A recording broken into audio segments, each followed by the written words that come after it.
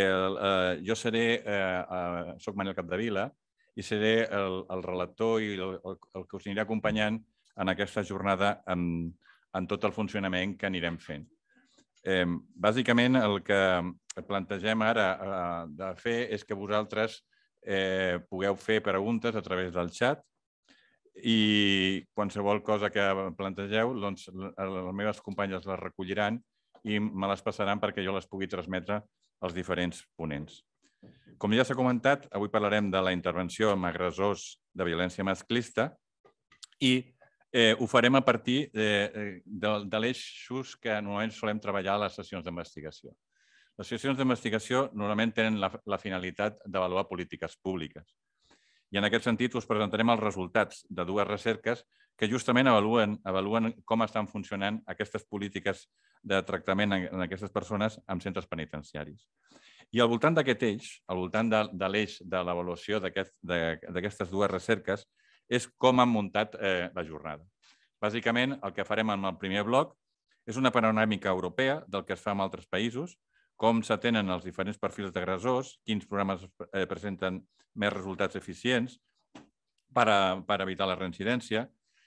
En el segon bloc presentarem les dues recerques que us comentàvem, una s'ha fet amb, la, amb el finançament del Pacte d'Estat contra la Violència de Gènere i, i una altra està finançada pel, pel SECFE. La primera ha estat encarregada a la Universitat de Barcelona i avalua en termes d'eficiència els resultats dels nous programes de tractament que els centres penitenciaris catalans han posat en marxa a partir de l'any eh, 2020. És el primer cop que avaluem de forma generalista i amb un disseny quasi experimental, amb un grup d'estudi i un grup control, amb la finalitat de conèixer l'eficàcia terapèutica dels programes i proposar els canvis oportuns en funció dels resultats que s'han obtingut i les propostes que es derivin de l'informe. La segona recerca el que fa és avaluar l'autorització de la realitat virtual com una eina motivadora per treballar l'empatia de l'agressor cap a la víctima i a la vegada convèncer els agressors que eh, és positiu eh, participar en aquest tipus de programes. S'ha fet una prova pilot i ara us presentem els resultats. Després farem un petit descans eh, eh, i us presentarem el tercer bloc, que recull les experiències dutes en medi obert i també en mesures penals alternatives. Al quart bloc tindrem la, el punt de vista de la víctima i com aquesta eh, i, i com viu aquesta el fet de que el seu, el seu agressor se'l pugui tractar de reinsertable socialment o fins quin punt les necessitats de la víctima entren en conflicte amb les del tractament dels agressors. S'exposaran les pautes i els elements més bàsics que cal tenir sempre en compte per preservar al màxim la integritat de la víctima i l'absència de noves revictimitzacions. I per últim, al cinquè bloc, hem establert un espai ampli de, de debat en el que tots els ponents eh, podran contrastar els diferents punts de vista i debatre els punts forts, punts febles de les diferents intervencions professionals i les coordinacions multiagències. També hi estan convidats a participar, també esteu vosaltres eh, convidats a participar, formulant les preguntes que estimeu oportunes, com us he dit, via xat. Per acabar, informar-vos que podeu trobar els documents de les recerques i altres materials penjats a la nostra pàgina web del CECFE i us anirem facilitant els enllaços conforme vagi avançant la, la jornada. Eh, també en els propers dies dis disposareu de la sessió d'avui a la nostra pàgina web per si la voleu veure normalment, tota o, o parcialment, o recomanar-la a algú com a material informatiu. Com la sessió serà gravada, us informeu que si no voleu sortir a pantalla teniu l'opció de desactivar les càmeres dels vostres ordinadors. I sense més, passo ja a presentar la, el primer bloc, la primera, la primera ponència, eh, que ens la, ens la farà eh, Berta Vallcastelló. Berta Vallcastelló és doctora en Psicologia Clínica, té experiència postdoctoral com a investigadora en temes de violències de parella. Actualment és directora eh, d'investigació de, i desenvolupament de la xarxa europea de treball amb perpetradors de violència domèstica i és també professora associada a la Universitat Ramon Llull de Barcelona. Té una àmplia experiència en investigació, anàlisis de dades per abordar la violència de gènere a través del treball amb perpetradors. És responsable de la implementació del Impact Toolkit, una eina d'avaluació dels programes per homes que exerceixen violència contra les seves parelles i ha participat i coordinat diversos eh, projectes europeus amb diferents publicacions científiques. Com us acabo de dir, és l'oportunitat de posar, posar eh, en paraules i, i, i explicacions tot allò que està fent Europa i que pugui estar funcionant en aquest, en aquest tema i t'agraïm moltíssim, Berta, que hagis pogut assistir avui aquí presencialment en aquesta sessió. Sense més, et dono la paraula i després ja us presentaré els altres ponents. Gràcies. Moltes gràcies. Em sent?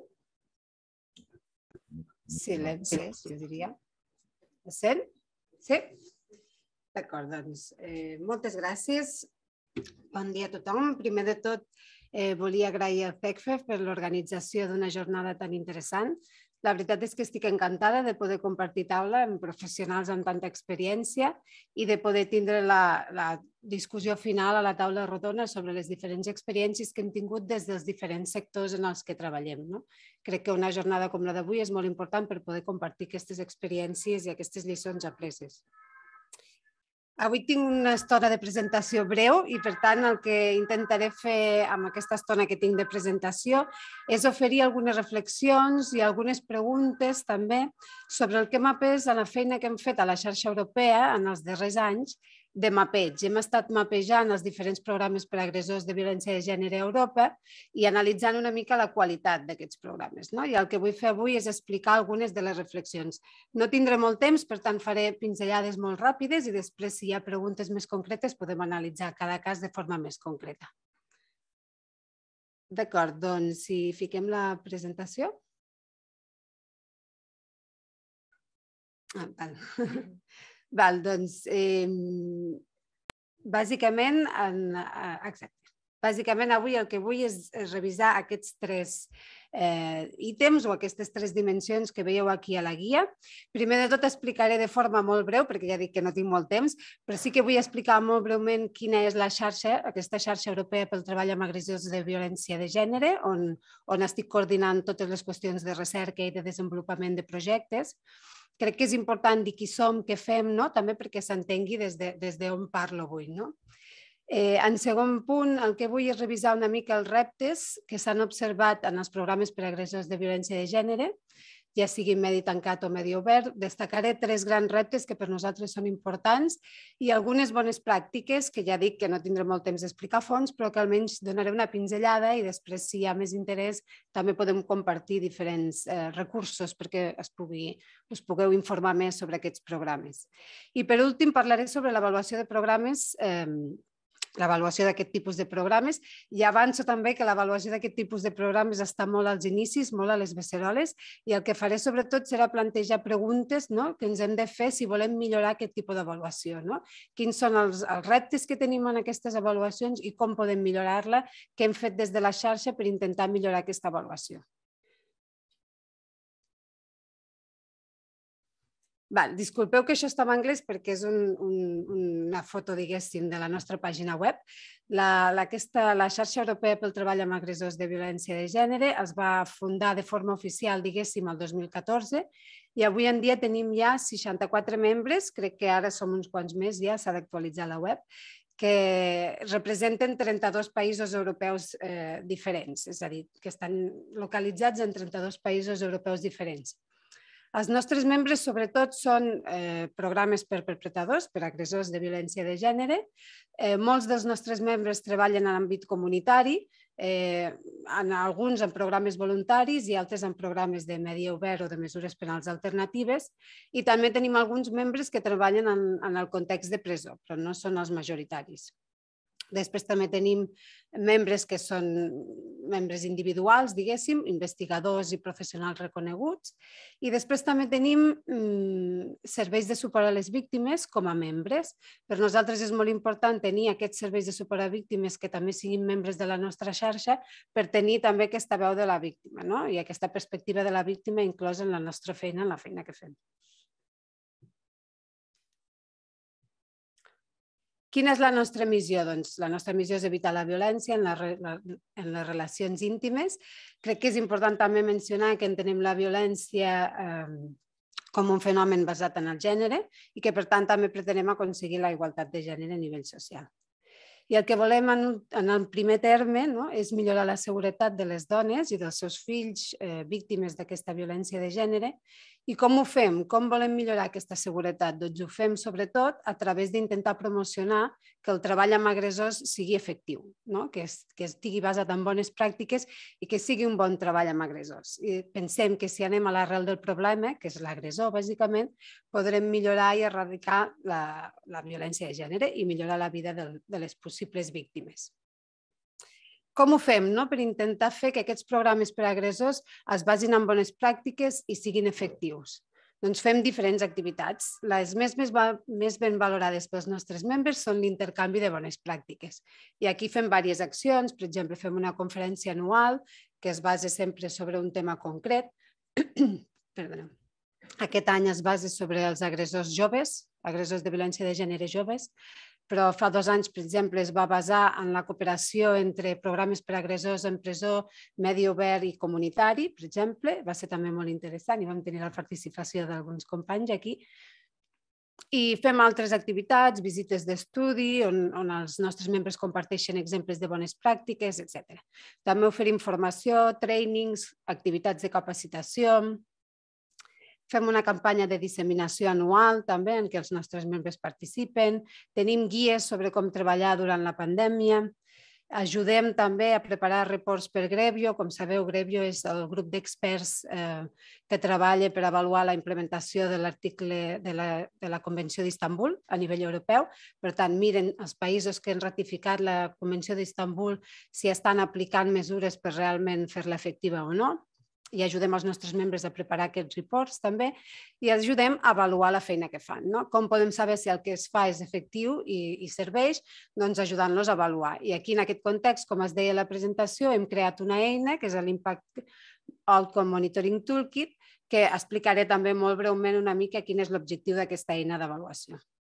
I després també participem en diferents projectes de, de recerca finançats a nivell europeu.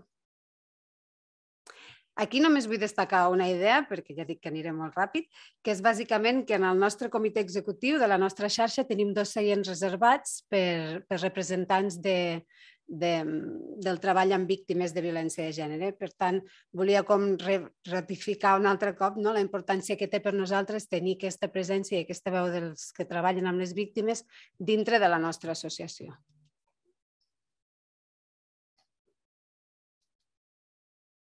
Val, I anem ja directament, sense més introducció, al segon punt de la presentació d'avui, on explicaré una mica quins són per nosaltres els reptes més importants d'aquest treball amb agressors de violència de gènere, en context ja sigui de presó, medi obert o MPA, i quines bones pràctiques hem observat en aquest context.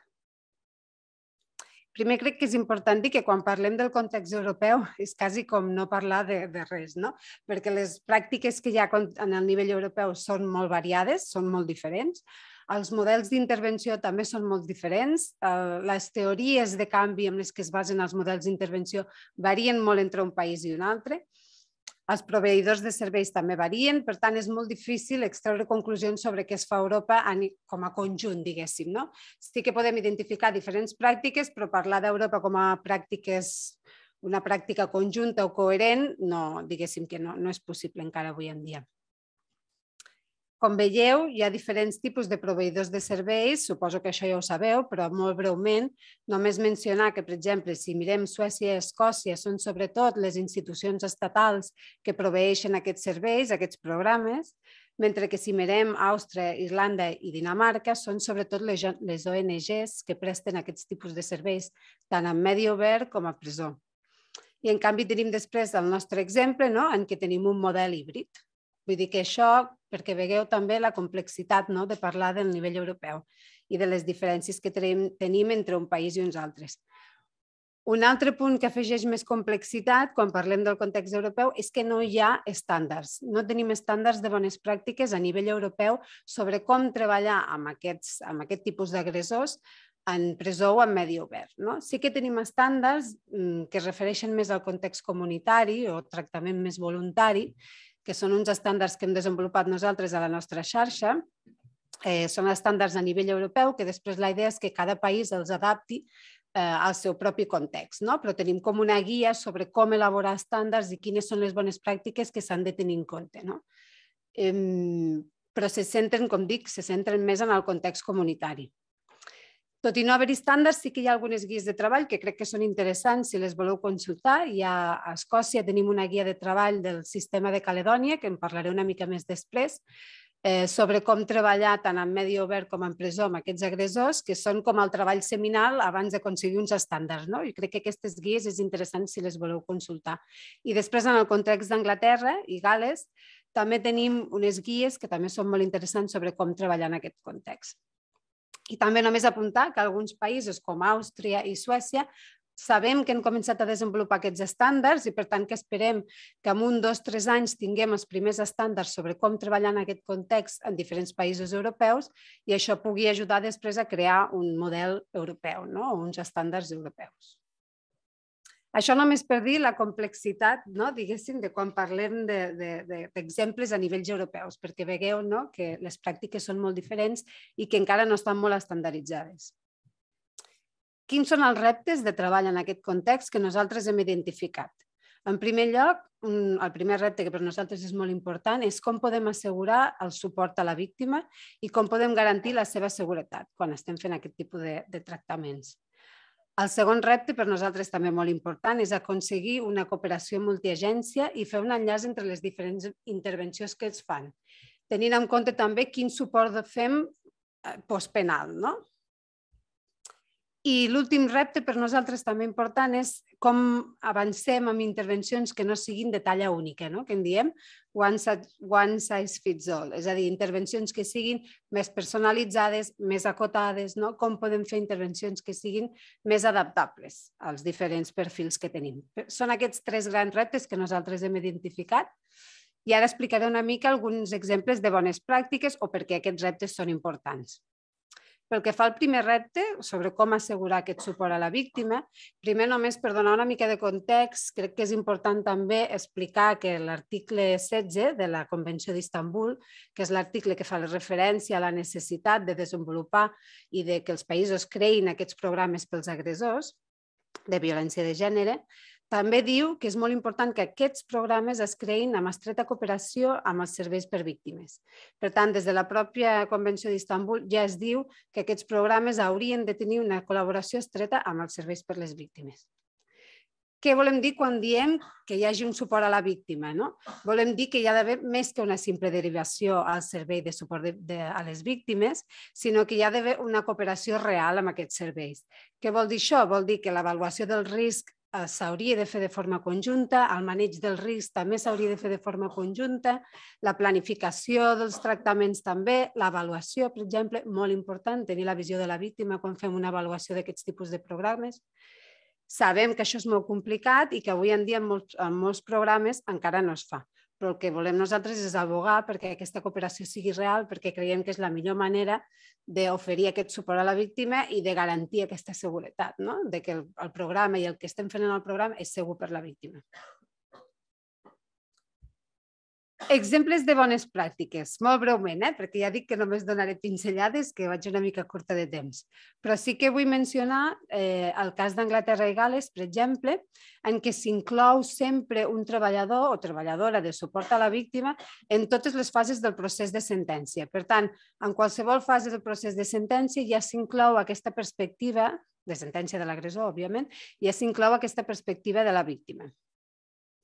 I a més a més també s'inclou aquest treballador o treballadora des del punt de vista de la víctima en tots els, els, els casos eh, de violència domèstica. És a dir, encara que l'agressor estigui condemnat per una altra condemna, per exemple, per un cas de robatori, eh, però si té algun indici o antecedents de violència domèstica, també s'inclou aquest treballador o aquesta treballadora en aquest procés de sentència. Això és molt important perquè veieu que ja es dona la visió de la víctima en tot el procés des de l'inici. No?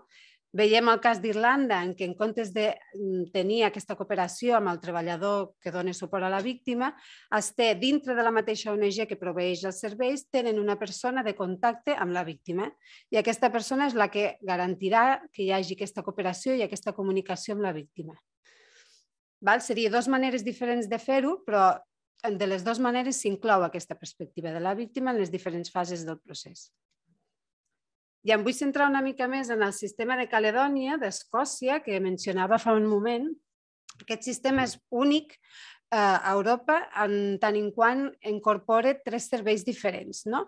És, és un, incorpora el programa per agressors, incorpora un servei de suport per a les dones víctimes de violència de gènere i també incorpora un servei pels infants víctimes de violència de gènere.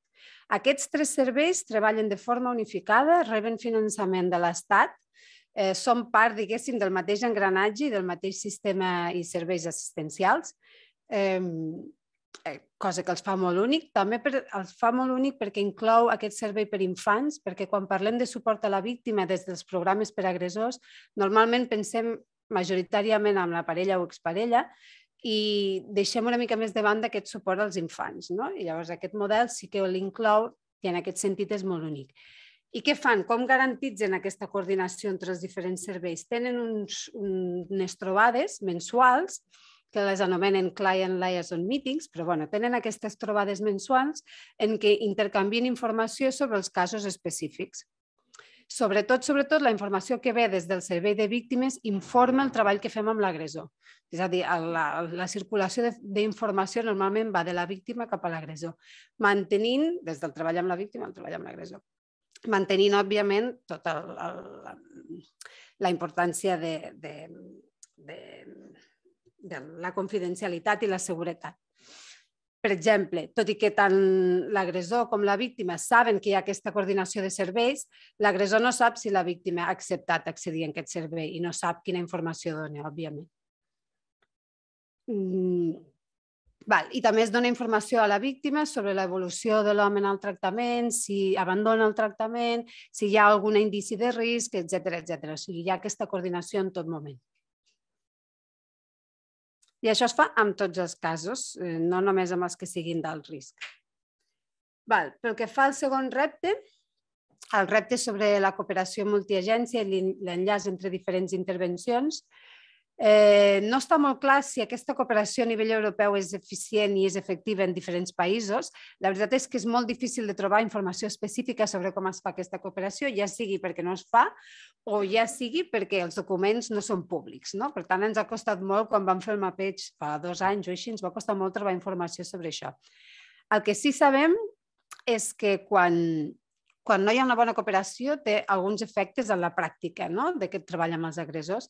Per exemple, podem rebre de derivacions que no compleixen bé amb els nostres criteris d'inclusió perquè els diferents serveis implicats no saben bé quins són els nostres criteris d'inclusió. Podem rebre els agressors amb una informació molt limitada sobre, sobre el seu cas i això dificulta molt també l'avaluació del risc, etc etc. No? Sabem que si no hi ha aquesta cooperació té implicacions en el treball directe amb els agressors. I molt ràpid explicaré també un altre exemple de bones pràctiques. De nou ens n'anem a Anglaterra i Gales. Aquí, en aquest exemple, el que veiem és cooperació, o sigui, en aquest model, disculpeu, el que hi ha és una cooperació tant intersectorial com intersectorial, que en diuen ells. Per tant, al dibuix de l'esquerra veieu la cooperació intrasectorial, és a dir, cooperació entre els diferents serveis eh, per agressors que es donen a presó o a, o a medi obert, i aquí es refereix sobretot a la idea de que s'entén els programes per agressors com un programa més i un servei més o un, un programa més que es pot oferir a, als agressors. No? I llavors s'entén que es coordinen els diferents programes i si hi ha diferents necessitats es dona també o s'ofereix també la possibilitat d'accedir a diferents programes, per exemple, programes per, per problemes de, de drogadiccions. No? Llavors es coordinen els diferents serveis, tant de presó com de medi obert, i s'ofereix el que més convingui en l'agressor. Però el que és més interessant és la cooperació intersectorial, que és el que veiem aquí a la dreta, que són les Multi-Agency Risk Assessment Conference i Multi-Agency Public Protection Arrangements, que bàsicament són MARAC i MAPA en curt, Eh, lo interessant d'aquí és que les MARAC se centren sobretot en l'atenció a la víctima, víctimes especialment del risc, i la idea bàsica és que es coopere des del els serveis de presó i de medi obert amb altres serveis externs. Per tant, aquí s'invites, es tenen trobades regulars i aquí s'inviten diferents serveis, com per exemple la policia o s'invita serveis de benestar social, etc. Serveis de víctimes. Per tant, totes aquestes agències es reuneixen de forma més o menys regular i discuteixen el cas i fan un seguiment del cas. I després tenim les mapa que se centren en els agressors. I aquí agressors tant d'alt risc com de baix risc. No té, no té a veure amb el risc. No? Llavors, segons el risc que presenti l'agressor, s'invitaran més o menys agències externes, es faran trobades més o menys regulars, eh, però tots, tots, tots tenen aquest seguiment mm, eh, des de diferents agències externes al, al, als serveis de, de, de presó o de medi obert. Val? Això com un exemple de, de com de forma estructural, diguéssim, es, es, es reuneixen les diferents agències que tindran a veure amb, tant amb la víctima com amb l'agressor, tant quan està encara dins de la presó com quan estarà fora, i aquestes reunions serveixen per fer un maneig del risc i per fer un maneig dels casos. Val. I finalment, molt breument també, el tercer repte que té a veure amb com fer intervencions més, diguéssim, adaptades, no? que tinguin més en compte les diferències, perquè sabem que els agressors de violència de gènere són molt heterogenis entre ells i que acostumen a ser moltes vegades multiproblemàtics també. I això és un repte en, en, en l'àmbit comunitari, però també en presó. I aquí només vull ficar un exemple. Hi ha diversos programes eh, en diversos països que s'han començat a fer programes més concrets no? per, per agressors amb problemes més concrets. I un exemple d'aquest és eh, un programa que s'està pilotant ara, que crec que és molt interessant a Anglaterra, eh, per agressors amb trastorns de personalitat, no? que sabem que aquesta és un, un, una concurrència, diguéssim, que es dona molt sovint i està basat en la teoria de la mentalització i crec que és un pilot molt interessant. Veurem els resultats molt aviat d'aquesta aquest, fase de prova eh, i bueno, per això el volia mencionar avui. Però també tenim, per exemple, aquí el cas de Catalunya, on hi ha diferents itineraris d'intervenció en funció de les necessitats criminològiques dels agressors. Això també seria una manera d'intentar adaptar no, el tractament que oferim als agressors als diferents perfils d'agressors.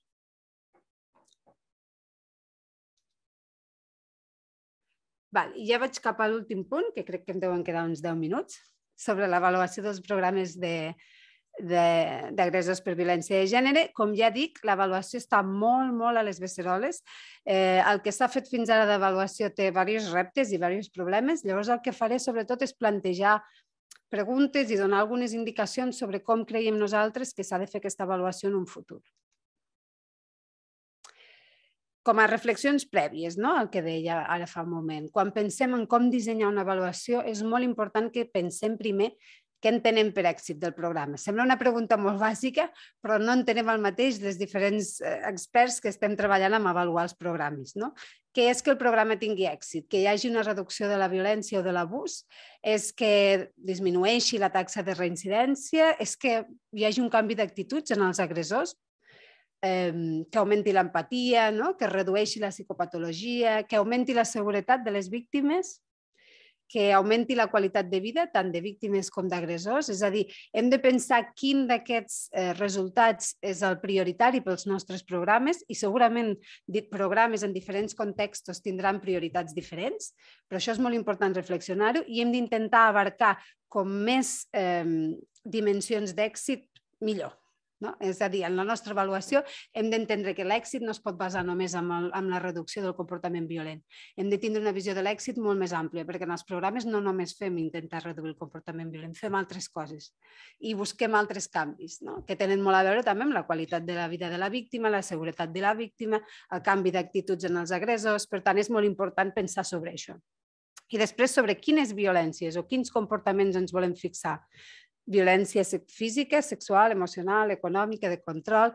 Les volem avaluar totes, les tractem totes al programa, ens centrem més en unes que en unes altres. La importància no? de reflexionar sobre aquests temes. Després també molt important, qui decideix si aquest èxit i aquests canvis s'han donat o no. Eh, ho decideix l'agressor mateix, és a dir, fem self, mm, eh, autoreports no? en què l'home és qui diu si ha canviat o no ha canviat, Preguntem també l'opinió de la parella o exparella, l'opinió de la víctima. Fem servir bàsicament registres penals o altres eh, documentació oficial, que sabem també que el, el hàndicap que té, no? fer servir només documentació oficial, que és que moltes situacions de reincidència no arriben a les dades oficials. Per tant, d'on traiem aquesta informació sobre si el que fem funciona també és una reflexió important. Eh, I després pensar sobre, d'acord, un cop sabem això, no? que entenem per, bon, per, per, per èxit eh, del programa, qui decidirà sobre aquest, aquest èxit, hem de pensar quines mesures volem fer servir, perquè les mesures que fem servir també tindran una implicació sobre el resultat. No? Fem servir inventaris més quantitatius, fem servir entrevistes més qualitatives, com farem aquesta avaluació? I això també és important fer una reflexió abans de començar l'avaluació.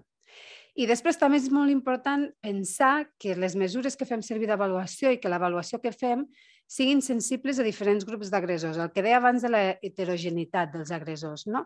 És molt important que puguem saber quin tipus d'agressors tenim en aquest programa que estem avaluant.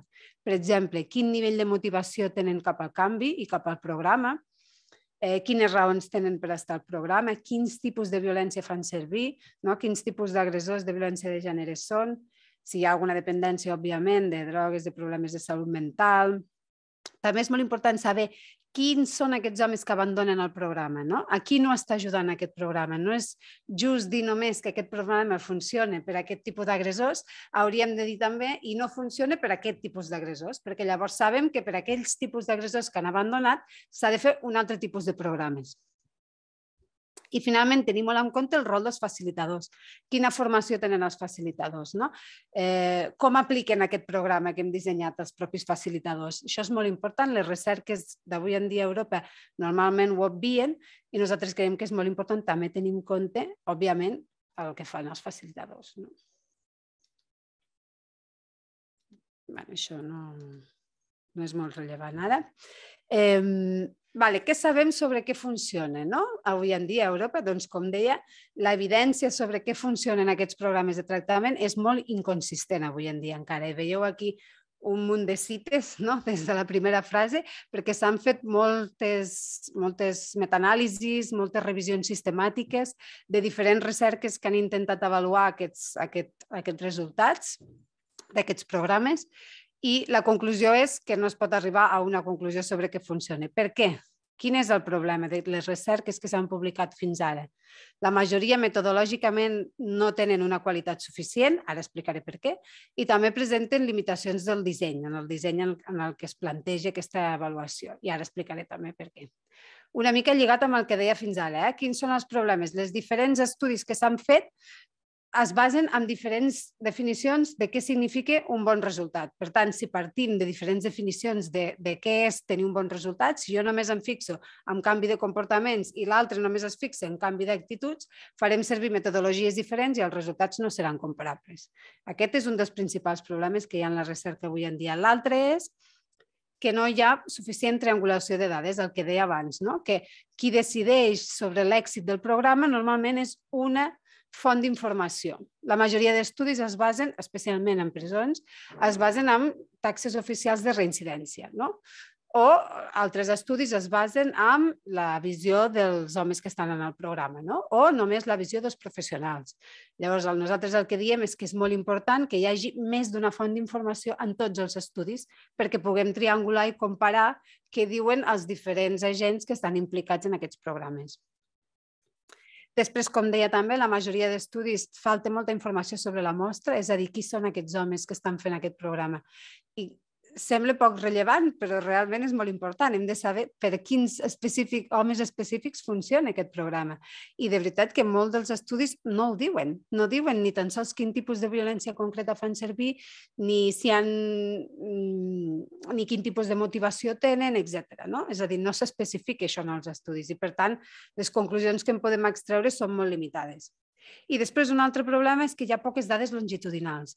En el millor dels casos es fan avaluacions prepost, que estan bé, però clar, necessitem avaluacions de procés també. No? Hi ha d'haver mesures al, durant el programa per saber no només si hi ha un canvi d'inici a final, sinó com es dona aquest canvi perquè el que volem és poder-ho replicar, no? I poder donar significat a aquest canvi, no només si n'hi ha o no. I després hi ha molt poc seguiment, és a dir, hi ha molt poc, eh, hi ha poc seguiment un cop el programa acabat, no? Poc, poques dades recollides un cop el programa acabat. I això també és molt important eh, per mirar que els canvis que aconseguim siguin estables. No? I el seguiment, quan es fa, a vegades es fa a un mes, dos mesos, sis mesos, però rarament es fa al cap d'un any, que també és, és el que es recomana. Vale, em queden cinc minutets. Eh, bàsicament el que deia, necessitem un nou model d'avaluació que recullin informació no? sobre totes aquestes dimensions que explicava ara i el que volem ja no és respondre i dir, val, quin programa funciona, no? Què funcionen els programes? No. Nosaltres diem que hem de fer una pregunta més complexa no? i saber què funciona per aquí i en quines circumstàncies. No? És a dir, quin tipus de programa, amb quin model de programa eh, estem treballant, no? per a quin tipus d'agressor funciona aquest model de programa i en quines circumstàncies, és a dir, en quin context si funciona més en medi obert, si funciona més a presó, etc etc. Per tant, la pregunta ha de ser més complexa. I molt breument, en aquest context, com deia, nosaltres hem desenvolupat aquesta eina que pretén almenys donar resposta a, a la majoria d'aquests reptes que he comentat que té l'avaluació actualment. Eh, L'Impact Outcome Monitoring Toolkit, li diem Impact Toolkit per fer-ho fàcil. I bàsicament amb aquesta eina nosaltres el que avaluem són diferents dimensions de, de, de, de bon resultat, com comentava a l'inici, o sigui, evidentment tenim en compte els canvis en el comportament violent, però també l'impacte, els canvis en l'impacte d'aquest comportament violent. Sabem que encara que es redueixi, per exemple, l'abús físic, encara hi pot haver molt impacte per les víctimes d'abús psicològic que pugui encara estar present, per exemple. Per tant, no només volem saber si els comportaments violents es redueixen, sinó si l'impacte d'aquest comportament també es redueix. També avaluem el canvi en actituds dels agressors, si hi ha més responsabilitat, si, ha, si augmenta la motivació pel canvi, eh, etc. També avaluem canvis en la seguretat i el benestar de les víctimes, preguntem sobre la seva seguretat, sobre el seu benestar, eh, incloent dones i, i també fills i filles. I després els diferents canvis que s'han donat com a resultat d'estar en el programa. Fem una descripció acurada de la mostra i també recollim dades sobre el tipus de programa, el que deia, per saber què funciona per aquí. Recollim informació en diferents moments, com deia, no només prepost, sinó durant el programa i també eh, en seguiment. I molt important, ho tinc al final, però és el més important, recollim informació sobre els agressors i també sobre el que ens diuen les víctimes, les seves possibles parelles o exparelles. I, per tant, creuem les dades sobre eh, la informació que rebem d'aquests dos persones. Val, I ja em queda un minut, o sigui que bàsicament com a conclusions, eh, una mica el que volia avui era això, no? revisar aquests tres reptes principals que per nosaltres són molt importants i donar una pinzellada sobre possibles bones pràctiques per si després eh, teniu més interès, compartirem també links perquè pugueu, pugueu mirar més exemples o mirar més la descripció d'aquestes bones pràctiques, però la idea seria que poguéssim o que aquestes idees ens ajudin a reflexionar sobre quin model volem o podem integrar en el nostre context no? i quines pràctiques de les que fem ja funcionen, òbviament, perquè no tot s'ha de canviar, no? però que puguem, ens ajudi a reflexionar sobre què creiem que es pot integrar en el nostre context. I com deia, l'avaluació d'aquests programes necessita avançar i per tant necessitem un nou model d'avaluació més integral, més exhaustiu i que incorpori, òbviament, la perspectiva de la víctima, no? com el que comentava ara. Ja està. Moltes gràcies per la vostra atenció. Aquí teniu diferents links que podeu consultar i també el meu correu per si teniu alguna consulta. Moltes gràcies, Berta, sobretot per adaptar-te a aquest, eh, aquest flagell que tenim amb, amb el temps, que sempre intentem eh, complir-lo perquè la gent pugui també fer preguntes després al, al xat. Les aneu incorporant i, com us deia al començament, després les recollirem amb un torn únic de paraules, d'acord? Eh, a continuació donarem pas al bloc 2, i que és l'eix de la jornada, que és la presentació de les dues recerques fetes. Els autors, de, són, els autors investigadors són psicòlegs de la Unitat de Programes d'Intervenció Especialitzada que treballen a la Subdirecció General de Programes de Rehabilitació i Sanitat de la Direcció General d'Afers Penitenciaris. Si bé eh, això eh, el situa en un lloc estratègic per orientar les tasques de tractament que fan els centres penitenciaris, el principal motiu pels que estan avui aquí és per la seva tasca complementària i d'esprit innovador com a investigadors. Marian eh, Martínez García és llicenciada en Psicologia i Criminologia per la Universitat de Barcelona i ha realitzat estudis en el màster de Psicologia Forense i Criminal i de doctorat en Personalitat i Desenvolupament i Conducta Normal. És membre del grup d'estudis avançats en violència des del seu inici, el 2004, i de la Societat Espanyola d'Investigació i Criminologia. És també professora en el grau de Criminologia de la UB i ha participat en nombrosos estudis i investigacions eh, i les seves principals línies de recerca són la violència sexual, l'avaluació i la predicció del risc i el tractament psicològic dels delinqüents i la psicologia forense. I també eh, la segona presentació de la recerca la farà el Nicolás Bernés Méndez, que eh, ha treballat més de 10 anys com a psicòleg a l'equip d'assessorament tècnic penal de Tarragona i del 2017 al 2021 com a psicòleg del Centre Penitenciari Mas Enric de Tarragona. Durant la seva carrera ha treballat molts anys en el fenomen de la violència de gènere, tant des de la perspectiva de la dona com la de l'home. Complementa la seva experiència professional en l'activitat de recerca a l'equip del projecte eh, BR per gènere com a investigador predoctoral. Intervindran els dos seguits i quan acabin formularem les preguntes que ens heu volgut eh, transmetre als tres ponents. Endavant, Marian, en la teva presentació. Molt bé. Bon dia a tothom. Moltes gràcies per la invitació a participar en aquesta jornada en la que, com bé deia la consellera a l'inici, eh, doncs s'ha volgut donar veu a, als diferents agents implicats en l'abordatge d'aquest fenomen que, que tant ens preocupa, que és el de la violència de gènere. Doncs bé, eh, continuant amb la... Sí, perdó, eh? Ara, sí. Eh, continuant amb la, amb la vessant de la intervenció amb agressors i relacionat amb el que acaba de presentar la senyora Berta Vall, jo els presentaré els resultats d'un estudi que vam realitzar conjuntament amb la professora Sonia González sobre l'eficàcia dels nous programes d'intervenció en violència de gènere que actualment es desenvolupen a les presons catalanes. Eh, tot i que en els centres penitenciaris de Catalunya es venen aplicant programes específics de violència de gènere des de l'any 2001, eh, va ser l'any 2018 quan juntament amb el grup d'estudis avançats en violència de la Universitat de Barcelona es va col·laborar en, en la creació d'uns nous programes d'intervenció que s'ajustessin a l'actual model d'intervenció dirigit a les necessitats dels individus. Tant el model d'intervenció com els continguts del programa més específic de violència de gènere els teniu disponibles en l'informe de la recerca on estan més desenvolupats i els podeu trobar eh, de manera més acurada. Doncs bé, aquest nou model, com bé deia també la, eh, la senyora Berta Vall, eh, el que ens permet és adaptar la intervenció a les necessitats criminògenes o als factors de risc dinàmic que presenten els interns o les internes més enllà de, eh, de treballar només amb el fet delictiu que han comès i tenint com a objectiu, sobretot, provocar un canvi en el seu estil de vida que promogui la seva reinserció i, per tant, el desistiment. Doncs bé, eh, l'objectiu d'aquest estudi bàsicament va ser conèixer si l'actual programa de violència de gènere provoca millores en determinades variables psicològiques que teòricament estan relacionades amb el risc de reincidència. Per això s'han avaluat dos grups d'intern, un grup tractament format de, de 18 subjectes i un grup control amb, amb 14 subjectes. A tots dos grups se'ls va aplicar eh, un qüestionari abans i després de la intervenció, en el cas del grup tractament, i en els mateixos períodes eh, al grup control. Els centres que van participar van ser Brians 2, Lledoners i Ponent. Eh, estava previst que participés al centre de Puig de les Basses, però finalment no va poder fer la, la intervenció.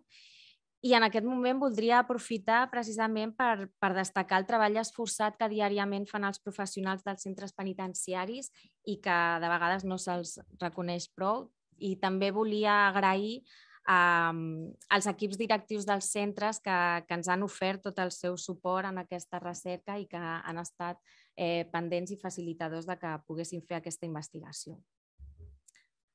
Doncs bé, explicat això, eh, anem a analitzar els resultats, que és potser la part més, més interessant. No? Com podeu veure, el grup tractament obté millors puntuacions després de la intervenció en variables com eh, les actituds sexistes, l'agressivitat, el conflicte de parella, la, la satisfacció amb la parella, però, per exemple, eh, en el cas de les distorsions cognitives en relació a altres persones, les puntuacions eh, són pitjors i eh, les que serien distorsions específiques envers l'ús de la violència o contra la seva pròpia víctima, doncs eh, veiem que no ha canviat després de la intervenció.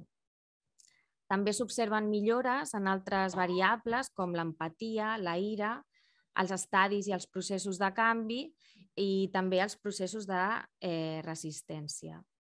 Quant a la variable alcoholisme, malgrat que no és un objectiu de, dels programes d'intervenció, sí que és una problemàtica que està present en una gran part dels interns i per això s'ha avaluat. També es va incorporar una variable de sinceritat, bueno, que és aquesta desitjabilitat social, on el que observem és que eh, el grup tractament va mostrar-se més sincer en la segona aplicació que no pas en la primera. Però què passa? Que si aquestes, aquests resultats ho comparem amb el grup control, que per això vam fer servir un grup control, veiem que el grup control, malgrat no haver passat per al procés de la intervenció, també ha obtingut una millora en actituds sexistes, en agressivitat, a conflicte de parella, satisfacció de la parella. En el cas de distorsions cognitives relacionades amb altres persones, passa com en el cas del grup tractament, que eh, tindria pitjors puntuacions, i en les distorsions cognitives eh, sobre l'ús de la violència o els rols de la dona, doncs veiem que en aquest cas hi ha una millora. En canvi, per exemple, empitjoren en empatia, eh, quan a la ira i els estadis de canvi no canvia, en els processos de canvi i els processos de resistència mostren pitjors puntuacions, eh, en el cas d'alcoholisme, al igual que el grup tractament, també millora, i en el cas de la desitjabilitat social empitjoren, o sigui, es mostraven menys sincers en la segona aplicació. De fet, una qüestió interessant que, que vam destacar és que si ens fixem, d'entrada a les puntuacions sempre tenen pitjors resultats o majoritàriament tenen pitjors resultats al grup tractament que al grup control. I això, en realitat, el que ens estaria indicant és que el punt de partida per als dos grups és diferent i que si sobretot ens fixem en el cas dels processos de canvi o els processos de resistència, potser eh, el, el grup tractament està com més conscienciat de que té un problema que ha de treballar que no pas el grup control. Però, malgrat aquestes tendències que els he presentat aquí, eh, els resultats no són estadísticament significatius. De fet, aquí els presento els gràfics de dispersió que el que ens indiquen és que hi ha molta variabilitat tant en el grup control com en el grup tractament, de fet, el fet que les medianes estiguin tan a prop de, de la diagonal el que indica són eh, diferències molt petites. Eh, quan a l'efecte del tractament doncs no es detecta que aquest efecte sigui eh, significatiu en cap de les variables perquè bueno, veiem que l'interval de confiança eh, inclou tant valors positius com negatius, excepte en el cas de les actituds sexistes, que no sé si es veu per aquí, bueno, crec que no els hi puc indicar, però està aquí a dalt a la, a la dreta, bueno, a la meva dreta. Eh, doncs, eh, en el cas de les actituds sexistes, el que veiem és que el signe positiu el que ens està indicant és que l'efecte, o sigui, és que el grup tractament milloraria menys que el grup control eh, respecte a l'aplicació de la intervenció. De fet, si mirem particularment la interacció entre la variable grup i actitud davant del delicte, que era la covariable que resultava més eh, significativa, podem veure dos grups ben diferenciats, els que reconeixen d'aquells que no reconeixen. I aquí el que es veu és que els que reconeixen el delicte presenten actituds sexistes més fortes després de la intervenció que aquells que no, que no reconeixen. Eh, de fet, hi ha una dada que, malgrat que no es va plantejar dintre dels objectius de, de la intervenció, vam pensar que era interessant recollir-la, eh, eh, i té a veure eh, amb, amb variables que estaven relacionades amb la implementació del programa. I en aquest sentit, el que vam veure és que, quant a la valoració del risc del grup de tractament, dels 18 subjectes que conformaven aquest grup, 4 eren de risc baix, 9 eren risc mig i 5 eren risc alt. A cap d'ells no se'ls havia avaluat amb l'escala específica per la valoració del risc de violència contra la parella, que és el SARA. també, eh, en relació al coneixement de l'idioma, es va categoritzar aquesta variable com a indicador de la capacitat que tenen els interns per fer un bon aprofitament o un bon seguiment de la intervenció. I aquí el que vam veure és que 13 l'escrivien, que seria el nivell eh, com més alt de comprensió, un el parla, tres l'entenen i un no l'entén. I relacionat amb aquesta variable, eh, cal destacar que un 30% de la mostra, com a màxim, han arribat a un nivell d'instrucció d'alfabetització. Això és important perquè, com deia abans, ens dona una idea del seguiment que poden fer de la intervenció.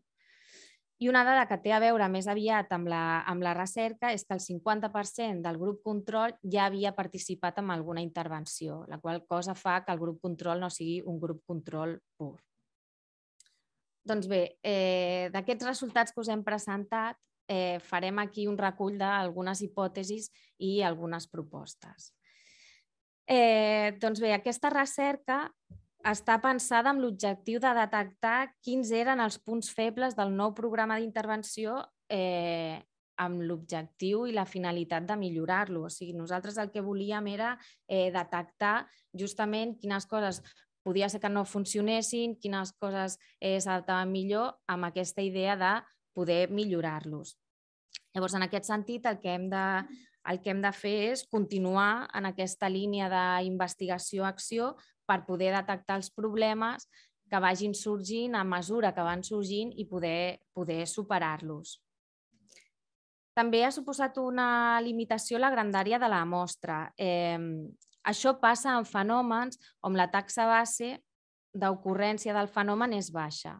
Però a banda d'això és una llàstima perquè teníem ja poc nombre de, de subjectes però alguns altres no els hem pogut utilitzar perquè no eren vàlids, doncs perquè no van completar tots els qüestionaris, a vegades es van deixar de recollir eh, dades sociodemogràfiques i criminològiques, no? i en aquest sentit doncs hem de millorar en la, en la rigorositat amb la que es recullen les dades i estar més atents també a les condicions de la, de la investigació. No? Quan comentàvem que el grup control doncs el 50% havia fet intervenció, doncs clar, això també nosaltres hem de tenir una mica aquesta mentalitat d'investigació i ajustar-nos a, a aquests requeriments. No? Com, com es justifica en l'informe, eh, es va fer servir un instrument que vam dissenyar doc per una, altra, per una altra avaluació dels programes que es feien en medi comunitari. Eh, però justament es va fer servir aquest, aquest instrument perquè el que preteníem detectar eren els canvis psicològics produïts com a conseqüència de la intervenció. No? Com abans deia eh, la senyora Berta, doncs podríem haver escollit un, avaluar una altra manera o amb un altre indicador d'eficàcia, de, però nosaltres vam pensar que el que volíem era detectar aquests canvis eh, psicològics. Però també és cert que algunes escales doncs, eh, resulten massa evidents o a vegades resulten massa, massa complexes i per això el que caldria és eh, incloure altres tipus d'indicadors d'assoliment dels objectius terapèutics i també adaptar, si és necessari, eh, els instruments d'avaluació per al tipus de població amb la que treballem, les seves característiques i, i bueno, les seves mancances doncs, a nivell idiomàtic, etc. I per últim, que he deixat per últim la que per mi és més, eh, més destacable i, i de fet, eh, la més reveladora, eh, és que no s'està aplicant el model d'intervenció dirigit a les necessitats del, dels individus. Eh, clar, com dèiem, una bona pràctica i el que estan recomanant doncs, és eh, intentem adaptar la intervenció a les necessitats que presenta cada individu perquè s'ajusti molt aquesta intervenció i perquè treballem només en allò que seria necessari. Eh, nosaltres venim d'un model en el que es treballava més eh, sobre el delicte. Has fet aquest delicte, doncs fas aquesta intervenció. I ja fa temps que estem treballant justament en aquest model de necessitats. Però què hem vist? Eh, quan us he presentat aquest, aquest aquestes dades sobre el risc, no? el fet de que quatre interns siguin de risc baix, que cap se li hagi aplicat eh, l'escala específica eh, d'intervenció, clar, ens fa pensar com s'han avaluat aquestes necessitats. que potser sí que s'han avaluat, no dic que no, però si més no, no, no queda aquesta constància. No? Llavors, eh, crec que des d'aquí és necessari doncs, això, que apostem realment per aplicar el model i per estudiar-lo, perquè en realitat nosaltres si anàvem a fer aquest, aquest estudi per veure com estava funcionant aquest nou model i aquesta aplicació i ens hem trobat que no s'està aplicant, doncs llavors estem avaluant una altra cosa que no és el, el nou programa. Però, bueno, com us deia, aquesta investigació va néixer amb aquest objectiu i amb aquesta voluntat de millorar els nous programes i és per això que ja estem fent coses en aquest, en aquest sentit. No? I què estem fent? Doncs, de moment hem començat a revisar dos programes psicoeducatius, que són el Creu en el canvi i el Para i Pensa. Eh, vinculat amb això, també dir que s'estan fent en paral·lel, bueno, ja s'ha fet una recerca que també avalua l'eficàcia dels programes de violència sexual i es començarà a fer una recerca sobre eh, els programes específics eh, de violència general. Llavors, eh, més enllà d'aquesta investigació i aquestes revisions que ja s'han iniciat i que segurament doncs, eh, continuarem en aquesta línia, també eh, bueno, es, es facilitarà fer un seguiment i sobretot un suport als equips per l'aplicació d'aquest nou model i en aquest sentit doncs, també vincular-ho a, a un, un pla estratègic de, de formació per poder donar eh, doncs aquest suport i aquest seguiment al, a l'aplicació del nou model. Doncs molt bé, moltes gràcies.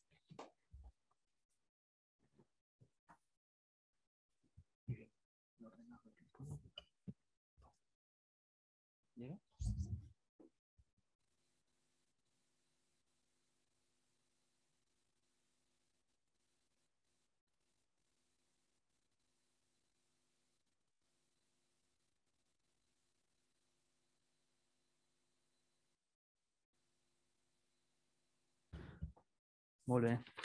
Eh, bon dia. Quita la mascarilla. Eh, bon dia, eh, moltes gràcies al, al Centre d'Estudis per la invitació avui a presentar una altra vegada un altre projecte de, un altre projecte de recerca relacionat amb l'aplicació la, de la realitat virtual als programes de violència de gènere que es porten a terme als, als nostres centres penitenciaris. Eh, bé, primer de tot volia dir que avui presento jo aquesta, aquesta recerca, però que aquesta recerca ha estat possible eh, principalment gràcies al, al recolzament del centre d'estudis, però també gràcies a la col·laboració de la doctora Mavi Sánchez Vives i del doctor eh, Mel Slater, que eh, probablement són eh, uns dels millors eh, especialistes a nivell internacional sobre l'aplicació de realitat virtual en, en programes de tractament eh, psicològic. Bé, també volia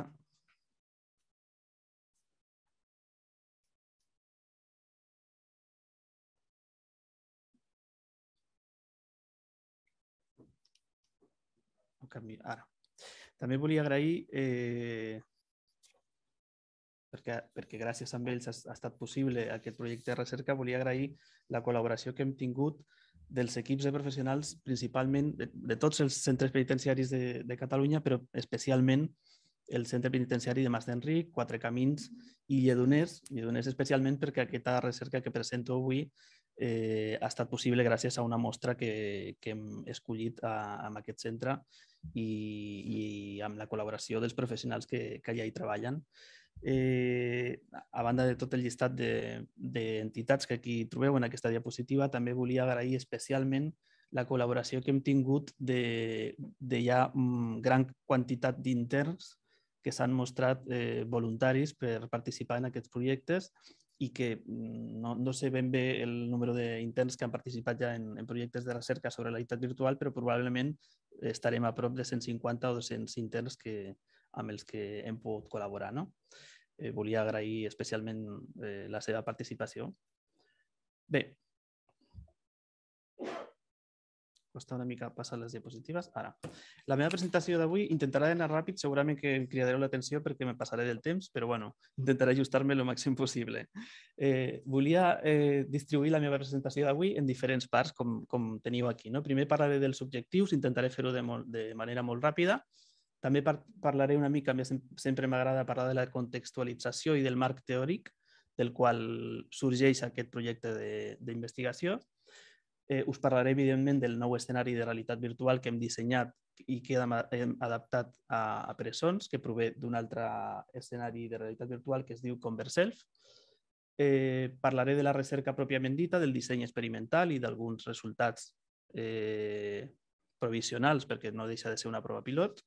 I també al final m'agradarà parlar d'algunes conclusions que hem obtingut i de propostes de futur i de present, de coses que ja estem, ja estem portant a terme i també en la mesura de possible eh, us llegiré algunes de les opinions dels interns quan, quan han participat en, aquest, en, aquesta, en aquesta prova pilot. Bé. bueno, en quant als objectius, el, el, objetivo principal de, de, esta investigación, igual que en la anterior que presenté hace unos meses sobre realidad virtual, el objetivo marco, el principal, es aportar mejora, mejoras a los programas de rehabilitación para hombres que ejercen la violencia de género y que se están desarrollando ahora en las prisiones. ¿De acuerdo? Es aportar un valor añadido e intentar un poco dirigir esa personalización del tratamiento del que hablaba antes también Berta. Esto está ligado con la implementación de nuevas tecnologías, eh, tecnologías de última generación en tratamientos psicológicos, con diseños de nuevos entornos virtuales. Eh, en este caso, lo veréis eh, dentro de un ratito, eh, que en este caso se trata de, una, de, un diálogo entre la víctima y el, y el agresor. Y, como decía, personalizar al máximo los entornos virtuales para trabajar la empatía, pero nos hemos dado cuenta poco a poco de que no solamente es una herramienta que nos va a permitir trabajar la empatía, sino que seguramente que nos va a permitir trabajar muchas otras cosas, ¿no? Como por ejemplo eh, las causas de la conducta de, del agresor, eh, explorar a qué atribuye el agresor la aparición de su conducta eh, violenta, eh, también explorar y trabajar con el agresor qué nivel de conciencia tiene de, de, del, problema y también trabajar y explorar con él qué formas de respuesta alternativas a la violencia tienen, durante el tratamiento. Para contextualizar un poquito el, proyecto, a mí esto siempre me gusta hacerlo, ya lo he dicho, eh, traigo una, una, noticia reciente del, del, 17 de febrero que se publicó en el país. En el, esta, esta, noticia viene de un estudio que creo que se publicó en, en un diario inglés. Eh, pero bueno, es un, un, un, estudio con datos del 2018, eh, es decir, pre-COVID, en el cual se concluía que una de cada cuatro mujeres a nivel mundial ¿eh? eh, ha sufrido violencia física sexual o sexual por parte de su pareja en algún momento de la vida. Las cifras actuales continúan siendo alarmantes y yo creo que eso es uno de los motivos por los cuales hoy estamos hoy muchos profesionales aquí intentando averiguar qué podemos hacer con todo esto y mucho, muchas personas también escuchando esta, en esta jornada. Y coincide también el, otro, el otro punto que quería eh, apuntar, ¿no? el, que Berta antes también lo ha comentado, el convenio de Estambul del 2011, en el que España está escrito, pero que siempre lo tenemos, habitualmente lo tenemos muy asociado al trabajo con las víctimas y olvidamos que hay un artículo que ya también ha comentado antes, el artículo 16, que, que obliga de alguna manera o, hace que los gobiernos se impliquen en el desarrollo de programas de tratamiento para agresores, con el objetivo de mejorar las vidas de los agresores, de disminuir la conducta violenta, pero sobre todo, sobre todo con el objetivo de proteger a la víctima, porque trabajar con el agresor es otra forma de prevenir la violencia y de proteger a las, a las víctimas. De hecho, es el, creo que es el, el eje central. ¿no? Bueno, os traigo aquí una, una imagen que también se publicó hace unos meses en el diario The Guardian, en el que hablaban de del método de la escena de realidad virtual sobre la cual está basada la investigación que yo presento hoy, ¿de acuerdo? Eh, ya esta, esta, imagen da algunas pistas de lo que posiblemente os, os voy a hablar a continuación. Bien. El, la prueba piloto que nosotros hemos desarrollado y que hemos adaptado para prisiones en realidad está basada en otra metodología que ya está desarrollada hace años que se llama Converself, es un método de autoconversación que está desarrollado por el grupo de investigación en el que yo también estoy y por la empresa Virtual Bodyworks, que es quien, lo comercializa. ¿no? Este, esta metodología de autoconversación o de converself eh, mm, consta de estos pasos que tenéis aquí. ¿no? una vez dentro de la escena de realidad virtual, lo que hace el sujeto es ah, escoger su avatar, hombre o mujer, en función de los objetivos de la sesión. Luego explica su problema dentro de la, escena de realidad virtual. Justo después de explicar el problema, hace un cambio de perspectiva a alguien que es supuestamente que tiene la imagen de un terapeuta, en este caso la imagen de Sigmund Freud como prototipo de, terapeuta, ¿no? a nivel en nuestro imaginario de terapeutas.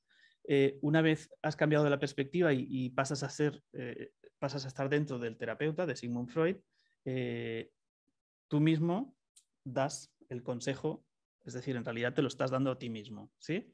Una vez has hecho eso, vuelves otra vez a tu propio, a tu avatar original y escuchas el consejo que Sigmund Freud, que en realidad eres tú, eh, te has dado, ¿no? Esto tiene que ver con la paradoja, con la Salomón Paradox, ¿no? Con la paradoja de Salomón, eh, que hace un ratito antes de entrar en la jornada lo hablaba con compañeros de trabajo, que, bueno, el rey Salomón yo no soy muy de leer la Biblia, pero creo que es un personaje muy importante en la Biblia, eh, era famoso por dar muy buenos consejos, ¿no?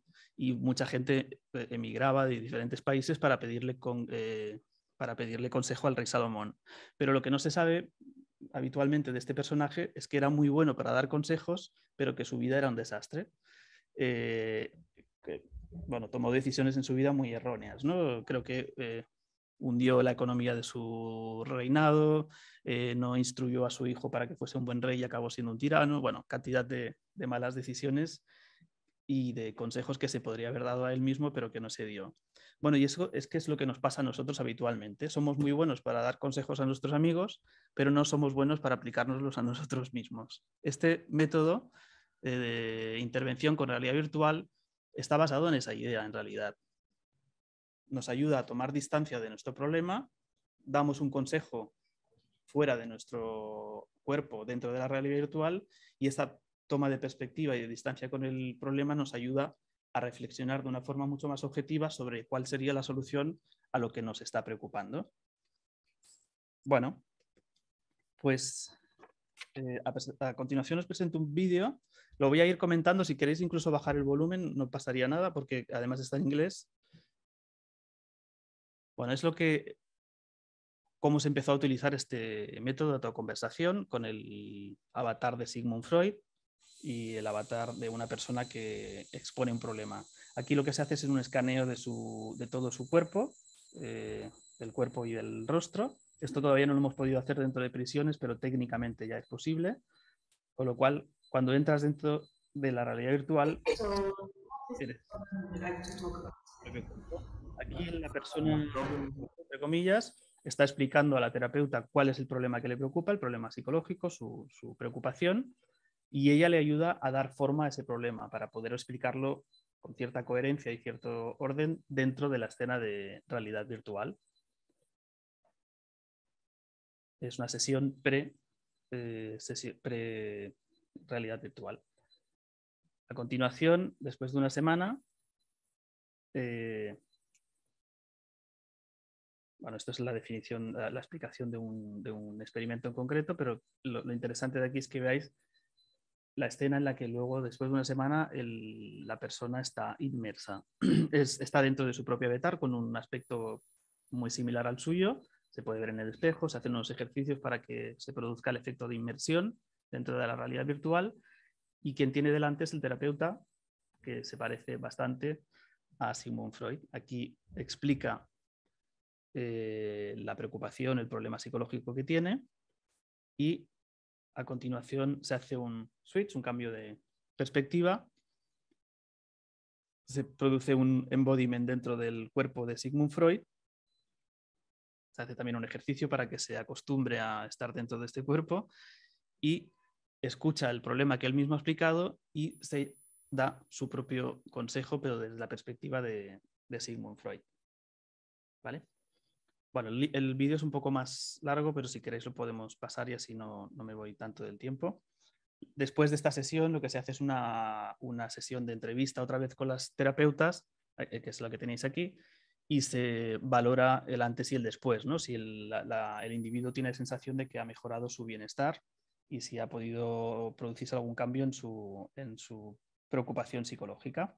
Bueno, este vídeo que habéis visto mm, tuvo el fruto de, diferentes eh, investigaciones, algunas de las que os voy a enseñar muy rápidamente. Esta en concreto es del año 2015, un artículo que se publicó por compañeros del laboratorio en el que yo estoy. En esta, en esta primera, en primera investigación del 2015 se llegó a la conclusión de que los, cuando estabas eh, inmerso en el cuerpo de, o sea, los consejos que se recibían desde el cuerpo de Sigmund Freud eran mucho más eh, efectivos que los que se recibían de un avatar que representara tu propio, tu propio cuerpo. Eh, y esto lo que demostraba es el poder que tiene la propiedad del cuerpo virtual para efectuar cambios cognitivos. Cuando tú estás inmerso dentro del cuerpo de Sigmund Freud, le atribuyes una serie de características y de capacidades que intentas adoptar tú también en el momento en que estás dando consejos y eso parece ser que produce un efecto mucho más positivo en el bienestar psicológico eh, que se pretende, que se busca. Este es otro estudio del año mm, ya posterior, del año 2018. Aquí se hizo un estudio con dos grupos, uno de experimental y el otro control, de 29 individuos cada uno. En el primero se hace el embodiment con el propio avatar y con el de Sigmund Freud y en el segundo, Sigmund Freud lo único que hace, en lugar de eh, repetir el consejo que tú has dado, es mm, explicar un poco consejos estándar, ¿de acuerdo? Eh, también aquí se, demuestra que es mucho mejor la metodología de autoconversación en la que tú te ves inmerso dentro del cuerpo de Sigmund Freud y se llega a la conclusión de que el, autoconversación o el embodied self-dialogue eh, es una posible estrategia de autoayuda. Bien, muy rápido. Estos estudios, previos a lo que nosotros hemos hecho en prisión, lo que demuestran es que dialogar con uno mismo a través de la realidad virtual modifica la perspectiva de los problemas personales y tiene una capacidad de ser más, tienes tú mismo una capacidad de ser más objetivo con tus propias preocupaciones. Ayuda a hacer aquello que os decía al principio, de tomar distancia del problema y saber buscar con mucha más objetividad la solución a, ese problema. Eh, voy rápido también para entrar directamente. Este es el, aspecto que tiene actualmente en la realidad virtual el escenario de converself o de autoconversación con, con el terapeuta, con Sigmund Freud. Evidentemente, de los años se ha mejorado mucho a nivel técnico y el aspecto es muchísimo mejor. Eh, se optó porque el entorno fuese mucho más neutral para que el individuo se centrara especialmente en la interacción entre avatares y no tanto en el entorno en que estaban inmersos. Y este sería el siguiente. Sería el aspecto que tiene, luego veréis un pequeño vídeo, el aspecto que tiene la adaptación que nosotros hemos hecho para prisiones, en el que veis que el avatar masculino sería el agresor y el avatar femenino sería la víctima que ellos eh, tienen que imaginar que su, que su propia víctima. Vale, pues la investigación que nosotros hemos llevado a cabo, la prueba piloto, eh, eh, tiene la forma que veis aquí en este esquema. Se hizo una medición pre, una sesión pre en la que medíamos empatía, que en principio era el objetivo diana de este, de este proyecto, ver si mejoraba la empatía con esta sesión. Se utilizó el, cuestionario IRI, el Interpersonal Reactivity Index de 1980 de Davis. Posteriormente se hace la fase de intervención en la cual se aplica la, realidad virtual en la autoconversa. Aquí hay una interacción en esta escena, luego lo veréis, hay una interacción con la víctima imaginada en realidad virtual. El interno tiene un avatar estándar que creo que en el futuro próximo será un avatar con su propio cara, con su propio aspecto. Eh, recibe unas preguntas que nosotros hemos pregrabado de la víctima. Los internos responden a cada pregunta de la víctima y después cambian al cuerpo de la mujer y escuchan sus propias respuestas. Cuando las han escuchado, vuelven otra vez al cuerpo del agresor, a su propio cuerpo, y vuelven a escuchar la siguiente pregunta de la, de la víctima y así sucesivamente. Las preguntas que la víctima les hace es ¿cómo estás? Una pregunta un poco más neutral al principio para que se vayan acostumbrando a la, escena y luego ya le pregunta por qué piensas que me has hecho todo aquello, per quin motiu, si ets conscient del mal que m'has fet, si estàs penedit, creus que has canviat en alguna cosa, si trobes una altra parella, penses que tornaràs a fer el mateix i ara què penses fer amb la teva vida? Bueno, buscamos, intentamos buscar preguntas que sí que son bueno, que no son inocentes, pero que sí que permiten al, agresor dar respuestas bastante, bastante abiertas. En la sesión post, lo que intentamos medir es justamente otra vez con la aplicación del IRI si ha habido algún cambio de empatía y luego aplicamos un cuestionario diseñado a DOC para este proyecto en el que preguntamos al, interno eh, qué es, cómo valorar la experiencia y qué impacto ha tenido el, embodiment y la sesión de autoconversación en, en él, ¿de acuerdo? Que creo que es aquí donde, al ser una prueba piloto con una muestra muy pequeña, los resultados son los más interesantes. Bien, este sería el vídeo de ejemplo, es muy breve, de lo que ven los internos. Podemos poner. Ha pasado de...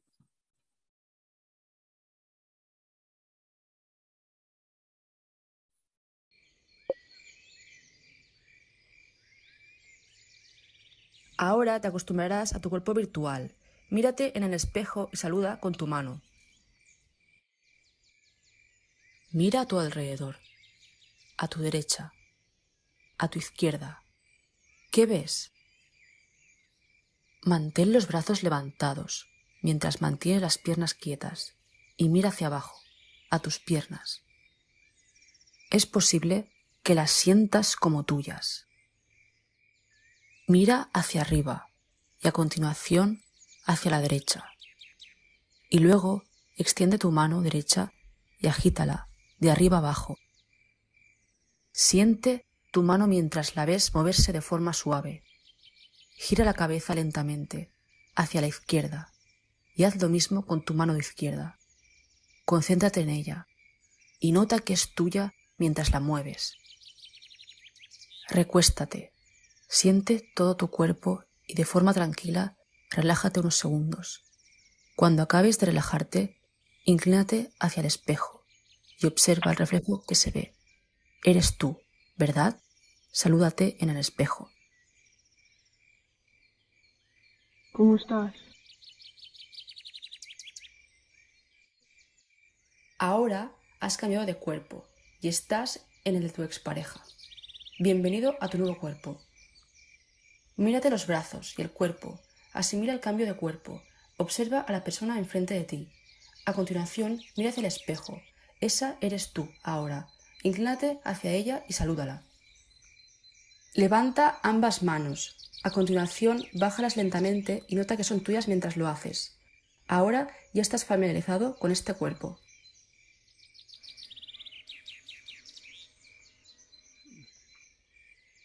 ¿Tú en realidad te arrepientes de lo que has hecho?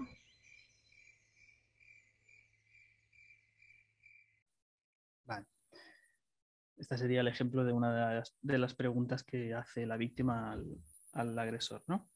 Como veis, es, una versión adaptada a, la necesidad de trabajar con el agresor su conducta violenta. Está inspirada en el método Converself de autoconversa, pero adaptado a nuestras necesidades.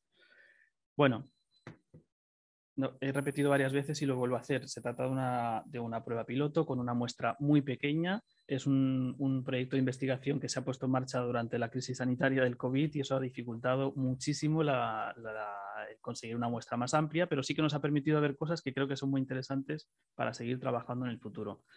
Esto es una descripción muy rápida de las características de la muestra, una edad aproximada del en torno a los 40 años como media, de origen latinoamericano y españoles, principalmente españoles, con, tiempo de condena en meses, que hay, un grupo en torno a los dos años, otro en torno a los cuatro y otro con una condena mucho más larga, y con diferentes tipologías de, delitos de violencia de género, de amenazas, de maltrato y de trencamiento de condena. Eran originariamente una muestra de derechos internos que nos, facilitó el Centro Penitenciario de Lledoners, pero cayeron dos y es interesante el, hecho del por qué cayeron estos dos. Nosotros mientras estábamos haciendo el experimento con estos dos internos no había manera de que funcionase y no sabíamos por qué era. Pensábamos que era un problema técnico porque en otras pruebas que hicimos en Más de Enrique en otros centros hubieron problemas técnicos, pero solo ocurría con ellos. Lo probamos todo, yo escuchaba las preguntas de la víctima pero veía que ellos no las contestaban bueno, al final desistimos y dijimos, bueno, pues hemos tenido la mala suerte de que contigo hay algo a nivel tecnológico que no está funcionando. Y al acabar el experimento con el resto de participantes y hablando con el equipo de profesionales del centro, con el psicólogo y la educadora, nos dijeron, bueno, claro, es que igual no hemos hablado antes del, de las características de la muestra. Fallo mío también como investigador que se presenta allí, porque justamente estos dos internos eran internos que estaban condenados por asesinato de sus parejas. Claro, en, la dirección de personalizar el tratamiento está claro que una escena en la que están conversando con su propia víctima, si, estás condenado por, un asesinato, no es la mejor escena para trabajar con ellos su, problemática. Eh, estos internos no es que no funcionara a nivel técnico el ejercicio, sino que ellos se bloquearon cuando vieron a la víctima, a víctima imaginada, haciéndoles preguntas de por qué habían hecho lo que habían hecho hasta el punto de que uno de ellos pues, se emocionó luego haciendo un poco de debriefing ¿no? y, de, y de qué le había pasado. Pero es interesante a ese nivel de personalización del tratamiento. La realidad virtual es una herramienta muy interesante, pero que también hay que dirigirla y diseñarla en función de las necesidades individuales de cada, de cada interno, de cada agresor. Bien, a nivel, los resultados más interesantes que hemos tenido es a nivel de cómo funciona esta escena con los agresores y a nivel de embodiment y de sentirse dentro de la realidad virtual y del efecto que ha producido sobre ellos, del impacto. Esto sí que ha funcionado, aunque sea la muestra muy pequeña. Ellos han, contestado al cuestionario que, que, nosotros hacíamos después, que se han sentido, en general han puntuado, han hecho, han señalado puntuaciones muy altas en el cuestionario de que han tenido la sensación de que el avatar masculino podían ser ellos mismos. Se han sentido como que eran ellos mismos los que estaban dentro de la, de la escena, del escenario de realidad virtual. Las medias de puntuación son superiores a 5 en una escala del 1 al 7, o sea que es considerable. En cuanto a, en cuanto a la, el embodiment, la sensación de estar dentro del cuerpo de la mujer, los resultados también han sido muy buenos. En general, en una de las preguntas la media de puntuación ha sido 6 y las otras superiores a 4 casi de 5. O sea que en general también podemos decir que han sido capaces, la escena de realidad virtual ha sido capaz de hacerlo sentir dentro del avatar, dentro del cuerpo de la, de la víctima imaginada. En cuanto al efecto de presencia y copresencia, algo que nosotros evaluamos mucho para también ver si se han sentido dentro de la escena de realidad virtual, las puntuaciones también son muy altas. Ellos han sentido han tenido la sensación de estar realmente sentados en una escena, en una sala virtual, como si fuese en una sala real, y también han tenido la sensación de que esa sala la estaban compartiendo con otra persona. es la sensación de copresencia. también en la, línea de la copresencia y de la interacción con la otra persona, las puntuaciones han sido altísimas, mayores de 5 o incluso de 6 como media.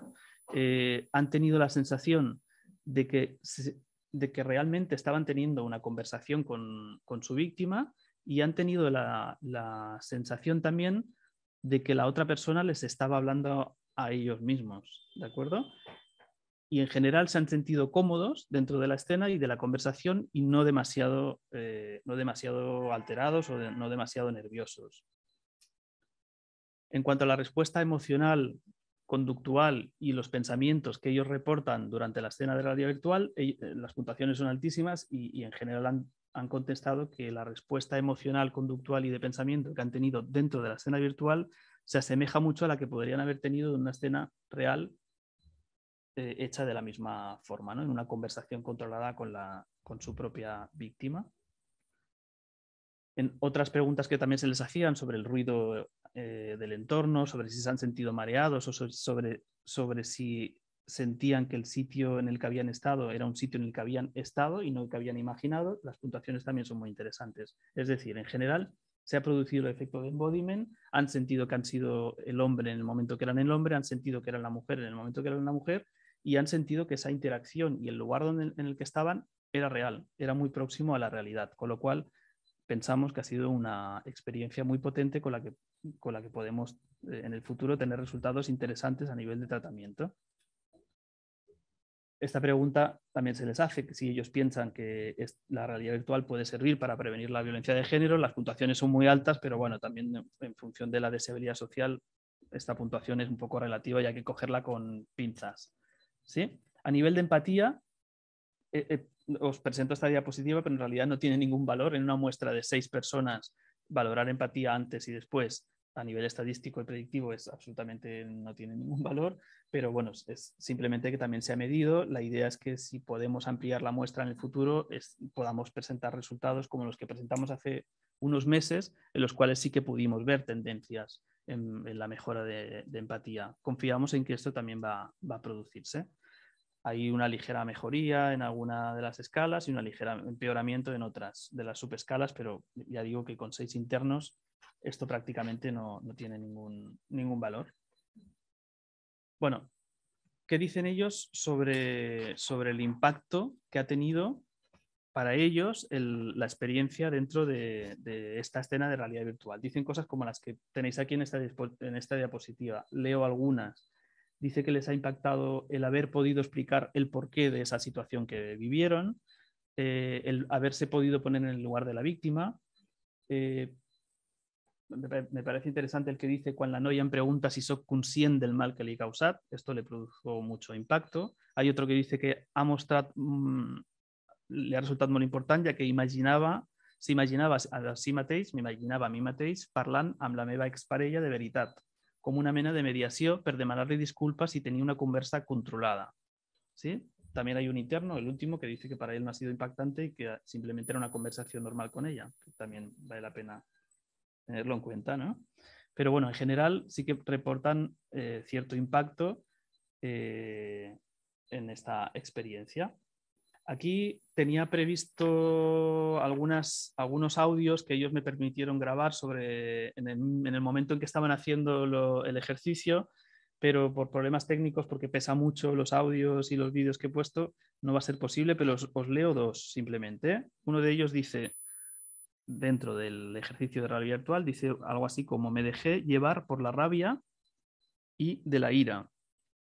Y soy consciente del daño que te causé, que te causé.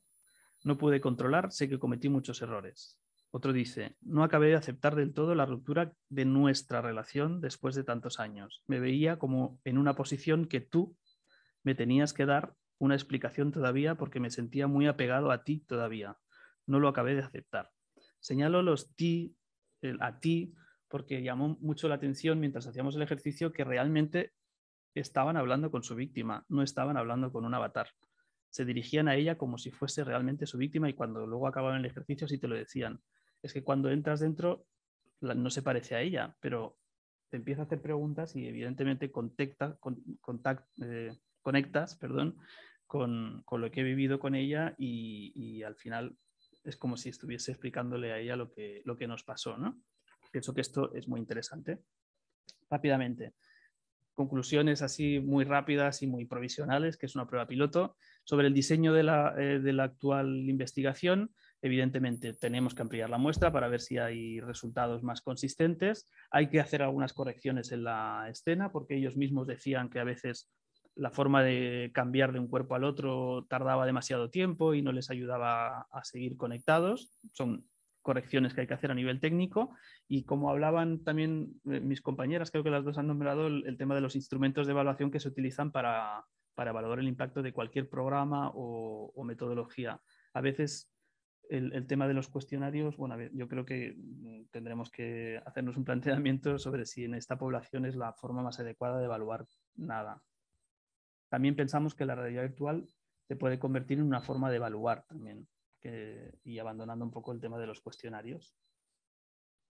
Bueno, y un poco más pensando en el futuro, aquí eh, dentro del programa VR per Genere y, también disponemos todavía del, apoyo del centro de estudios, seguimos trabajando en un montón de cosas. Aquí pongo empatía, pero en realidad la pregunta sería solo empatía, antes lo he, lo he avanzado, ¿no? Creemos que no solamente podremos trabajar la empatía con la realidad virtual y que podremos trabajar otros constructos eh, psicológicos como el reconocimiento del delito, la responsabilidad, la alternativa para la resolución de conflictos y otras cosas que también estamos ahora mismo trabajando. Eh, en cuanto a perfiles criminales, pienso que es una herramienta que poco a poco vamos a conseguir personalizar el tratamiento también con realidad virtual a cada perfil criminal, criminal y adaptándose a las necesidades criminógenas de cada individuo y por lo tanto sin apartarnos del modelo RNR, que es el que utilizamos en, los centros penitenciarios. Em, seguimos trabajando en valorar los efectos del embodiment y en nuevos escenarios de realidad virtual. De hecho, dentro de unos meses espero y confío poder presentar otra investigación en la que estamos desarrollando otra nueva escena en la que queremos mm, trabajar las actitudes de los agresores hacia la conducta violenta.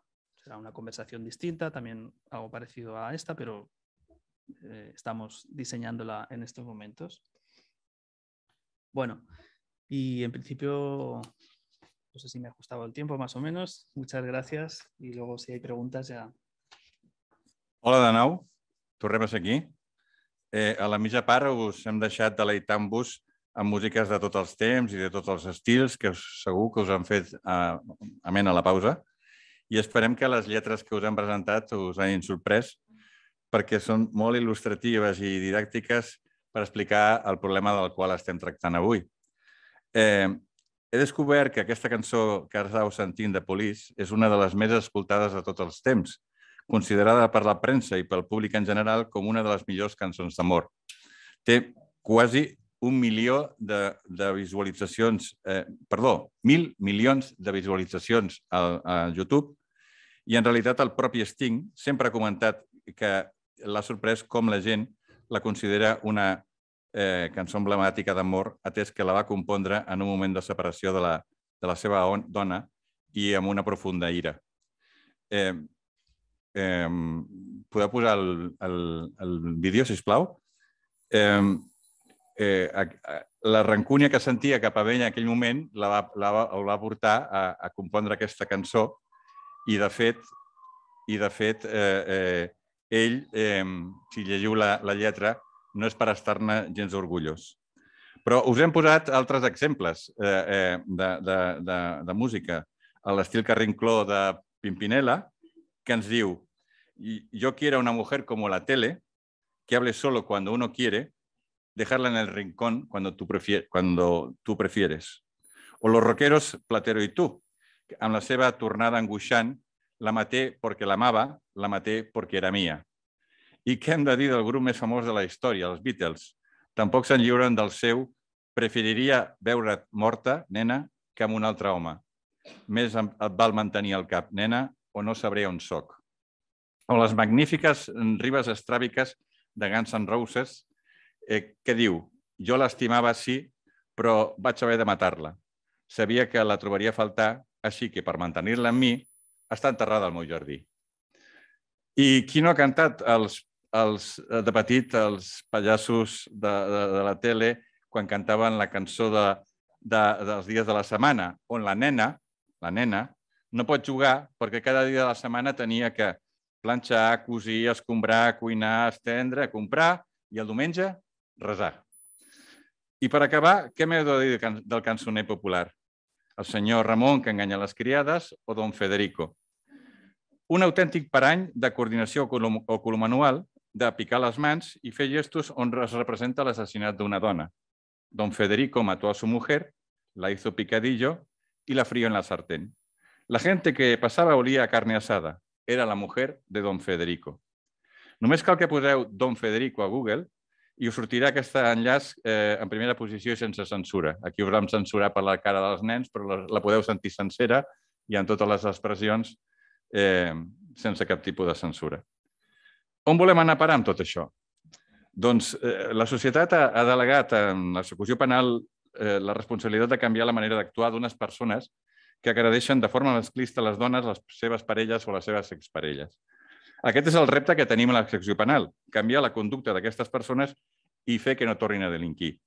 Sens dubte és un, eh, un encàrrec ambiciós i amb el que hem de posar tots els esforços per complir-lo.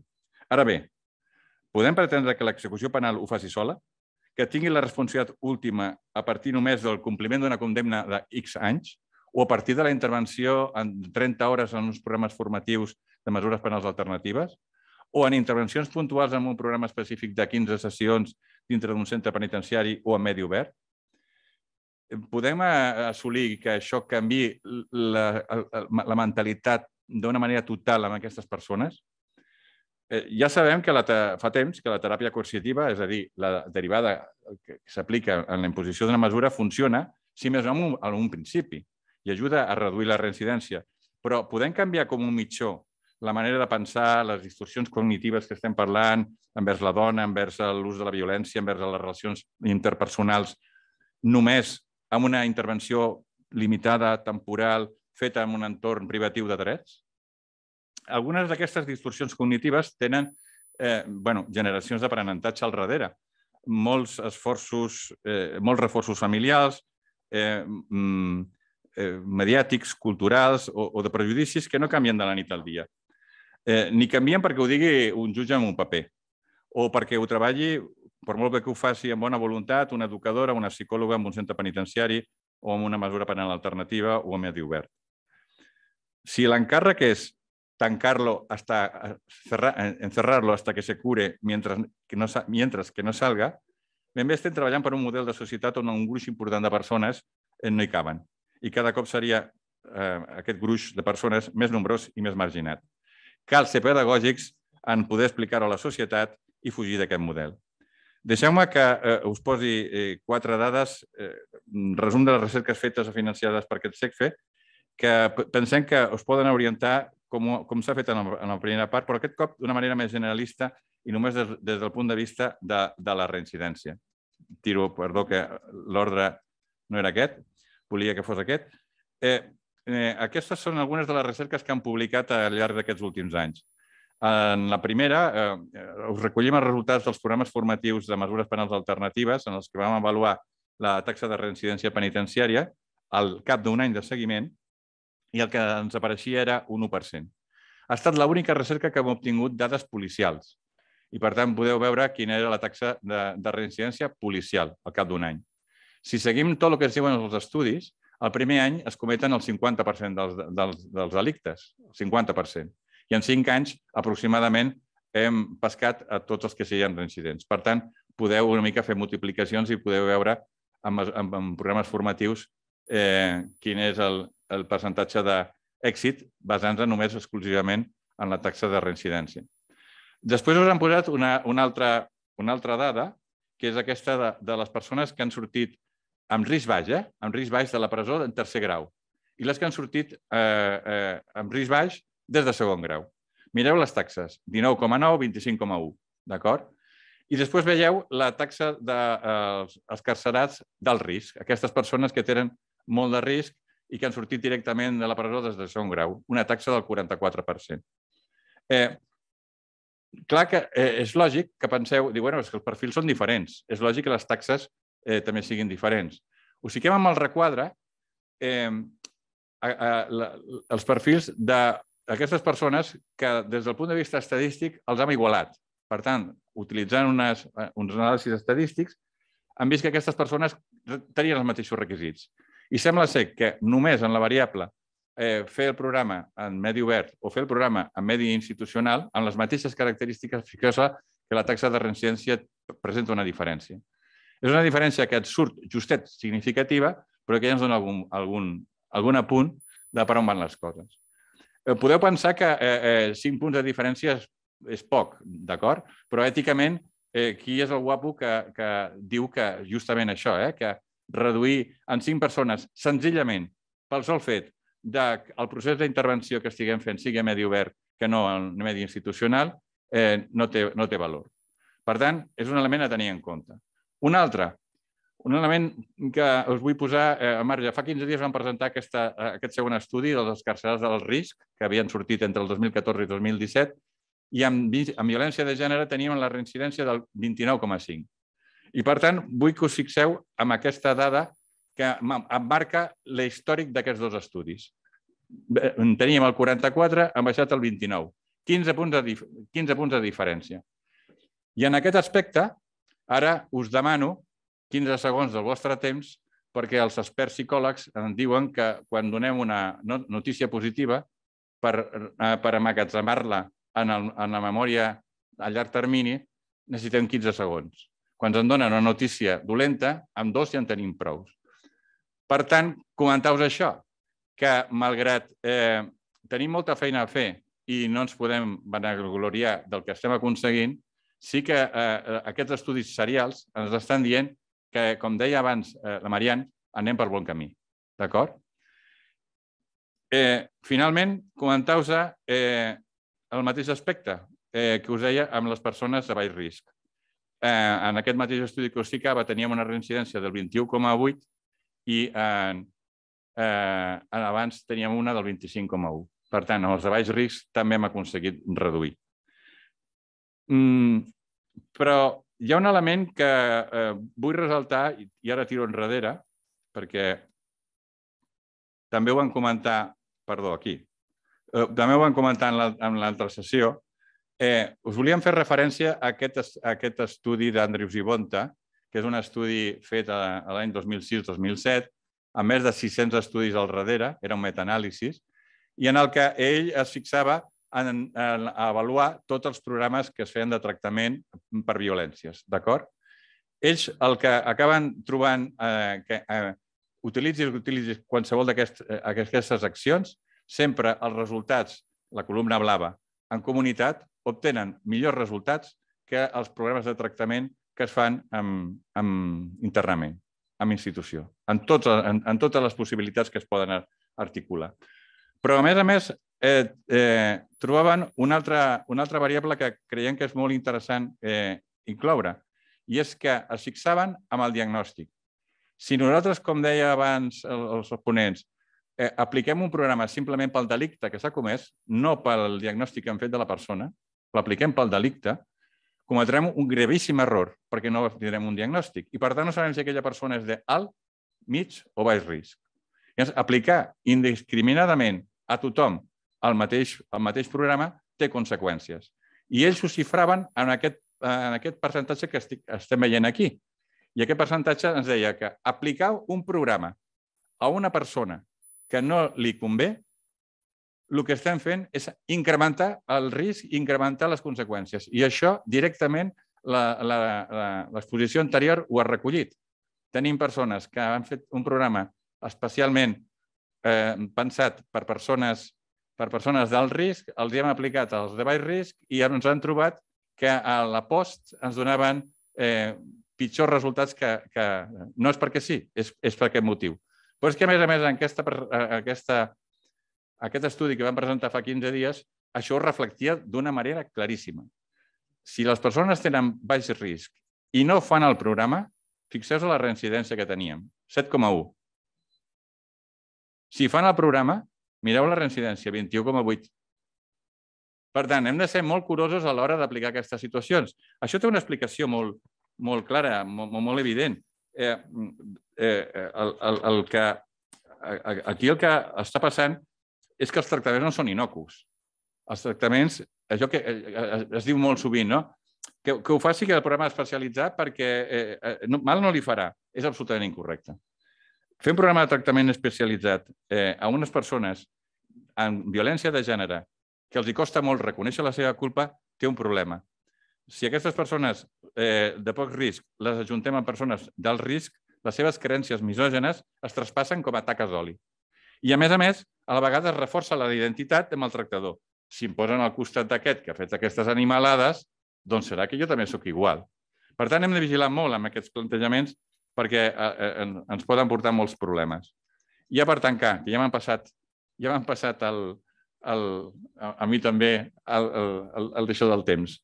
Us volia posar aquesta, eh, aquesta diapositiva una mica d'aquests resultats, ja no tant per la taxa de reincidència, sinó per les, les conductes que estem treballant. D'acord? Si mireu a l'esquerra, en l'eix vertical, els objectius, curt i llarg termini, curt a baix, llarg termini a dalt, i mm, si mireu en, en, en l'eix horitzontal la reincidència pronosticada, risc baix a, a, més a l'esquerra, risc alt molt més a la dreta, i si mireu a dalt, en l'eix també horitzontal, comunitari i institucional, doncs, diguem de totes aquestes, aquestes possibilitats de treball que es poden fer en diferents àrees de la persona, les que veieu marcades amb, amb, els, amb els puntets aquests verds són els que ens han donat més bons resultats amb el pre-post, amb els anàlisis que hem fet, d'acord? Quan es treballa això des del, món, des del punt de vista en el medi institucional, conflictes de relació de la parella, satisfacció de parella, això ha sigut de lo més, de, de, lo més satisfactori a l'hora de treballar-ho i fixeu-vos que eh, històries de conducta també tenen força, força bons resultats. Això ha portat als resultats de, de, que us, us, us estava explicant. Però, però, en- definitiva, el que volíem dir amb tot això és que, bàsicament, l'execució penal pot treballar molt coses de conductes, moltes coses d'hàbits, però que quan estem parlant de valors, això és una feina a fer eh, més interinstitucional i eh, comunitària. És una feina que hem de fer en conjunt en, en tot un seguit de, de persones, professionals, etc. Molt bé, i, i dit això, ja passem a, a, la segona part de, de la jornada en el que eh, treballarem eh, en, primer, en el primer bloc d'aquesta part la feina que es fa a medi obert. Una de les coses que eh, quan preparàvem la sessió veiem que era absolutament necessari és que els propis professionals, els propis professionals que tenim dintre de la casa coneguin la feina que fan els professionals de les, dels, altre, dels altres àmbits. Hi ha una pregunta en aquest sentit que ja les traspassaré després al debat que enfoca aquest tema. I vam pensar que la feina de medi obert és una feina que és poc, és poc coneguda, no sé si prou reconeguda, però en tot cas el valor que li volem posar és que ara se la puguin explicar. I tenim per fer-ho a Rosa Maria Martínez Casado, que és la cap del Servei de Medi Obert i Serveis Socials, que ens presentarà com a novetat la guia d'intervenció en violència masclista a la comunitat, que tot just acaben de tancar com a material eh, d'ús pels professionals de tractament de medi obert i llibertat condicional. En segon lloc, volem que ens expliqui com es treballa eh, en medi obert i el tractament dels agressors, que hi contem per fer-ho amb la Inés Lovelle Iglesias, que és llicenciada en Psicologia per la Universitat de Barcelona, acreditada com a experta en Psicologia Forense a nivell nacional, màster en Psicologia Jurídica i Peritatge Psicològic Forense i actualment professora associada de la Universitat de Barcelona i de la Universitat Autònoma de Barcelona. Forma part de l'equip docent de dos màsters, així com d'altres formacions relatives a la psicologia jurídica. Té molta experiència en, el tractament de persones penades per delictes de violència de gènere que estan en situació de tercer grau penitenciari a través de la Fundació IRES. Ens explicarà com treballa el programa de tractament quan l'agressor ja es troba en semillibertat. I finalment, en tercer lloc, intervindrà l'Alexandra Vilardell Aparicio, que és educadora i terapeuta, també durant més de 10 anys en l'àmbit d'infància i adolescència i actualment eh, és directora de la UT Suara IRES del Servei de Programes Formatius de Mesures Penals Alternatives, també relacionades amb violència, i ens explicarà com es treballa els casos de violència de gènere. Les preguntes que voleu formular les contestarem a l'inici del debat que farem al final de la jornada. Eh, ja fet aquesta presentació com una de les tres, doncs endavant, Maria Rosa, i tot per tu. Bon dia, se'm sent? Sí? Sí. Vale. Bon dia. Reitero també l'agraïment al Centre d'Estudis per organitzar aquestes jornades que sempre ens posen en tensió, en tensió l'atenció que genera la inquietud científica no? de, de millorar la feina que fem cada dia, o sigui que sempre sortim amb deures d'aquestes jornades. Dit això, i a més, parlar després del Manel doncs, també és un repte important, no? perquè ens, ens posa el llistó molt avançat, doncs eh, bueno, eh, aprofito per, per dir-vos que eh, avui no, no faré exactament una presentació de la guia perquè encara no està publicada, però sí que us volem explicar el per què, o sigui, i el per què i el per a què d'aquesta guia. Uh, la intervenció i la prevenció de la violència masclista considerem que és especialment important durant el període de transició del règim ordinari al medi obert i la llibertat definitiva. És un moment que considerem sensible on poden sortir situacions de risc, de reincidència propis de l'estrès que genera el retorn a la comunitat. I, a més, on els penats han de posar en pràctica totes aquelles habilitats, coneixements que han adquirit a través de la seva participació en els programes especialitzats en centres ordinaris. És a dir, el repte és donar continuïtat allò que s'està treballant en centres ordinaris, perquè entenem que tot és un continu i que tots treballem sota el model de risc, necessitat, responsabilitat.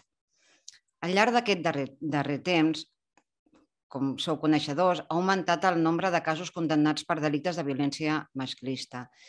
I des de Medi Obert ens ha sorgit molt la necessitat de millora en la detecció d'algunes qüestions, com per exemple la millora a la detecció dels senyals d'alarma en Medi Obert, és a dir, quins són aquells indicadors que ens generen una intervenció immediata i una aturada i una eh, intervenció especialitzada. Altres qüestions que, que ens debatíem era eh, quins són aquells casos que un cop arriben a medi obert de forma estable, quan dic medi obert és tercer grau i llibertat condicional, quins són aquells que requereixen una, eh, una continuació de la intervenció especialitzada, quins són aquells casos que considerem que hem de derivar els recursos, que eh, avui tenim la sort de, de, de poder escoltar la nostra companya, que ens explicarà com, no? com es treballa des d'un recurs especialitzat extern i quins són aquells casos que senzillament des de Medi Obert s'ha de fer manteniment sota el model de risc, necessitat, responsabilitat, perquè que considerem que ja s'ha treballat tot allò que s'havia de treballar i, per tant, doncs, és eh, sota el paràmetre d'intervenció mínima, senzillament un manteniment de les necessitats, de, de treballar les necessitats eh, criminògenes. Altres qüestions que ens plantejàvem també i ens plantegem és aquells casos on es dibuixa una línia vermella que, que entenem que impedeix el manteniment en medi obert. Aquest és, és un moment molt difícil i molt delicat, no? en el que seguim apostant o no seguim apostant perquè són delictes d'una de, no, intensitat molt gran i que el mal que poden fer les víctimes és molt important. Bé, eh, anàvem Eh, dit això, dèiem que, que, bueno, que darrerament ha augmentat el nombre de, de casos condemnats per delictes de violència masclista i que també ha augmentat el nombre de penats que estan en medi obert. En data d'avui, el 37% de les persones penades privades de llibertat estan en medi obert. Bé tercer grau, bé llibertat condicional. 37% és una dada positiva, és una dada alentadora, és una dada que respon al model que seguim no? d'apostar per la comunitat, però alhora és una dada vertiginosa, perquè vol dir que ens hem de posar en sèrio en com treballem aquestes qüestions. Llavors, dit això, donat que detectàvem aquestes necessitats i diferències d'organització en les diferents unitats de medi obert de Catalunya, vam veure la necessitat de revisar el model d'atenció i estandarditzar un model d'intervenció. Amb el suport del Pacte d'Estat per la Prevenció de la Violència Masclista del Ministeri d'Igualtat, vam poder comptar amb la col·laboració de la Universitat de Barcelona, representada pel doctor Antonio Andrés Puello, i per la entitat Intres, que col·labora amb el Departament de Justícia des de fa anys i que està especialitzada sobretot en donar suport amb les escaracions eh, més vulnerables i més difícils. I també vam comptar amb la col·laboració de diferents professionals de medi obert i llibertat condicional. En total, em sembla que eren 21 professionals psicòlegs, treballadors socials, juristes i educadors, que van poder eh, compartir uns espais de reflexió per eh, poder compartir quines necessitats hi havia, hi ha, i, i cap a on hem d'anar i com podem definir un model d'intervenció que doni continuïtat justament al que s'ha treballat al règim ordinari. Llavors, a partir de tota la documentació generada, molta, molta documentació. Fruit d'aquest treball, dos tècnics de la, de la subdirecció, la T i el Nicolàs, eh, van fer una síntesi de la guia amb la finalitat de que fos aplicable, senzilla i pràctica. Us hem de reconèixer que les darreres lectures de la guia vam entrar en crisi, els professionals del Servei de Medi Obert, que la revisàvem, perquè ara mireu, no? I, i per què vam entrar en crisi? Perquè ens vam preguntar, aquesta guia aporta aport, què, què aporta als professionals de medi obert? És a dir, que nosaltres considerem que els professionals d'execució penal tenen l'expertesa, el bagatge, rigor, eines per intervenir. És difícil trobar professionals que tinguin més experiència en el camp que treballem cada dia, que treballen cada dia. I, i ho pensem de debò i per això vam entrar en crisi, no? per dir, els continguts realment aporten alguna, no? alguna millora en el que s'estarà treballant. Finalment us diem que sí, Quina és la millora que nosaltres creiem que aporta?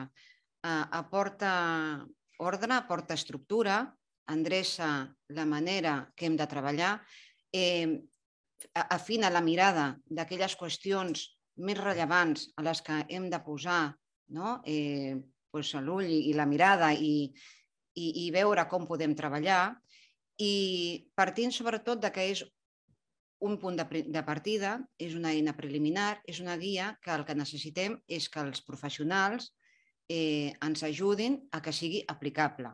És a dir, que contem amb els professionals perquè amb aquest punt de partida la podem anar alimentant de tota aquella expertesa que ens pugui eh, proporcionar els, eh, els professionals. Llavors, la guia s'estructura en dos parts, ja aniré acabant perquè l'objectiu d'avui no era tant la presentació, sinó la justificació del per què creiem necessària, s'estructura en dos parts. La primera, el títol és el, el protocol de pla de retorn segur. És un, és un títol que, que vam debatre molt amb el doctor Antonio Andrés Puello perquè ens semblava un títol agosarat i fins i tot temerari, però al final l'hem deixat perquè ens va convèncer i ja veureu no, la justificació de per què aquest redactat. És un protocol que el que fa és identificar aquells factors de risc i de protecció més rellevants, aquelles necessitats eh, criminògenes, fent una equivalència entre els factors de risc de, de, més rellevant i, i, val? I, i, el, i bueno, els que tenen perdó, un paper més rellevant en les qüestions relacionades amb la violència masclista eh, els, eh, la detecció d'indicadors alerta que hem de tenir en compte amb, aquest tip, amb aquesta tipologia delictiva i una, un protocol de diferents escenaris de retorn en funció de les necessitats criminògenes, en funció del risc canvi, en funció del pla que hem establert. I la segona part de la guia, que jo penso que és una guinda importantíssima i jo crec que, no, que, que serà de molta utilitat, justament és la presentació de tots els recursos eh, que hi ha al territori català que, que pensem que pot ser molta utilitat per, per, no per Medi Obert, per tots els centres penitenciaris catalans. És a dir, és una guia de, de recursos de tot allò que s'està oferint a Catalunya en relació a la prevenció i la intervenció en persones amb problemes amb violència de gènere tant sigui des d'un un delicte o no un delicte, vull dir que, que són recursos oberts a la ciutadania i pensem que pot ser un recurs molt important a tots els centres penitenciaris. Per tant, doncs, en breu, quan acabem d'afinar un parell de cosetes, farem pública i la compartirem amb tots vosaltres, vull dir que tant en règim ordinari com en règim obert, perquè pensem que, que pot ser eh, de molta utilitat i, i sobretot partint de que és una, un punt de partida i que entre tots nosaltres l'anirem alimentat perquè, no? perquè cada vegada sigui més aplicable. I ja està. Fins aquí. No? Suposo que en el debat ja hauré de respondre altres coses i passo a la meva companya. Moltes gràcies.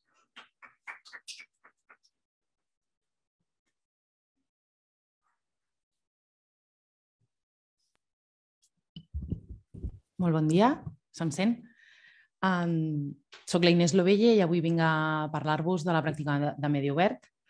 Um, doncs, en primer lloc, mm, me n'alegro de conèixer que s'està fent aquesta guia. Una de les problemàtiques que, que tenim en la intervenció en tercer grau és que tenim poca literatura acadèmica i poc, eh, poc ordre en, en, en, en com s'estan fent. També d'avui m'enduc de, la primera, de la primera ponència aquesta eh, mancança de dades o d'ordre, de sistematització en la recollida de dades i tot això, que ja són qüestions que ens sorgeixen de la nostra intervenció de com fer-la millor eh, i que veig que, pues, que encara no estan resoltes ni per la ciència. No? Llavors, doncs, avui us vinc a presentar un projecte, un projecte eh, que, està creat eh, a través de la Fundació IRES.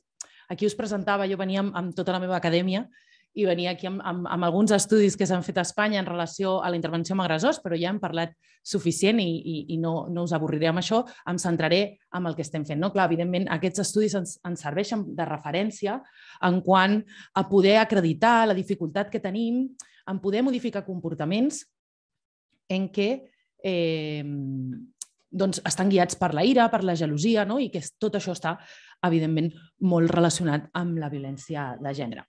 Doncs què fem amb el projecte vinculat? El projecte vinculat és un projecte, és un programa d'intervenció de 10 sessions de dues, de dues hores de, de durada cada sessió, que s'implementa al Centre Obert Penitenciari 2 de Barcelona, a la Trinitat Vella, i des d'aquí vull agrair enormement el treball de eh, la Eva Santamaria, de eh, la Rosa Bonfill i de la Eva Barcàrcel, que em recolzen dia a dia, que m'ajuden en la selecció de les persones que poden venir en aquests grups i, i que d'alguna forma, potser intuïtiva, estaven fent coses de les que avui s'estan dient aquí, no? que és aquesta preselecció de qui pot venir, qui no, i sobretot com enganxaran, no, quin, quin, com empastaran aquestes persones que formaran part del grup. Eh, doncs elles fan aquesta primera selecció. Nosaltres abans eh, de començar les sessions del grup fem una entrevista inicial. En aquesta entrevista inicial és promoure la motivació, la motivació pel canvi l'adherència al grup. Eh, I també fem un, un segon filtratge on si tenim dubtes en algun... Jo si tinc dubtes si aquesta persona podrà portar o no en el grup, ho debatim amb el grup del centre obert. I un cop uh, acabem en aquesta, en la, la nostra intervenció, fem una entrevista final on avaluem els canvis, eh, fem avaluació de satisfacció, etc. Aquests grups estaven pensats inicialment per 10-12 persones i així era com, com, com es feien en un, en un principi, quan va començar aquest projecte. Però amb la Covid vam haver de reduir aquest número per la sala. Per la sala que teníem no hi cabíem tots. I llavors hem començat a fer grups eh, més reduïts. Això ens ha portat una experiència molt positiva i ara explicaré més endavant per què. Uh, cada, com us deia, cada sessió té una durada de dues hores i les activitats giren entorn a la violència, la masculinitat i la parella i la sexualitat, també. Aquests tres temes són els pilars fonamentals de la nostra intervenció, aquestes temàtiques. Quines reflexions traiem de la nostra experiència com a Fundació IRES en el projecte del vinculat?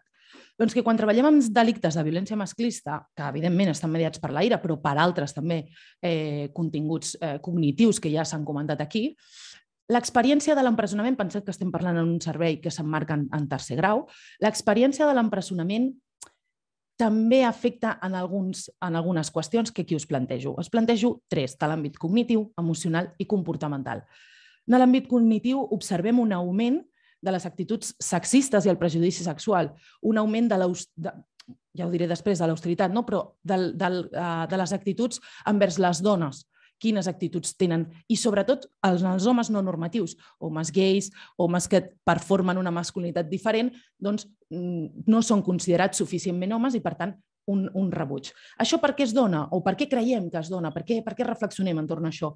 Doncs perquè creiem que el, el propi empresonament és un entorn altament masculinitzat i que, per tant, totes aquestes qüestions s'estan duent a terme. Això m'ha fet pensar la primera comunicació on es plantejaven de per què no es, per què no es modificaven o empitjoraven en algunes qüestions cognitives. Crec que el fet de propi entorn pot estar modulant tot això. Però aquest entorn també augmenta l'aire. I per què pot augmentar l'aire? Què és el que eh, trobem a la nostra intervenció? Doncs per la injustícia percebuda. I la injustícia és percebuda perquè es percep un sistema judicial feminitzat, on les dones ens han portat aquí. I ara posaré alguns exemples. I també l'entorn d'empresó, com abans ha comentat el Manel, mmm, genera comparació social en les conductes delictives. I, per tant, permet el conèixer més ventalls d'altres conductes que han fet altres persones, em permet ubicar-me a mi en un llindar sempre per sota de lo que és greu. Sempre hi ha algú que ha fet alguna cosa més greu. Llavors, això us ho, us ho resumia en aquesta taula, on us deia, ostres, aquest entorn altament masculinitzat i que, a més a més, no només és altament masculinitzat, sinó que mm, promou o la supervivència es garanteix a través de la defensa de l'honor, la defensa del respecte, que són components associats a aquesta identitat masculina hegemònica, doncs ens dificulten aquesta intervenció. Però és que, a més a més, el que es deia, la justícia es percep com feminitzada i tenim frases del tipus les dones ens han portat aquí. Qui? La jutgessa que mateix, l'advocada que m'ha tocat perquè me l'han assignat i com era dona no m'ha defensat, la psicòloga que m'atén, la treballadora social, i també en parlem dels homes còmplices, que són aquells que no diuen res de per què nosaltres estem aquí i és total, una total injustícia. Però, a més a més, tenim això, el que us deia, no? de la, aquesta comparació social que es pot donar a presó, de, a presó es veu gent que sí ha fet coses més greus i, per tant, els hi serveix com dir, és que aquells sí que han fet i el que jo he fet, per tant, no és tan greu. Clar, com fem per treballar amb tot això? Quina influència té eh, totes aquestes qüestions? No? En primer lloc, en quant a l'entorn masculinitzat, també tenim el fet de que a presó, eh, contrari a les dades que es recullen en els estudis de victimologia, on s'acredita que la violència de gènere és transversal a totes les classes socials, a presó no trobem classe social alta o trobem molt poca. I això què fa? Doncs afecta directament a l'assumpció de responsabilitat. Per què? Perquè fan reflexions del tipus no he fet res dolent, simplement no he tingut un bon advocat, no me l'he pogut pagar, com que sóc pobre estic aquí. Clar, nosaltres, en els grups que tenim, moltes vegades, i ja, ja s'ha dit en altres estudis, que són persones que no tenen un nivell acadèmic, no? que no, no han seguit un, un curs acadèmic a, a, més, més llarg. No? Per tant, això implica o té efectes en la comparació que generen el grup. De nosaltres estem aquí perquè ningú ens ha defensat millor. No hem pogut pagar aquesta defensa millor, però no hi ha una... De dir, no, és que tu estàs aquí perquè has comès un delicte. I llavors la resposta és, vale, i què hi ha? Persones que tenen diners no cometen aquests, aquests delictes? Jo com a interventora en aquests grups això no puc respondre, perquè també he intervengut amb víctimes i amb víctimes amb molt nivell eh, socioeconòmic, amb un nivell socioeconòmic molt alt, i sé que això es dona, però no ho estic veient a les presons. Llavors, l'entorn de presó, entorn masculinitzat, com us deia, no? promou aquestes conductes de l'honor, del respecte, que garanteixen la supervivència i, a més a més, no permet, no hi ha suficient heterogeneïtat com per poder visibilitzar que aquesta violència és transversal a la nostra societat i que, per tant, té a veure amb alguns valors que, eh, que estan fonamentant la nostra societat. Um, quina influència té aquesta percepció de justícia feminitzada? I algunes vegades m'han fet la pregunta, i el fet que tu siguis dona té algun efecte? Venim d'ahir presentar amb la Fundació IRES unes píndoles en què vam, justament vam valorar aquesta, aquesta variable del gènere del, del formador i vam veure que no té cap incidència. No té cap incidència ser home o dona en la intervenció amb, amb homes penats. Però sí que és veritat que es despleguen o es poden desplegar diferents recursos en funció de si un és home o una, una persona és dona i que el més important és la formació en perspectiva de gènere. Um, què, hem, què hem observat? Que les uh, intervencions uh, obertament feministes, obertament en perspectiva de gènere, són altament rebutjades, generen alta uh, reactància.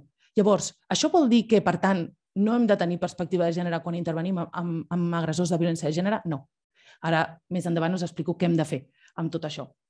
Um, què, és, què és el que m'he trobat jo com sent dona? Doncs que l'estereotip que tenien respecte a mi, a vegades m'ha afavorit i a vegades m'ha perjudicat. M'ha afavorit quan m'han dit, per exemple, i cito textualment com teniu aquí, amb tu ens podem obrir més perquè hi ha temes que mai parlaríem amb un psicòleg per tant, l'estereotip de que jo soy més sensible, més empàtica, més tot, doncs, em juga a favor. Però, en canvi, l'estereotip de és que un home ens pot entendre, tu no ho entens perquè ets una dona, em juga en contra.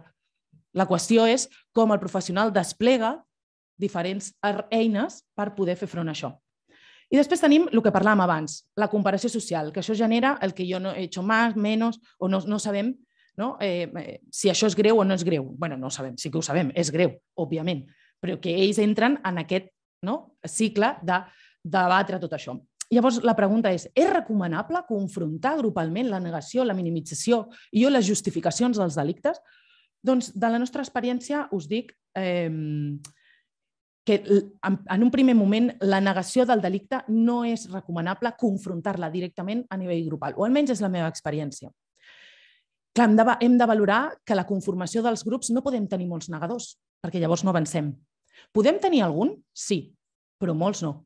Reflexionava entorn a la primera ponència on, on descrivien el grup del risc, no, el risc eh, quants, quants negadors hi havia en, en aquell grup? Em preguntava. Quants?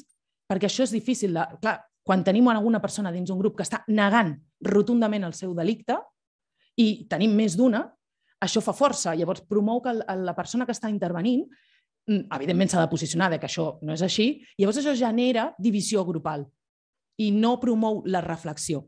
Per tant, hem de mirar aquests negadors de, de, del seu delicte, quants incorporem al grup, mm, com, com es complementen amb altres perfils per poder treballar millor. I en aquest sentit, torno a agrair uh, al centre obert, a les professionals del centre obert que m'ajuden en tot això.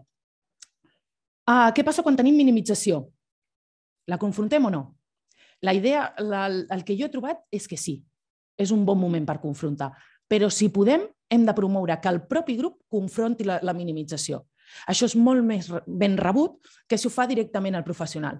I, per tant, això hem de promoure els vincles entre els, entre, entre els, entre els participants i així tenir un entorn tranquil, on puguin ells mateixos anar confrontant tot això i generant el propi insight des del propi grup. És a dir, és fer ús del poder del propi grup. I per últim, què fem amb la justificació del delicte? La confrontem? No la confrontem?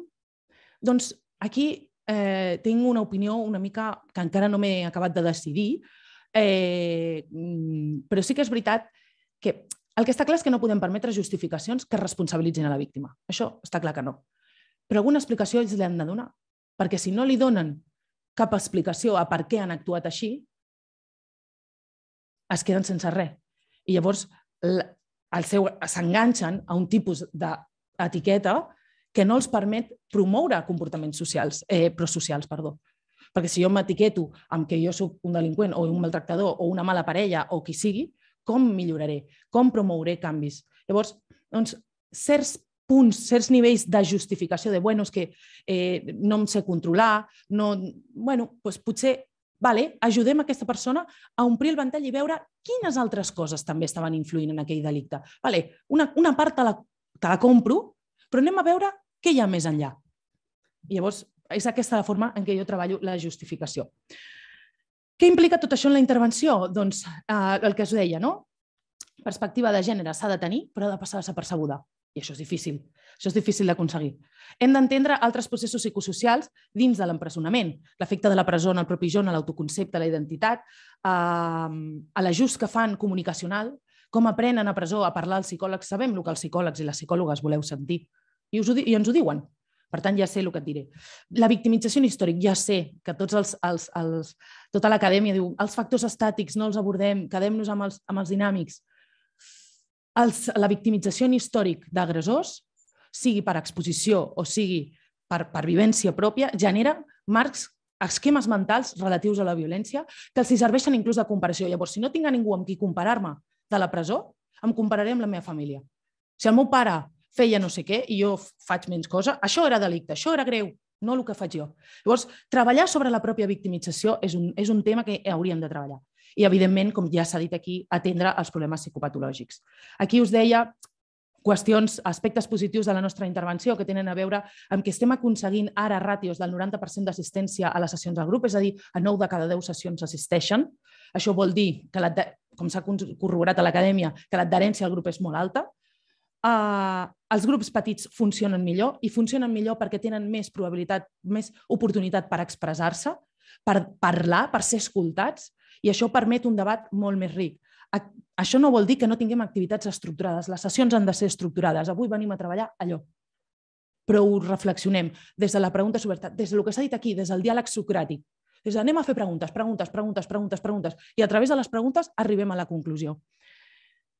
Sabem que del programa del vinculat els homes surten satisfets, ho sabem, ho recollim aquesta dada, però és que a més a més la part més important, que creuen que és aplicable i que ens expliquen situacions mentre estem intervenint que ja estan en relació amb altres parelles, mira Inés, em passa això, com ho faig, què faig? És que clar, aquí hem parlat que la gelosia no és... Però clar, la meva parella em diu que si no sóc gelós, no, no és que no l'estimo, com ho fem, no? Llavors, això ens està passant. O sigui, estem, estem creant espais on poder parlar de tot això. I ja, eh, bueno, aquí parlava d'algunes eh, dificultats, però ja algunes ja les he anat comentant. Reflexions finals.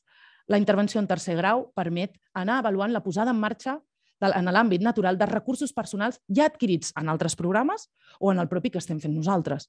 Per tant, és aquell pas intermig eh, que, que ens pot ajudar a, en aquesta reinserció. Uh, S'ha d'atendre a la modulació que fa l'experiència de l'empresonament, que és tot el que he comentat fins ara, i cal pensar els recursos professionals per rebaixar les resistències al canvi. Quan s'ha de confrontar, quan no s'ha de confrontar, quins avantatges té el propi grup per la intervenció, quan un grup no és, no és, no és bo per, per aquella persona i hauríem de fer una intervenció individual prèvia. Tot això són els reptes que per mi encara ens queden en tot això, més a més dels que ja s'han comentat en aquesta jornada. Moltes gràcies per la vostra atenció.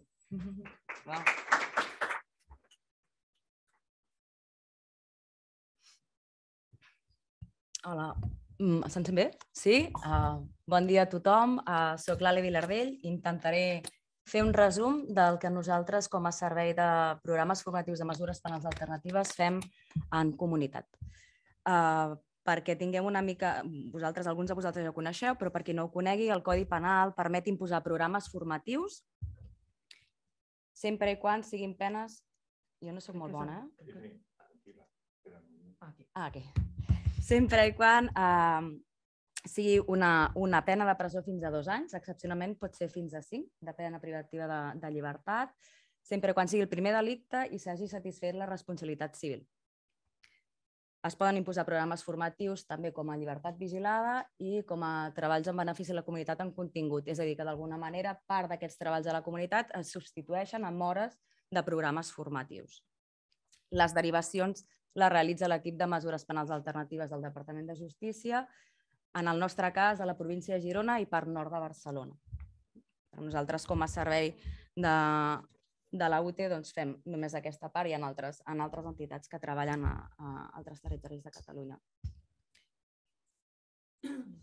els objectius generals del programa formatiu, per una banda, són donar resposta a les demandes judicials d'obligacions de participar en programes terapèutics, possibilitar l'erradicació de conductes violentes mitjançant la responsabilització i afavorir el canvi cognitiu i comportamental establint vincles afectius saludables, que és el que també comentava la Berta, no? fins a quin punt això és, és factible, no? ara direm per què, eh, que es donen aquestes, aquests canvis a nivell doncs, d'idees irracionals, no? distorsions, etc etc.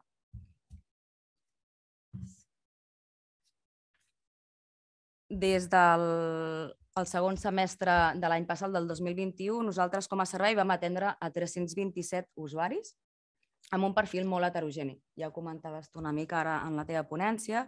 Ens trobem doncs, amb, amb una edat molt, molt variable, a partir de 18 doncs, cap en amunt. No hi ha un límit, part, eh, el límit s'imposa en funció també de les capacitats cognitives de, de l'usuari. L'estat civil en què ens arriben els nostres usuaris és mm, molt, molt variat. Poden ser solters, en parella, poden estar casats, divorciats, etc. El nivell d'estudis, aquí també nosaltres sí que veiem que hi ha eh, usuaris que tenen estudis universitaris i per tant tenen un, una vida, entre cometes, més similar a la, no? més normalitzada i no tant, eh, i no tant doncs, doncs, en, altres, en altres casos. La situació laboral, eh, en aquí doncs, també hi ha, hi ha diferències. El fet de que tinguin fills o no, aquests fills poden ser amb la víctima o, sent, o, o no, o sigui, es poden ser externs al, al, al, a la relació de parella amb la víctima dels fets. Pel que fa a la violència en, en la família d'origen, ens trobem mm, casos en què sí que hi ha hagut una presència durant la infància de violència, ja sigui perquè han sigut víctimes directes o bé han sigut víctimes secundàries. El nucli de convivència és, una cosa, és, un, és un aspecte molt, molt interessant a, a nivell de perfil. Ens trobem amb usuaris que viuen sols, que viuen en parella, que conviuen amb la víctima, ja que s'ha finalitzat l'ordre de protecció i, per tant, retornen al domicili amb la víctima o bé viuen amb els progenitors perquè a través del procés judicial doncs, hi ha hagut doncs, aquest trencament i per tant doncs, retornen al nucli inicial. Ens trobem usuaris eh, amb una assumpció de la responsabilitat dels fets molt diferenciada. Ens trobem usuaris que, per una banda, doncs, fan una, un reconeixement total del, dels fets descrits a la sentència, d'altres doncs, que fan el que deies tu, eh, comentaves tu ara, Inés, fan negació dels fets i d'altres que fan un reconeixement parcial. Dintre d'aquest reconeixement parcial doncs, ens trobaríem en la, en la minimització, la justificació, etc etc. No? Hi ha un reconeixement, però aquest reconeixement no acaba de ser eh, del tot total. Nosaltres, com a, com a, com a servei, tenim tres tipologies d'intervenció. Aquesta tipologia d'intervenció s'adapta en funció de la valoració del risc i del perfil de l'usuari. És a dir, en funció de uh, quina és la valoració per una banda i després les característiques d'aquell usuari, uh, la, la metodologia d'intervenció és una o una altra. Podem tenir, en aquest cas, doncs, intervencions a nivell grupal d'un màxim de 18 usuaris, intervencions reduïdes, que són fins un màxim de 3 usuaris, o bé individuals la majoria de les nostres intervencions són grupals, però en funció de les necessitats es valora si realment l'usuari és, eh, eh, és idoni per entrar en un grup o bé necessita un altre tipus d'acompanyament terapèutic.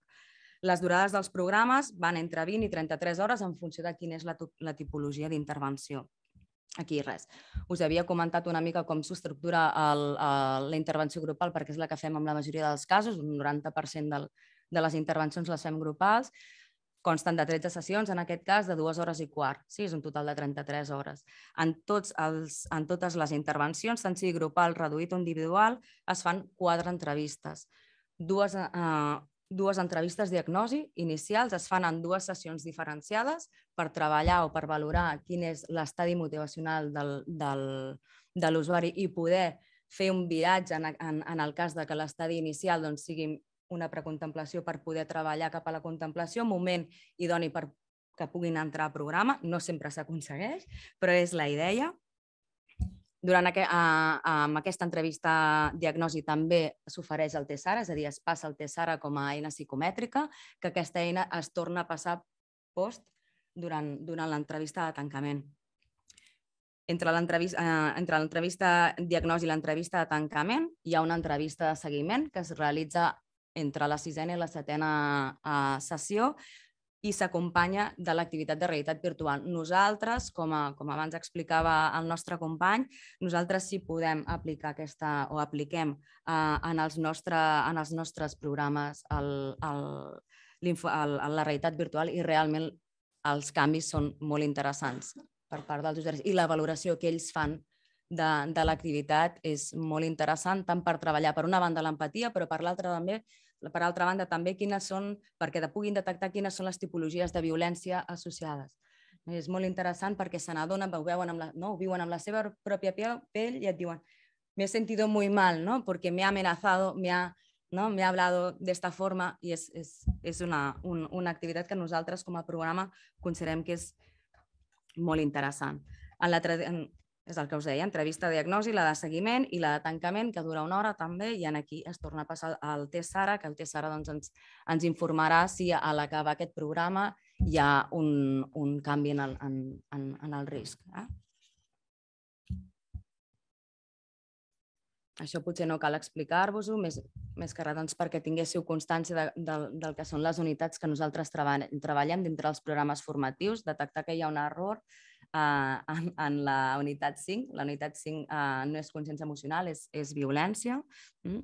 El que és interessant doncs, uh, potser uh, plantejar d'aquí és que els continguts del programa formatiu estan relacionats amb els factors de risc i de protecció que els estudis de violència no, evidencien que són necessaris treballar per tal de per tal d'aconseguir aprenentatges eh, més funcionals i adaptatius a, a, als usuaris. Mm? Oportunitats de millora, podríem dir-hi oportunitats de millora, podríem dir-li reptes, podríem dir dificultats en les que es trobem, intentem parlar en positiu i per tant hi hem posat oportunitats de millora. Um, per treballar no? des, de, des de comunitat, que és, el que, que és el que ens passa. No? Ens passa, per una banda, que la motivació per tal de realitzar el programa és extrínseca no? i, per tant, això genera moltes resistències.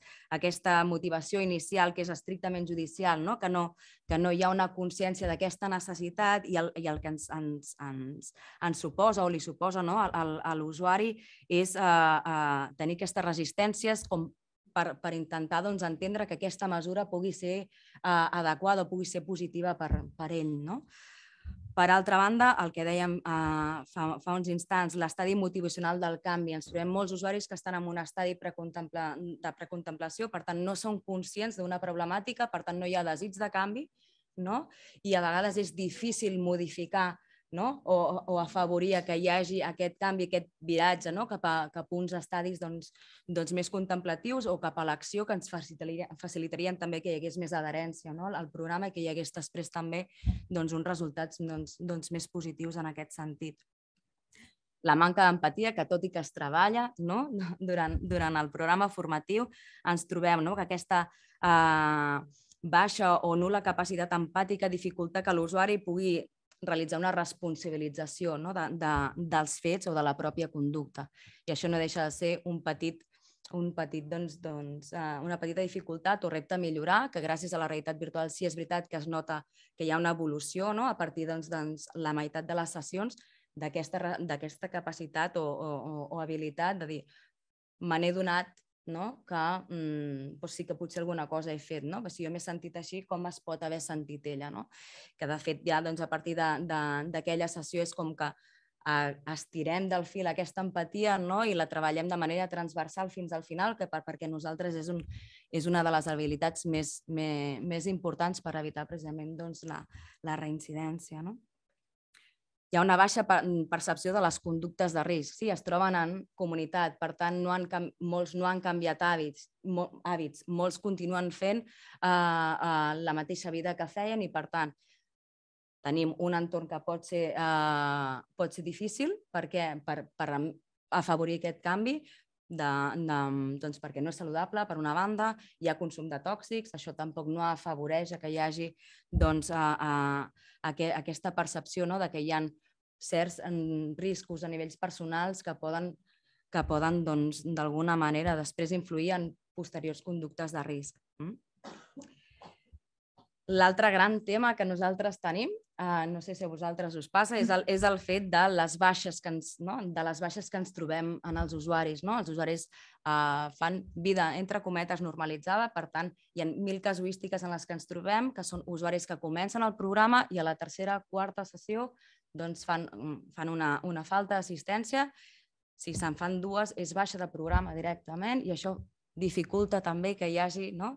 que hi hagi després un, un, un, una, una millora no? I, un, i, un, i uns resultats més positius dels que hi podrien haver. Si és veritat que s'ha de posar el límit i, per tant, no podem uh, justificar contínuament no? aquestes faltes d'assistència perquè han d'entendre que també és una mesura judicial i, per tant, hi ha d'haver entre, per una banda, una responsabilització, però per l'altra, no? doncs una consciència de que, de que han d'assistir, però ens trobem que aquesta baixa d'usuaris també ens dificulta molt la nostra feina hm? com a terapeutes. Eh? Estava parlant en aquest cas, de fet, a tall d'exemple, no? uh, si van, uh, us he comentat abans que van iniciar 327 usuaris, els que realment van acabar durant el dos, durant, han acabat aquest perquè els hem, estat, els hem tancat ara el 2021, finalitzen 258 usuaris, és a dir, ens cauen 69 usuaris durant, durant tot el, el, el segon semestre de l'any passat, per exemple. Pel que fa a les fortaleses, que això és el que ens agrada també parlar a vegades. Eh? Per una banda hi ha el vincle terapèutic, sí? el fet de que eh, hi ha aquest acompanyament molt proper, eh, hi, ha un, hi ha un contacte bastant, eh, bastant eh, eh, habitual entre, entre terapeuta i, i, i usuari. Això fa doncs, que també puguin compartir, no? Ja no només amb el grup, sinó a nivell doncs, més, més, més individual, com estan, com se senten quan es troben amb dificultats, no? perquè ara, ara en parlarem, no? perquè poden aplicar o es poden trobar en situacions similars a les que han viscut no? Uh, i per tant això els genera uh, doncs, angoixes i neguits i t'ho poden plantejar no? a la següent sessió, mira, m'està passant això, com ho faig, com ho acabo de, com ho acabo de gestionar i això per nosaltres doncs, és, és, una, és un, un, una fortalesa interessant. Per l'altra banda hi ha el vincle del grup. Mm, que també es dona. En aquí sí que ha, comparteixo part de les reflexions que, que, que ha plantejat la Inés, però nosaltres sí veiem que actua com a element reforçador. No? El, el, fet de, el fet de que, de que l'usuari pugui fer un canvi no? d'actitud, pugui fer un canvi de, de, pel que fa a la responsabilització sobre, sobre els fets no? i també amb la implicació no? vers el programa. Se n'adonen, un, un, un parla, llavors no? el, el, el, el compartir, uh, hi ha l'efecte mirall, ostres, a mi també m'ha passat, ostres, doncs uh, no és molt diferent del que jo he viscut i en aquí és quan nosaltres enganxem del fil i diem, vale, doncs a partir d'aquí com ho plantegem, com podem gestionar aquesta situació que plantegeu. Per nosaltres això és, és interessant i el fet de que passat, el que m'ha passat a mi m'ha passat a tu, uh, no em sento tan sol. No? I per tant, eh, aquesta, no, aquest pes que també arrosseguen pel propi delicte doncs, fa que també doncs, eh, disminueixi una mica i puguin, i puguin d'alguna manera obrir-se més. No? Penseu que arriben normalment molt tancats i a poc a poc aquesta obertura es va veient, sobretot també gràcies a aquest vincle del grup. I això és molt interessant quan ha el primer, no, no es passa ni la primera ni la segona sessió, sinó que acostuma a passar com cap a la cinquena i la sisena, arriba un moment que un diu, mira, doncs a mi m'ha passat això no? i ho pot plantejar i ho pot obrir i llavors és com el, el, el moment d'arrencada de, de la resta i la resta, doncs, a poc a poc doncs, va deixant anar. No?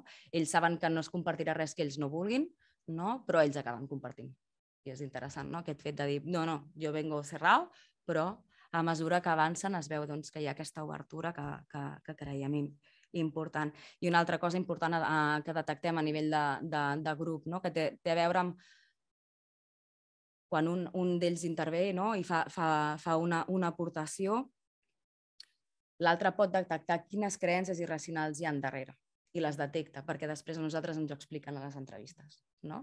I ens diuen, ostres, uh, ¿por qué tal? Pero sí, porque esto que explicaste, uh, hay compañeros que no lo ven. No? I dius, ah, i és aquí on nosaltres podem treballar la capacitat reflexiva vers el propi no? discurs de l'usuari, en el moment en el que ells detecten en els altres sí que hi ha distorsions, sí que hi ha mecanismes de defensa que hi ha darrere d'aquells discursos i després se'ls apliquen no? en, el seu propi, en el seu propi relat i fan aquesta, aquesta mirada cap endins. No? Me'n vaig una mica del temps, simplement doncs, comentar-vos altres fortaleses. Eh? La valoració de la intervenció en coordinació amb els delegats. El que fem és, com us deia abans, no? intentem d'alguna manera que abans de uh, plantejar una intervenció uh, amb un usuari, doncs, mm, valorar amb el, amb el delegat, que també està fent el seguiment d'aquell usuari, quina és la intervenció més adequada, si ha d'anar amb un grup eh, reduït, si ha, si ha de ser una intervenció individual o bé ha de ser una intervenció a nivell grupal, que considerem que és interessant per intentar doncs, anar treballant no? aquesta, aquesta dificultat en què ens trobem a vegades de perfils tan, tan diferents tenim la possibilitat també de, de, de coordinar-nos amb els equips de mesures penals i els DEMS, ah, i els DEMS o els delegats, en aquest cas doncs, fent aquest seguiment de casos, que això afavoreix que hi hagi una adherència al programa, que hi hagi una disminució de les faltes d'assistència, que considerem que és, que és interessant treballar en xarxa possibilita també eh, el fet de que estiguin en, en, en, en, en comunitat, possibilita que totes aquelles eines i estratègies que han, que han pogut anar adquirint durant el programa les puguin posar eh, en pràctica in situ. És a dir, es troben no, que tornen a casa i hi ha un conflicte i, ostres, pues te explican a la segunda sesión, pues mira, tuve ese conflicto y como hablamos de, ¿no? de, de hablarlo desde otro punto de vista, uh, lo, he, lo, he, lo he provat i els beneficis que troben en posar en, en pràctica aquests, uh, aquestes eines uh, faciliten molt l'adherència en, en, el, en el programa. Que en queden dues. Uh, hi ha els, el, per una banda doncs, el manteniment de factors protectors, el fet de que no hagin entrat en centre penitenciari fa que ells puguin continuar fent una vida eh, no gaire diferenciada de, de, no? de, del que portaven fins, fins al, al moment de la denúncia. Per tant, són eh, usuaris que si estan treballant doncs, continuen a la feina, tenen la família a prop, tenen un entorn, eh, tenen el seu entorn a prop. Això facilita que aquests, uh, aquests elements siguin factors protectors no? per ells i, per tant, en aquí uh, evitem d'alguna manera que es posin altre cop en risc. No? La, el propi entorn, el propi, el propi context fa de, fa de mur de, fa de contenció. No? I per últim, que ja és el que hem anat parlant no? la, i hem, hem donat dades, que la reincidència dels usuaris que realitzen programes formatius en comunitat s'ha observat doncs, que hi ha una menor reincidència, no? que hi hagi pel que fa a usuaris que s'hi realitzen els programes formatius dintre dels centres penitenciaris. I en principi podria parlar-ne molt més, però ja m'he anat del temps, així que moltíssimes gràcies.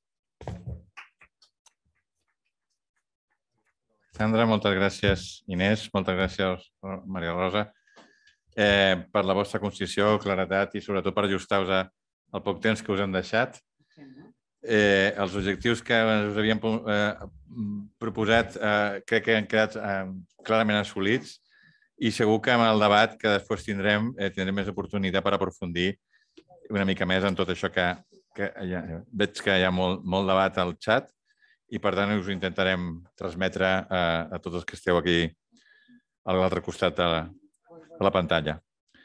Eh, per tancar el bloc, hem pensat que la perspectiva del tractament d'agressors seria incompleta si no s'aporta el punt de vista de la víctima i com, el, el, com viu el fet aquesta víctima que el seu agressor se'l tracti de reinsertable socialment.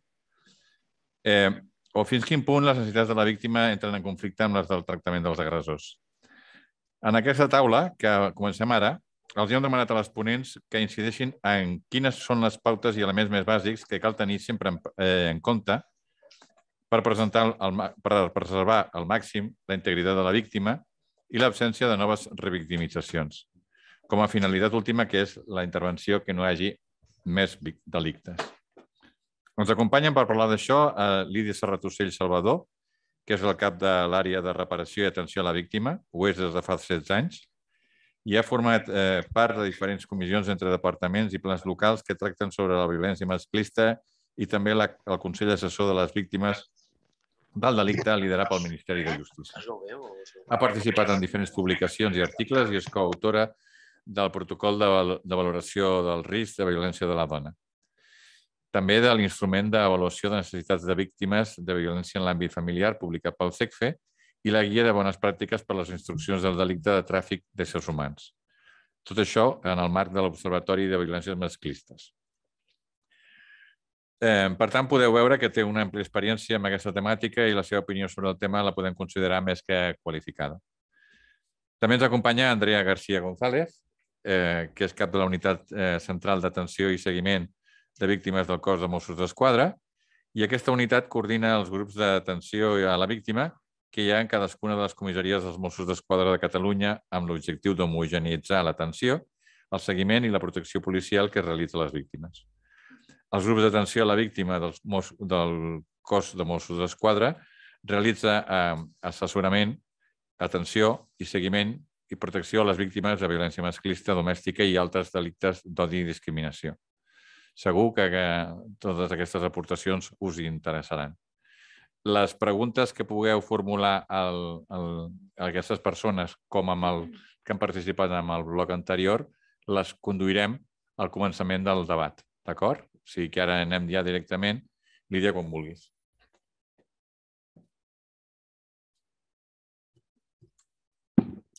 Bueno, bon dia a tothom. Moltes gràcies, Manel i també el Centre d'Estudis per poder-me compartir, que m'heu convidat en aquesta jornada. A més que estic encantada d'estar amb l'Andrea, que ara ho comentàvem, que 2005, 2006, eren molt jovenetes. bueno, portem molt de temps treballant de forma coordinada i conjunta com, com no pot ser, amb, amb atenció a la víctima i els cossos de, de Mossos d'Esquadra. Vale? I com ja s'ha anat dient al llarg de tota aquesta jornada, també és important i penso que essencial que s'hagi pensat en aquesta taula per incloure la perspectiva de la víctima en relació a la intervenció que es du a terme amb els agressors de violència de gènere. Perquè ho hem de poder entendre, aquesta intervenció ha de ser de forma global i en tota la seva complexitat i si l'objectiu últim és no tenir més víctimes. S'ha de tenir en compte totes les parts implicades en aquesta situació de violència, si ho simplifico molt, a la víctima i al victimari. ¿vale? I en dos han de poder treballar respectivament la seva recuperació i la seva rehabilitació o reinserció. A la meva intervenció, el Manel em va traslladar que us respongués de forma breu a tres qüestions que no són, no són gens senzilles. Vale? La primera és com viu la víctima que es treballi amb el seu agressor per a que es reinserti la comunitat, si les necessitats de les víctimes poden entrar en conflicte amb les necessitats de l'agressor i quines són les pautes o elements bàsics que cal tenir sempre en compte per, presentar, per preservar la seva integritat i l'essència de noves revictimitzacions. Per poder donar resposta a aquestes tres preguntes, bueno, vaig recollir l'experiència i el llarg bagatge que tenen tots els professionals de les oficines d'atenció a la víctima del delicte, així com les professionals que treballen a la meva àrea, en l'atenció a les víctimes, especialment en les víctimes de violència de gènere, i també he volgut recollir i fer una mica de reflexió dels diferents relats que ens han fet les víctimes al llarg de tots aquests anys. Per situar-nos primerament, i com vos de vosaltres ja coneixeu, les oficines d'atenció a la víctima del delicte del Departament de Justícia són el punt de coordinació de les ordres de protecció en violència domèstica i de gènere. Això vol dir que hem de tenir coneixement de totes les ordres de protecció que dicten els òrgans judicials, ordres de protecció com són les prohibicions d'apropament, de comunicació, de presó, etc. Quan tenim coneixement d'aquestes ordres, hem de contactar amb les víctimes per informar-la de l'abast i la vigència d'aquesta ordre de protecció, per detectar les seves necessitats i poder-la informar-la dels recursos i les ajudes socials existents. I a més a més, hem d'informar permanentment de la situació penitenciària i penal del seu agressor amb la finalitat de garantir, en la mesura que el puguem, la seva protecció i seguretat. I aquí entra molt la, la coordinació i col·laboració amb, amb cossos i forces de seguretat. Però alhora també hem de donar una atenció integral des de la vessant social, psicològica i judicial perquè es puguin detectar totes aquelles necessitats que té la víctima, poder-les treballar conjuntament amb ella i facilitar-hi l'accés als recursos i ajudes disponibles. Aquesta atenció, també ho diu l'Estatut de la Víctima, l'hem de donar abans, durant i després del procés penal, fins que ho necessiti la víctima. I per què faig tot aquest apunt previ? perquè, veie, perquè veureu que la nostra intervenció, que és bastant dificultosa, ve marcada molt pels moments i vivències de la pròpia víctima, així com els moments processals que segueix el procediment penal i que en dos moments mai coincideixen. Vale? Hi ha uns timings en el procediment penal, en totes les seves fases, que no en tenen en compte l'estat o les necessitats de la víctima. El procediment en si mateix no la veu, és molt garantista per la persona investigada, la persona encausada i fins i tot penada, però no té en compte les seves necessitats. No l'escolta. I quan ho fa, gairebé sempre és com a mitjà de prova. Tot i haver un estatut de la víctima que els reconeix tota una sèrie de drets, encara tenim camí per recórrer perquè es faci plenament efectiu. Feia gràcia que la Inés deia que la percepció dels agressors era que era una justícia feminista, Nosaltres la percepció que tenim és que és una justícia patriarcal, molt masclista. Per tant, bueno, eren els teus punts de vista i m'ha fet gràcia això. ¿vale? Per què us deia tot això? Perquè la nostra intervenció hem de respectar tant aquest moment vivencial i personal de la víctima i el moment en què el, el procediment vol o demana que la víctima s'hi personi o que participi en aquest procés. I us poso un exemple que ens trobem molt sovint en la compareixença en els jutjats de violència sobre la dona. És una compareixença que es du a terme un, com a molt 72 hores després de que s'hagi com a molt abans de les 72 hores que s'hagi interposat la denúncia, en la qual la víctima segurament encara no està en aquell moment de percebre que allò és un delicte, que allò realment el que està passant a casa seva és constitutiu. Per tant, no està en la millor situació emocional com per prendre una decisió i pot fer que dir que desisteix de declarar i que no vol continuar amb el procediment, que es bloquegi o fins i tot que no pugui relaxar un relat tal i com volen els òrgans judicials que el facin, ¿vale? perquè també tenen una visió de com ha de ser una víctima. I amb tot això donaria resposta a la primera pregunta. ¿vale? Com se situa la víctima davant del seu agressor i com viu que se'l tracti de reinsertar. ¿vale? Primer de tot, cada víctima és una persona diferent i, per tant, no podem generalitzar de com ha de ser o de viure aquesta situació, perquè encara que no vulguem, podem fer una projecció de com actuaríem nosaltres. Per tant, ens hem de posar i fer una escolta molt activa per escoltar-la i valorar les seves necessitats i circumstàncies personals perquè, com deia, no? que davant d'una denúncia o fins i tot en la compareixença en els que arguments personals i processals no coincideixen, la víctima pot estar en una fase d'ambivalència o de negació i tenen l'esperança o la necessitat de creure en un canvi en la seva relació de parella. Sovint ens fan una demanda d'atenció per a ell, per a que pugui assolir aquest canvi. El que vol només és que ell faci un tractament, que deixi de veure o de consumir, ¿vale? perquè quan no veu, està més tranquil, està molt bé amb mi. No ens fa res ni a mi ni als nens. Vale? Segur que heu escoltat aquesta frase i d'altres frases similars moltes vegades. I és cert, el que volen en aquell moment és que ell faci un tractament. Vale? Perquè si ell fa un canvi, canviarà la seva relació i tot continuarà com, a, com fins ara. Vale? En el bon sentit de la paraula, evidentment. I això ja sabem que no és cert, ho sabem nosaltres, les professionals, vale? perquè totes ja coneixem com funciona el cicle de la violència però ho hem de respectar. Perquè en aquest moment és el que la víctima ens demana, és el que necessita, que si ell fa alguna cosa tot es pot solucionar. Però no per això hem de deixar d'acompanyar-la i sempre li hem de deixar clar que respectem els seus temps i decisions i que té l'accés al servei sempre obert. Ens trobem també que més endavant, un cop ja han pres consciència de la situació, de la història de violència. Bé perquè han continuat els episodis de violència. Tenien més denúncies, més intervenció en els jutjats, més trencaments de condemna, més escalada amb la, amb la violència dels insults, ja passem a les agressions o comença a agredir els nens o fins i tot els familiars. O bé perquè també han iniciat un procés de recuperació personal i prenen consciència que allò que entenien com a relació de parella no ho era i, per tant, estan trencant o estan en un procés de trencar tota la relació amb ell, sovint apareix aquella ràbia continguda fins ara i la resistència a creure que ell faci un canvi. Quan, per exemple, els hi, comunem, els hi comuniquem perquè ens toca no? una sortida, un permís, una classificació progressió tercer grau, mostren la seva decepció o perplexitat. Ja està al carrer, per què? Si li traiades perquè està fent un tractament i hi ha una bona evolució, ens contesten, els està enganyant, jo sé com és i sé que vindrà per mi. Sé que quan surti voldrà tornar i això a mi em preocupa molt. D'altres volen saber la informació, però manifesten sentir-se tranquil·les i empoderades. Per tant, el que ens trobem és tot un ventall de manifestacions que passen des de tenir ràbia, impotència, por, angoixa o el neguit, o fins i tot una relativa indiferència del que li pugui passar, més igual. I ja quan van en un moment molt més avançat, que jo ja dic que es treuen l'etiqueta de víctimes per passar a ser supervivents, estan molt desvinculades d'ell emocionalment, és pràcticament indiferència i potser el que li desitgen és que realment pugui canviar, però no des de la seva pròpia necessitat que ens havien expressat en el, en el començament.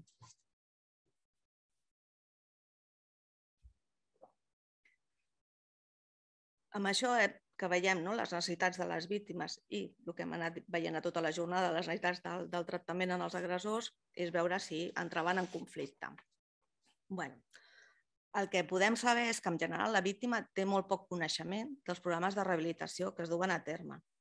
I també ho extendria a la resta de professionals que intervenim en víctimes. Vale? Tot i que estem a la mateixa secretaria, ja no dic els serveis que no estan en el Departament de Justícia, tots els programes que es poden arribar a fer. Vale? No, sabem en què, no saben les víctimes en què consisteix una mesura penal alternativa, un programa formatiu o els programes específics que es duen a terme al centre penitenciari però és que aquests programes tampoc tenen en compte l'opinió i les necessitats de la víctima, no? recollint una mica, veig que hem coincidit, Berta. Són dues realitats paral·leles, o almenys ho sembla. Vale? D'una manera, hi ha diferents serveis d'atenció i recuperació que tenen a les víctimes que elles, de manera voluntària i segons les seves necessitats i moments personals, poden acudir i continuar amb el seu procés mentre que de l'altra banda, llevat d'alguna excepció, els agressors només fan tractament si són obligats a fer-ho. Bé perquè se'ls imposa una obligació de programa formatiu o alguna, alguna mesura penal alternativa o bé de forma voluntària quan es troben en un centre penitenciari. Això genera sovint la vivència en la víctima de que mentre ella està fent tot un procés i tot un treball de recuperació i d'empoderament, ningú confronta les persones agressores amb les conseqüències de la seva acció i el fet que faci algun tipus de tractament té més a veure amb un benefici penitenciari cap a ell que no pas amb la voluntat real de fer, de fer aquest canvi. I com ja ho deia, no? que els temps personals de les víctimes no coincideixen tampoc amb els temps de, dels processos penals, sobretot quan ja aquest agressor ha iniciat un procés de rehabilitació i potser la víctima encara no, eh, ens trobem que, bueno, que hi ha situacions en què no està gens preparada la víctima perquè ell comenci a sortir perquè ell intenti començar a apropar-se o fins i tot en aquells casos que no hi ha una ordre de protecció vigent, no hi ha una ordre d'apropament cap, a, cap a ella, se li faci o se li demani que sigui l'element acollidor, quan ella no té ni aquesta necessitat ni té aquesta mm, necessitat ni, ni ganes de tenir-lo a casa, però se sent bastant culpable i bastant responsable de la situació en què es troba l'agressor i, per tant, acaba acollint-lo a casa seva. Els professionals haurien de poder compartir i ajustar les nostres intervencions tant als temps personals de les víctimes com també als agressors. No? I per això cal molt més coneixement entre tots nosaltres i situar-nos en la perspectiva de la intervenció de l'altre. Podria entrar en un debat complicat, que no és l'objectiu d'aquesta jornada, no? però bueno, cal continuar treballant en la línia que ja hem engegat des de l'any passat, des de la Subdirecció General de Reparació i Execució Penal a la comunitat, d'incorporar la perspectiva de la víctima i dels elements de la justícia restaurativa en el treball amb les persones agressores en l'àmbit de l'execució penal, no? i com ja feia referència la, la, la Berta amb la seva ponència. Celebro també la iniciativa de la Rosa que ens ha presentat amb, amb, la, amb aquesta guia d'intervenció en medi obert i que bueno, et llenço a l'AM vale? per a veure si podem fer alguna cosa també que incorporeu aquesta perspectiva. I ja per anar finalitzant, vale? per respondre quines són les pautes i elements més bàsics que cal tenir sempre en compte per, per preservar al màxim la integritat de la víctima i l'absència de noves revictimitzacions, bueno, ho he anat dient, però segueixo insistint-hi. Un dels factors a tenir en compte sempre és, treballar, és tres, treballar perdoneu, des de la capacitat de decisió de la pròpia víctima, des del, seu, des del respecte, de no menys tenir el que ens diu, a vegades amb preguntes insistents i fins i tot capcioses, no qüestionar-la respecte al que diu o al que fa, respectar i validar el seu estat anímic i vivencial, donar-li temps per assimilar el que està succeint i no voler decidir o actuar per ella. Hem de, de fugir d'intervencions sobre, sobreprotectores o paternalistes. Al contrari, l'hem d'empoderar per fer-li veure que el que fa és el que ha de fer, que és una persona valenta i que no està sola, que se l'acompanyarà, si vol, en tot el procés. Altres elements que són bàsics en la intervenció i que, per garantir que no revictimitzem, se li ha d'oferir sempre un bon assessorament i una bona informació per a que pugui prendre la decisió amb coneixement, sabent el que fa i quins passos ha de donar. Hem d'ajustar les seves expectatives i no crear-los de noves. Ui, oferir una... Ja vaig ràpida, però oferir una atenció especialitzada i ajustada a les seves necessitats i, si no podem, informar dels recursos que sí que la poden fer aquestes necessitats i acompanyar-la amb la seva derivació. Important, la coordinació amb tots els que intervenim amb ella, vale? perquè no hi hagi una sobreintervenció o una revictimització. Compartir informació de tots els serveis, saber-nos, conèixer-nos i validar-nos. Vale? Algun, el que pugui fer un. La víctima no és de ningú, la víctima és una persona lliure i per tant ha de poder decidir amb tota la informació i nosaltres l'hem de poder orientar. Vale? Formació, centre d'estudis, continuada especialitzada, és bàsica i fins i tot jo diria que obligatòria. Vale? I en el seu pas per la justícia, que aquí també tenim molt camí per recórrer, bueno, donar-li més veu i garantir els seus drets, que realment tota la informació que se li faci arribi amb ella i la pugui entendre. Vale? Les oficines judicials han de poder donar aquesta informació i, i garantir que la víctima l'ha entès. S'ha de garantir aquesta formació a les oficines judicials, tant en victimologia i especialment en el cicle de, la violència, perquè entenguin que no hi ha un patró estàndard de víctimes i que si la víctima no arriba plorant, això no vol dir que no hagi passat. Que els moments de vivencials d'aquella persona no coincideixen amb els seus moments del procés també estem treballant i és una voluntat de la consellera amb, adequar els espais judicials per fer-los més amables a les víctimes i sobretot als nens i els fills i filles d'aquestes víctimes. Per tant, en definitiva, ja acabo. Vale? Hem de donar espais a la víctima perquè es pugui expressar la seva vivència, el seu, relat, el seu dolor i el seu relat com a punt de partida per establir quins plans de recuperació necessita. Detectar tot allò que pugui ser rehabilitador durant tot el procés penal, així com abans i després necessitar tots aquells mecanismes que ajuden a protegir la víctima en aquells moments de major vulnerabilitat i, sobretot, incorporar sempre la perspectiva d'aquesta víctima en el treball destinat a la rehabilitació i reinserció de l'agressor. Moltes gràcies.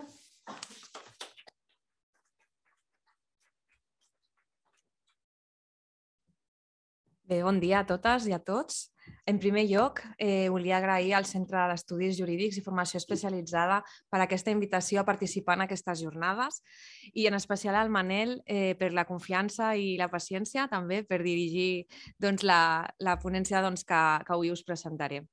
Bé, doncs, eh, des del nostre àmbit, el policial, el que represento, i en especial els grups d'atenció a la víctima, que són presents a totes les comissaries i que representen doncs, aquesta atenció més especialitzada a les víctimes, no només de violències eh, de genèriques, sinó també de violències masclistes, violències relacionades amb l'odi i la discriminació i, per tant, eh, per mi doncs, eh, és, és, un, és agrair també no, el, el poder explicar-vos no, en aquesta jornada quin és aquest treball no, eh, policial que fem amb les víctimes i molt enfocat en la protecció i en el marc que, que es parla en el dia d'avui.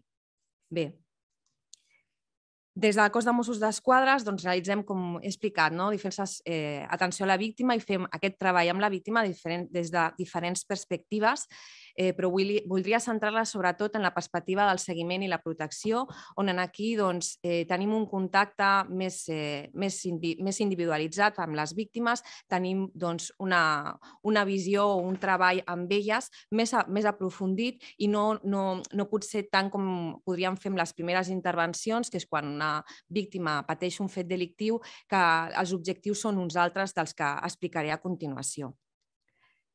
Bé, què és un seguiment? Què fan els grups d'atenció a la víctima? El seguiment són qualsevol acció que realitzem per vetllar per la seguretat d'elles.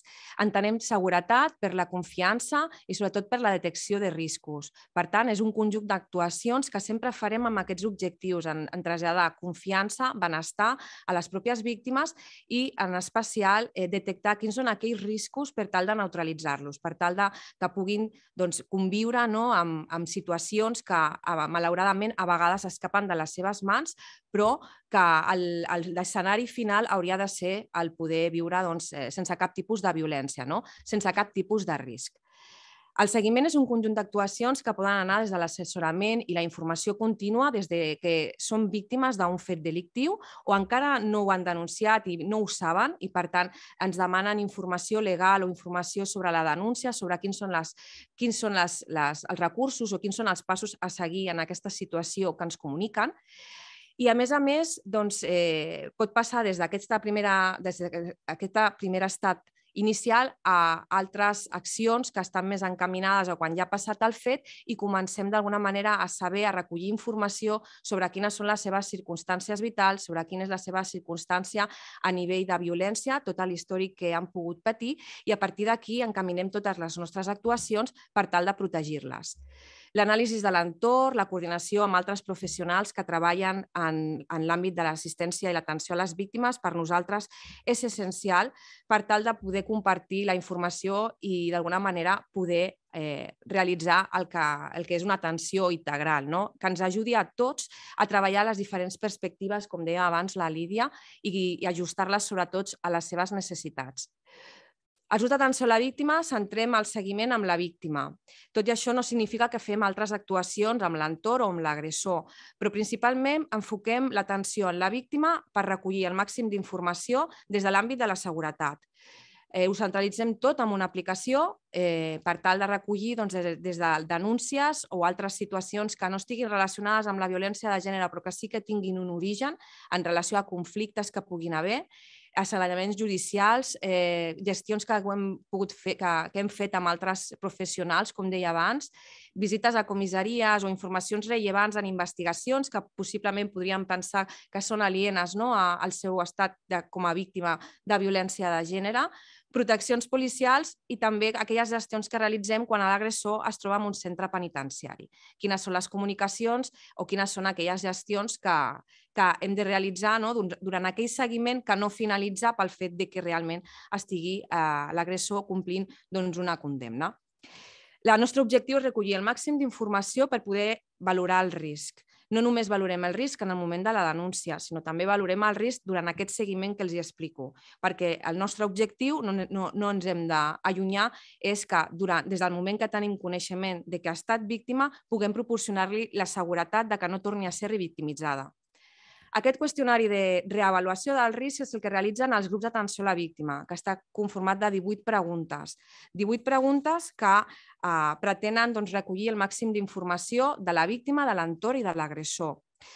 El, aquestes eines no hem d'oblidar que no són eines que no són eines infal·libles, sinó que són eines predictives amb una certa probabilitat de que puguin fallar, evidentment, i, per tant, es complementa amb la formació i l'experiència de, les, de les Mosses i els Mossos doncs, que realitzen aquests qüestionaris i també, sobretot, d'informació d'altres uh, factors de risc que puguin ser observats per altres professionals que també treballen amb eines de valoració del risc, com pot ser, per exemple, doncs, en centres penitenciaris el risc canvi per a valorar no, el, aquest, el, el nivell de risc de reincidència o l'RUED que es pot fer servir també per serveis d'intervenció especialitzada, serveis socials i des del alguna altra perspectiva i un altre àmbit que potser no és el de la seguretat com el nostre.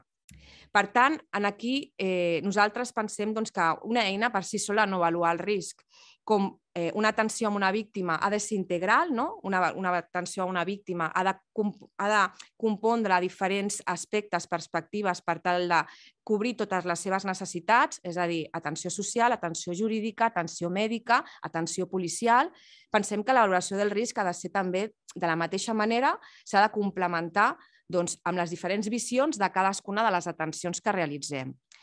Perquè una, una valoració del risc només des de l'àmbit policial només ens aporta la seguretat de la víctima, la seguretat física, aquelles accions de protecció que puc exercir per evitar que la puguin matar, que pugui haver un feminicidi.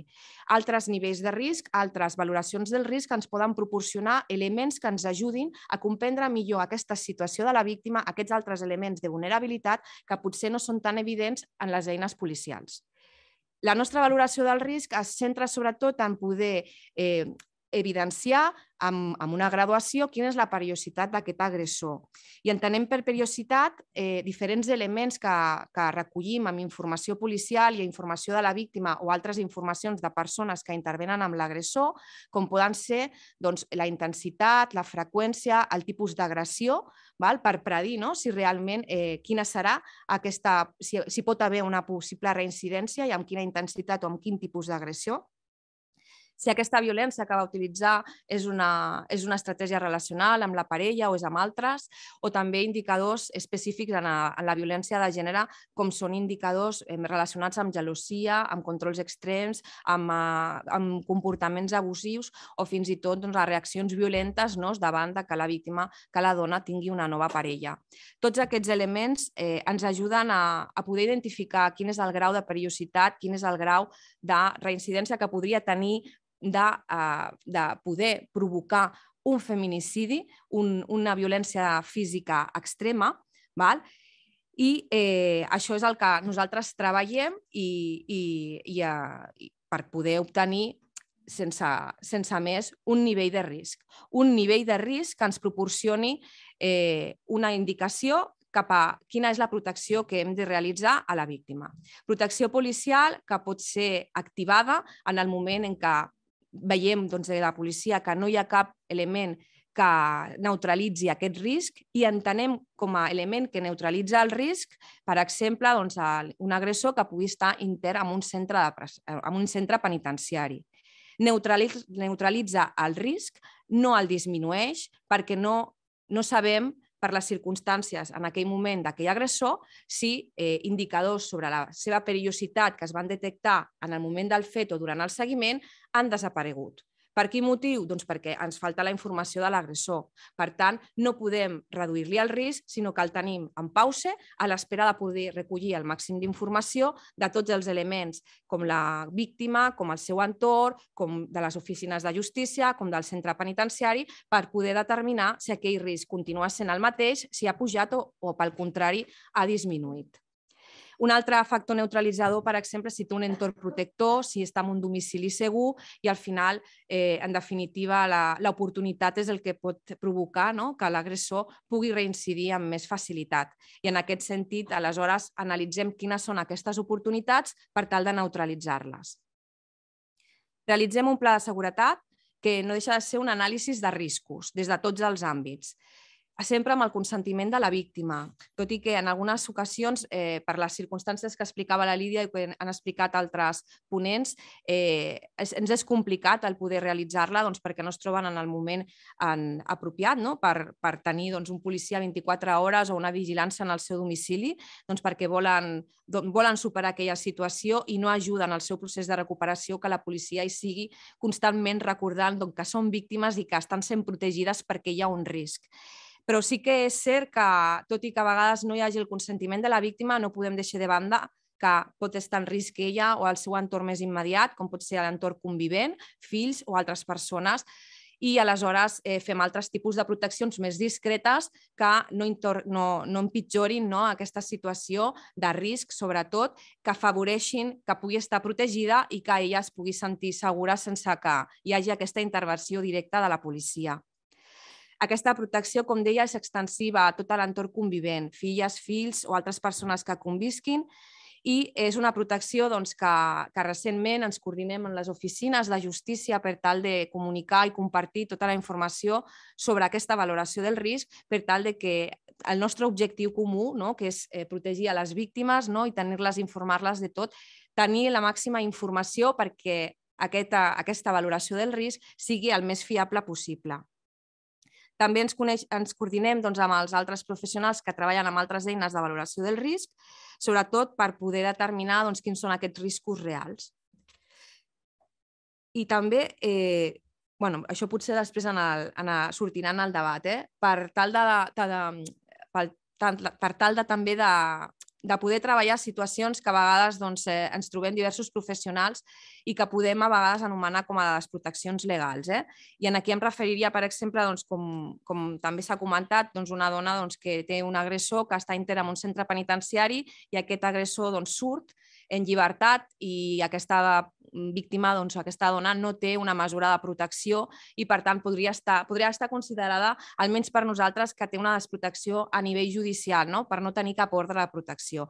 En aquí ens coordinem quan detectem situacions d'aquest estil doncs, des de les oficines i eh, amb la Fiscalia per tal de fer proteccions específiques i que d'alguna manera eh, bueno, aquesta absència quedi coberta per una protecció policial i una intensificació de, del seguiment que poden fer des de les oficines d'atenció a la víctima del delicte com des dels grups d'atenció a la víctima.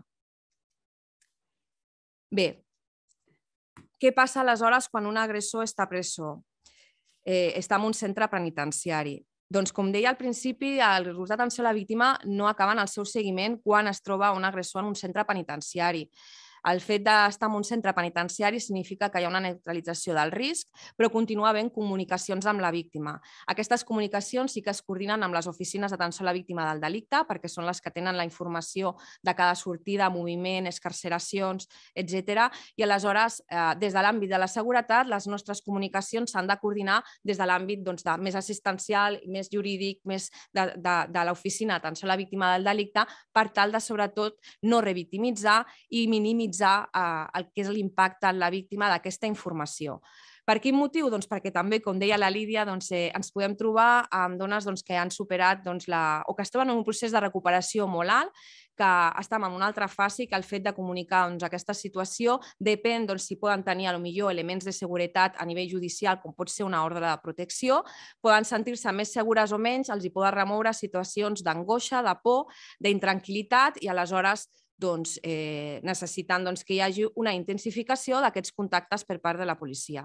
O a l'inversa, pot ser que els doni tranquil·litat, que estiguin doncs, amb una actitud més d'indiferència, no? perquè es troben en un altre procés de, del seu, de la seva recuperació, però que des de Mossos d'Esquadra, doncs, gràcies a altres eines de valoració del risc i principalment per la informació que ens faciliten des del centre penitenciari, valorem doncs, que pot haver un risc de reincidència i, per tant, que hem d'actuar d'una manera intensificada durant un cert temps per tal de protegir-la. Bé, totes aquestes actuacions eh, intentem que no, no anar sols, sinó que hem d'anar acompanyant de tots els serveis que participen en aquest procés d'atenció a les víctimes, perquè aquesta víctima no deixa de ser atesa potser per una atenció, per una, atenció, per, per una entitat de, més específica, per un servei d'intervenció especialitzada, un servei social, per l'oficina o pels Mossos d'Esquadra. Per tant, hem d'anar tots a una per tal de que aquella persona, aquella víctima, doncs, tingui la mateixa informació i que realment eh, augmenti aquesta percepció de seguretat real. Gràcies.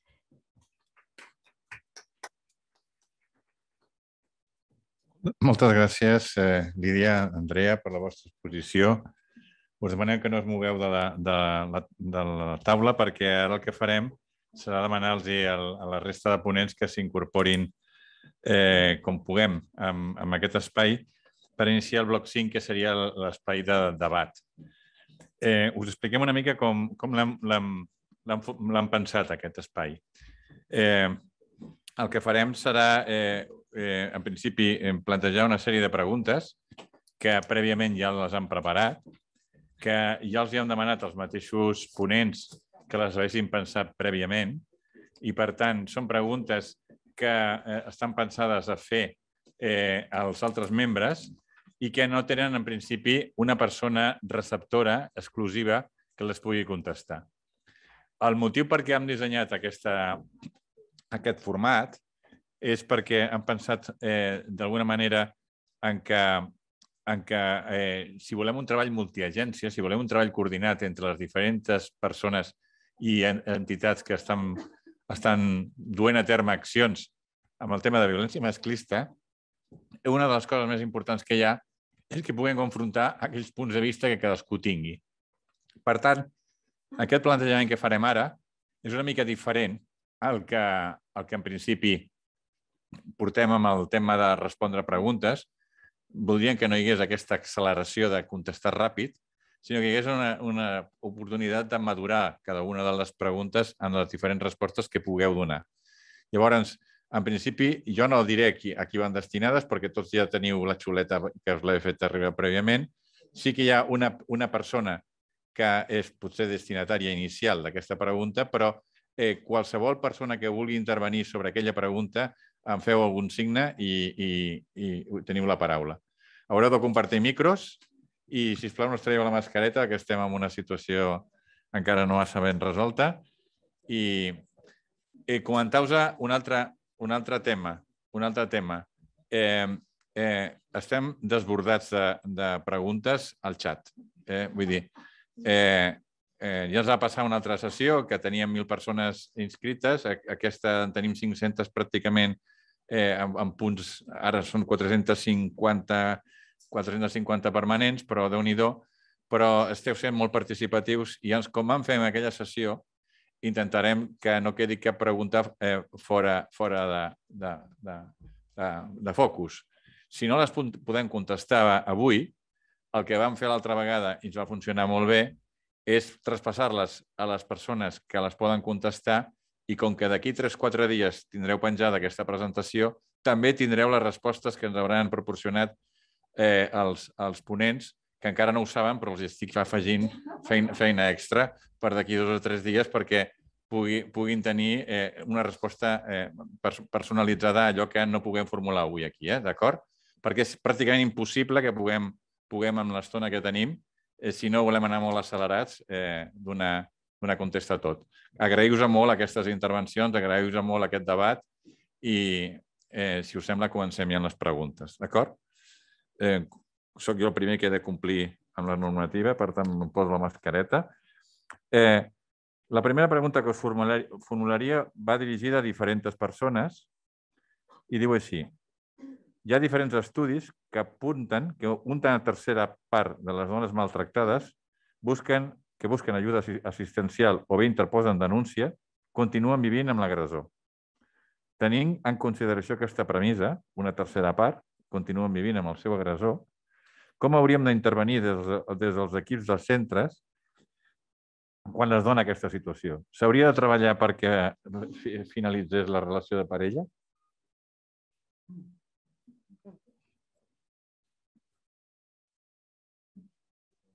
Qui vol començar? No com vulgueu.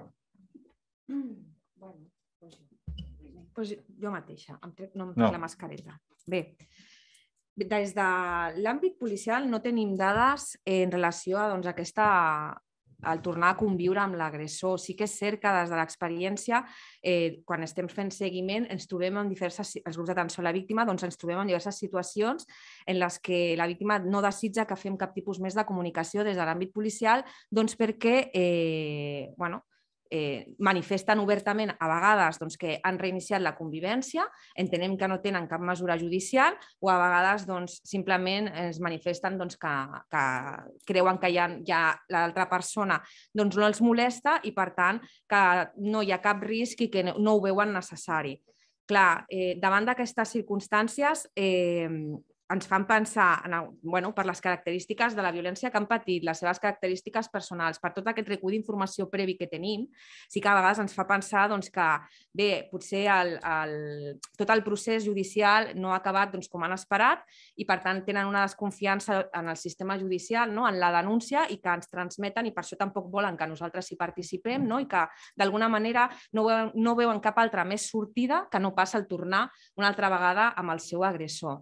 I el tornar una altra vegada amb el seu agressor ens dona a entendre que és que tampoc tenen cobertes altres necessitats que hem anat detectant, com pot ser què passa no? després amb el domicili, amb el tema del règim de visites. Ens trobem amb dificultats amb el fet de dones que tenen ordres d'allunyament i que no tenen un acompanyament de ningú en relació a com gestionaran a partir d'aquell moment doncs, si, ha, si han de fer alguna visita no? eh, aquell agressor o l'entorn de l'agressor, que també l'entorn de l'agressor podria ser un element de risc, a vegades no, no és res, però a vegades sí que ho és això els genera angoixa, por i finalment decideixen desistir de qualsevol altra acció de demanar ajuda i en aquest cas parlo per part de la policia.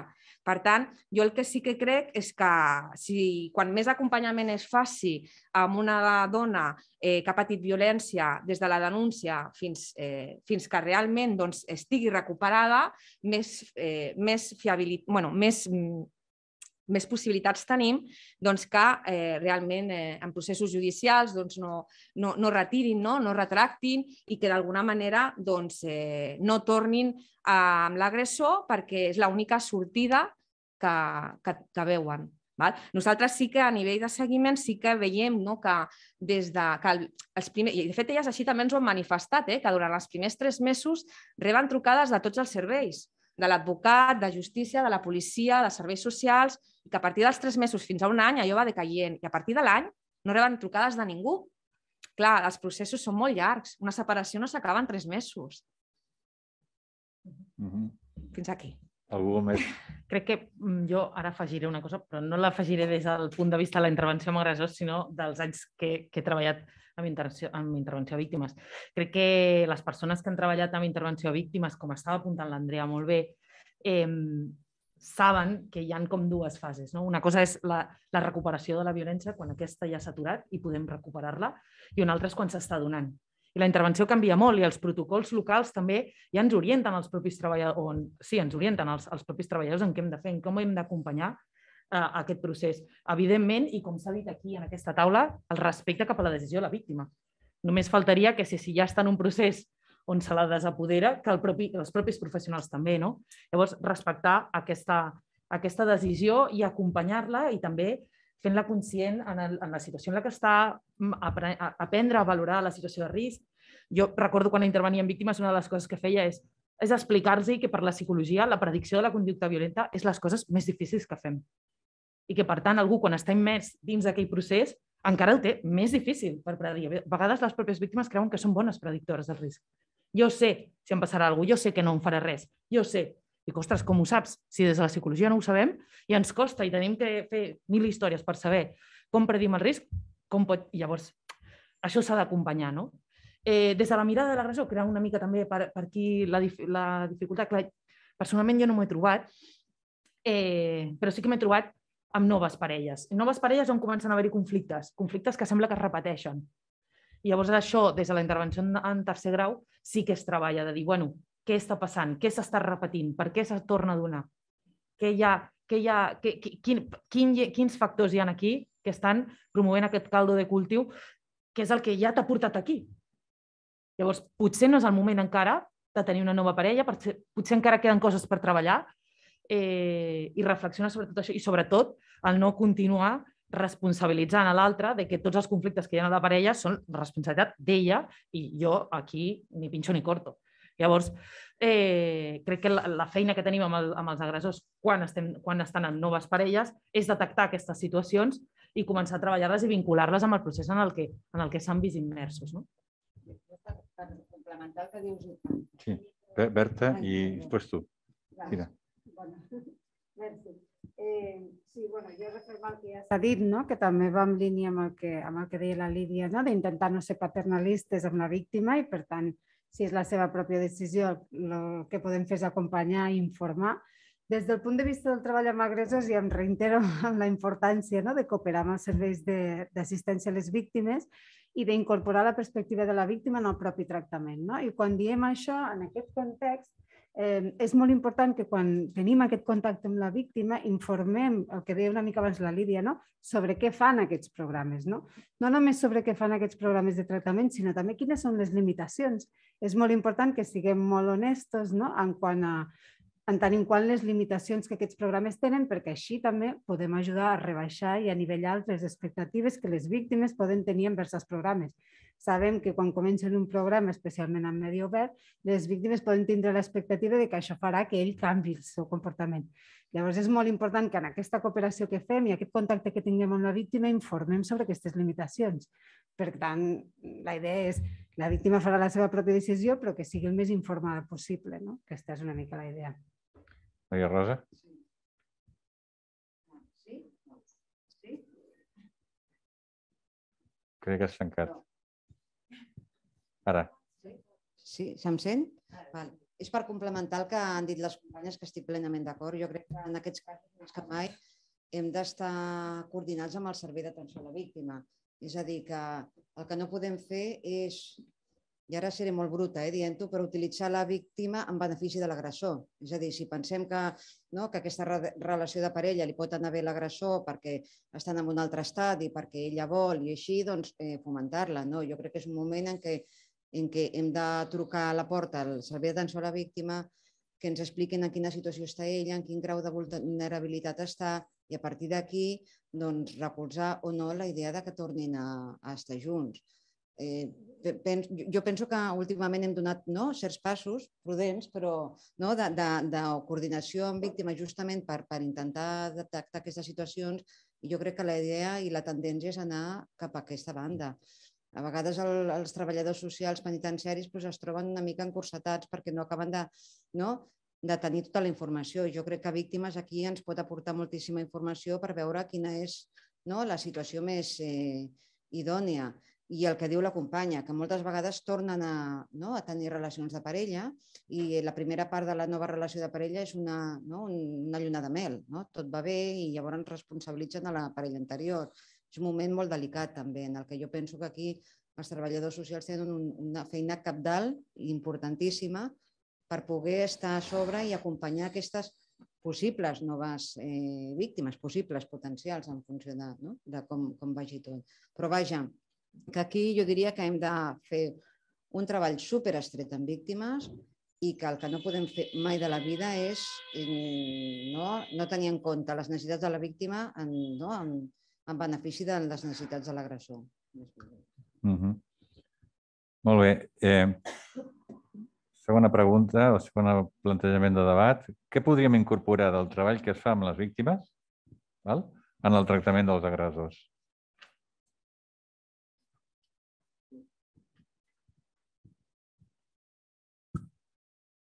Sí, se'm sent? Sí. Okay. Sí, crec que aquesta pregunta estava una mica orientada cap a mi. Eh, bé, crec que no és una, no, crec que no és una tasca fàcil la d'incorporar la, la perspectiva de la víctima, però que hem de treballar en aquesta direcció i, de fet, jo crec que fa un temps que hem començat a fer-ho. No? Miro cap enrere la Lídia perquè potser m'ajudarà també a contestar aquesta, aquesta pregunta. Jo crec que el primer que s'hauria de fer és millorar la formació i la informació dels professionals que treballen amb els agressors. Però no només informar-los i formar-los sobre, sobre el fenomen de la violència des de la perspectiva de l'agressor, per suposat, sinó també eh, formar-los i informar-los sobre, sobre el fenomen de la, de la víctima, no? el, que ella sent, el que ella sent, el que ella experimenta, i, i perquè moltes vegades, eh, i bueno, les, les necessitats que té no? quan, quan és víctima d'una relació abusiva. Perquè moltes vegades jo penso, almenys en la meva experiència és el que he pogut veure, eh, crec que no, des dels equips que treballen amb agressors no s'acaba d'entendre, eh, per exemple, les decisions que pren una víctima no? quan està intentant sortir d'una relació, relació abusiva. No? Eh, potser els que, treballen, els que treballem amb agressors estem massa influenciats pel paper de l'agressor i els que treballen amb víctimes potser també estan massa influenciats pel, pel, pel, pel paper de la víctima. No? Jo crec que és obligació de tots nosaltres compartir espais de formació i d'informació per, per eh, saber com, com actuar i com incorporar el paper de la víctima en els tractaments dels agressors. També penso que és molt important que els equips que treballen amb víctimes puguin participar també del disseny dels programes de rehabilitació per a agressors. Moltes vegades estan dissenyats per, per les, pels professionals que estem treballant amb ells, però perdem una mica de vista eh, quines són, torno a repetir el mateix, no? quines són les necessitats eh, de la víctima i què és el que poden aportar els professionals a, al disseny d'aquest tipus de programes de rehabilitació. Per no repetir-me, el treball multiagència del que heu parlat molts companys, mol, moltes companyes de, de la taula, eh, crec que també és fonamental per poder incorporar aquesta visió de la, de la víctima. La justícia restaurativa crec que també pot esdevenir en el futur pròxim un, una, una qüestió molt important per treballar amb l'agressor el dany real que ha causat a la víctima i com ha de reparar aquest dany. Jo, jo penso que de vegades això no tenim massa en compte en, el, en, el, en el, els programes de rehabilitació i crec que és una cosa fonamental també. I després, ja amb una cosa més específica, quan, quan elaborem programes de rehabilitació per, eh, per agressors, per homes que han, que han agredit a la seva víctima, a la seva, a la seva parella, crec que hauríem de treballar molt més amb relats de víctimes la Lídia avui ha portat alguns exemples i m'ha agradat molt, no? I, I els relats de les víctimes permeten treballar amb ells justament això que estem parlant, no? del, del, del perjudici que han causat. Crec també portar una mica, portant una mica al, al meu terreny de la realitat virtual. La realitat virtual també és una forma de que l'agressor es posi a la pell de la víctima i incorporar justament aquesta, aquesta visió de la víctima al, al, al tractament. Algú més vol intervenir? Berta. bueno, crec que no, no, no anava dirigida a mi, però ara sentint el, el Nicolàs m'han vingut algunes idees i també la intervenció eh, d'abans de, de la Inés, no? que parlava sobre mm, el, el gènere dels facilitadors. No? Hi ha unes recerques molt xules que s'han fet a Finlàndia en el que s'ensenya, no? quan, quan tenim... Nosaltres una de les recomanacions que fem és que sempre hi hagi un equip de facilitadors, que no sigui un sol, que siguin dos en el grup. No? I a poder ser, una de les recomanacions que fem és que siguin dels dos gèneres, és a dir, que hi hagi un home i una dona facilitadors. No? I, I això és veritat que no hi ha evidències que diguin, perquè s'han fet alguna recerca, i alguna aquí al context espanyol, amb la, la Marisol de, de Contexto, li han fet algun, alguna recerca en què miraven no? si el gènere del, del, del facilitador tenia un impacte i de moment no s'ha pogut demostrar que el tingui, però el que nosaltres diem és que si tenim una, una dona representada facilitadora a les sessions, és més fàcil poder portar la veu de la víctima el, als programes. No? I una mica relacionat amb el que deia ara el Nicolàs, no? sobre com podem fer més presents les situacions i les circumstàncies de la víctima en els programes. I re, comentar que aquestes recerques són molt interessants no? i ensenyen com el fet de ser dona et pot ajudar no? a portar aquesta, aquesta perspectiva de la víctima a sessió. De fet, eh, jo volia aprofitar per explicar que eh, en els programes d'intervenció amb delinqüents, bueno, amb persones que han exercit violència sexual, ja fa temps que, que tenim l'experiència que participa amb nosaltres la Fundació Vicky Bernadet i que justament el que fa és una intervenció eh, per treballar l'empatia cap a la víctima i fan una primera intervenció així de sacsejada eh, cap, a, cap als agressors i després hi ha una altra, una altra sessió en la que expliquen no, de, de primera veu eh, les conseqüències de d'haver patit un abús sexual i d'haver estat víctima. I en aquest sentit, sí que és veritat que encara ens queda molt de camí per recórrer, però algunes experiències ja, ja hem començat a fer. Uh -huh. Molt bé, una altra pregunta. Què, què podem fer per vincular els perfils més resistents a la intervenció? És útil incorporar-los a una intervenció de tipus grupal quan estan tan resistents a acceptar aquesta participació? Bé, crec que sí. Com vulgueu.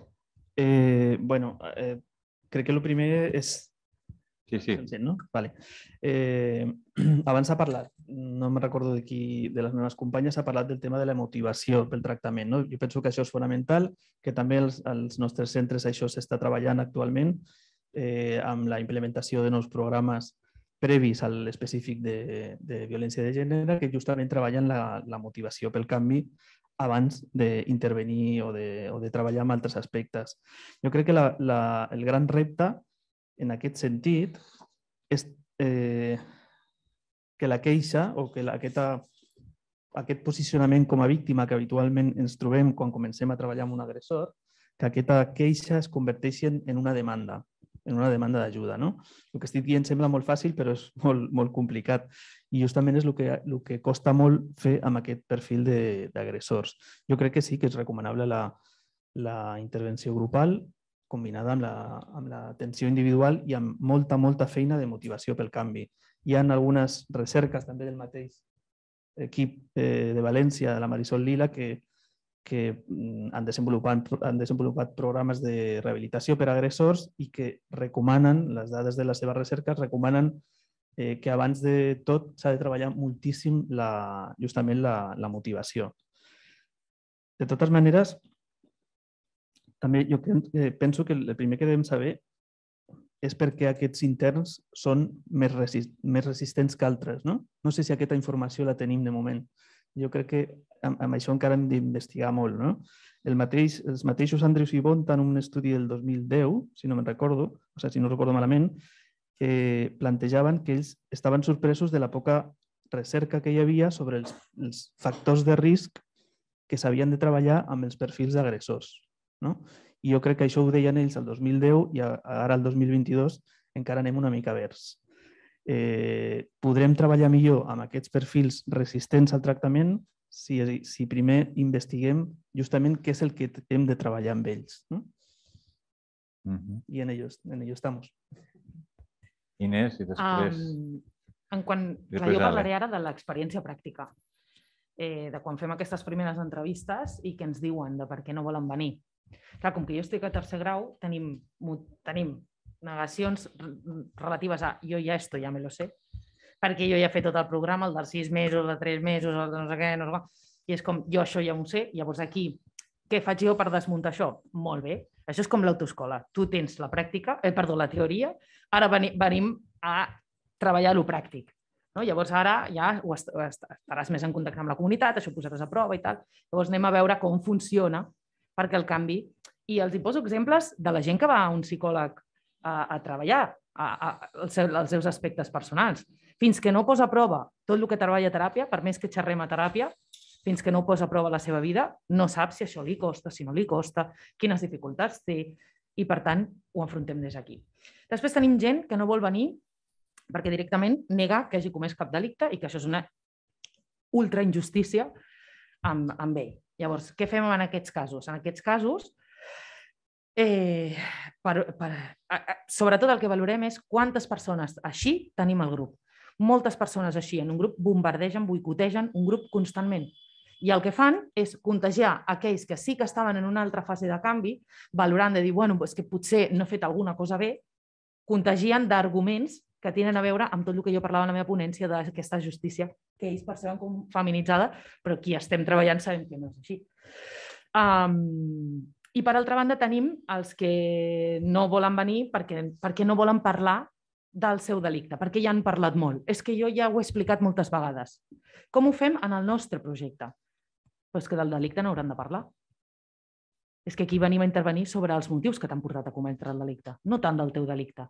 De fet, una, cosa, una reflexió que hem arribat en el nostre projecte és que parlar del delicte explícitament, donar detalls de com va anar i què va fer i què no sé què, això el que porta és idees als altres, el que porta és augment de les distorsions i de, que, i de les validacions que aquell, que aquell propi agressor ha fet respecte a aquell propi delicte. Per tant, aquí no, no et demanarem explicacions.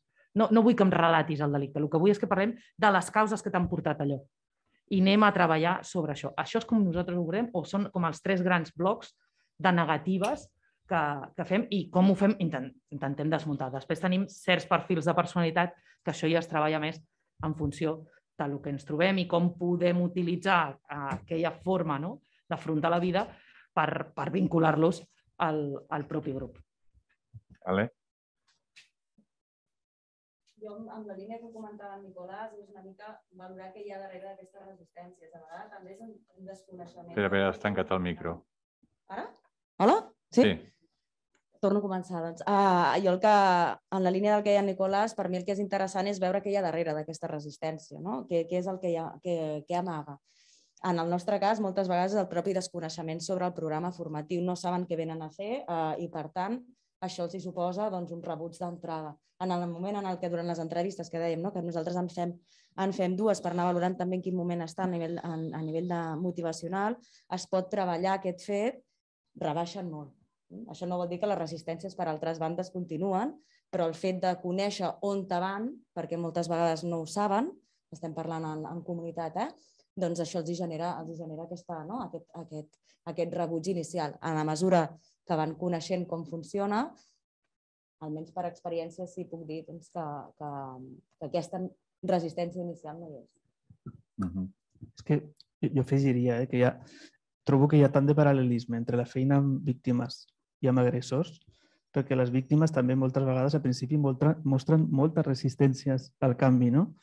Eh, llavors, el que penso que com a professionals, independentment de, de si treballes amb víctimes o amb agressors, el que has de ser és molt pacient, i molt comprensiu, perquè al final tots dos necessiten ajuda i han d'estar preparats per rebre aquesta ajuda i nosaltres hem d'estar allà. Crec que hem de valorar també, perdoneu, és que ara m'ha vingut la reflexió, eh? de les resistències vinculades a el que creuen que els hi direm.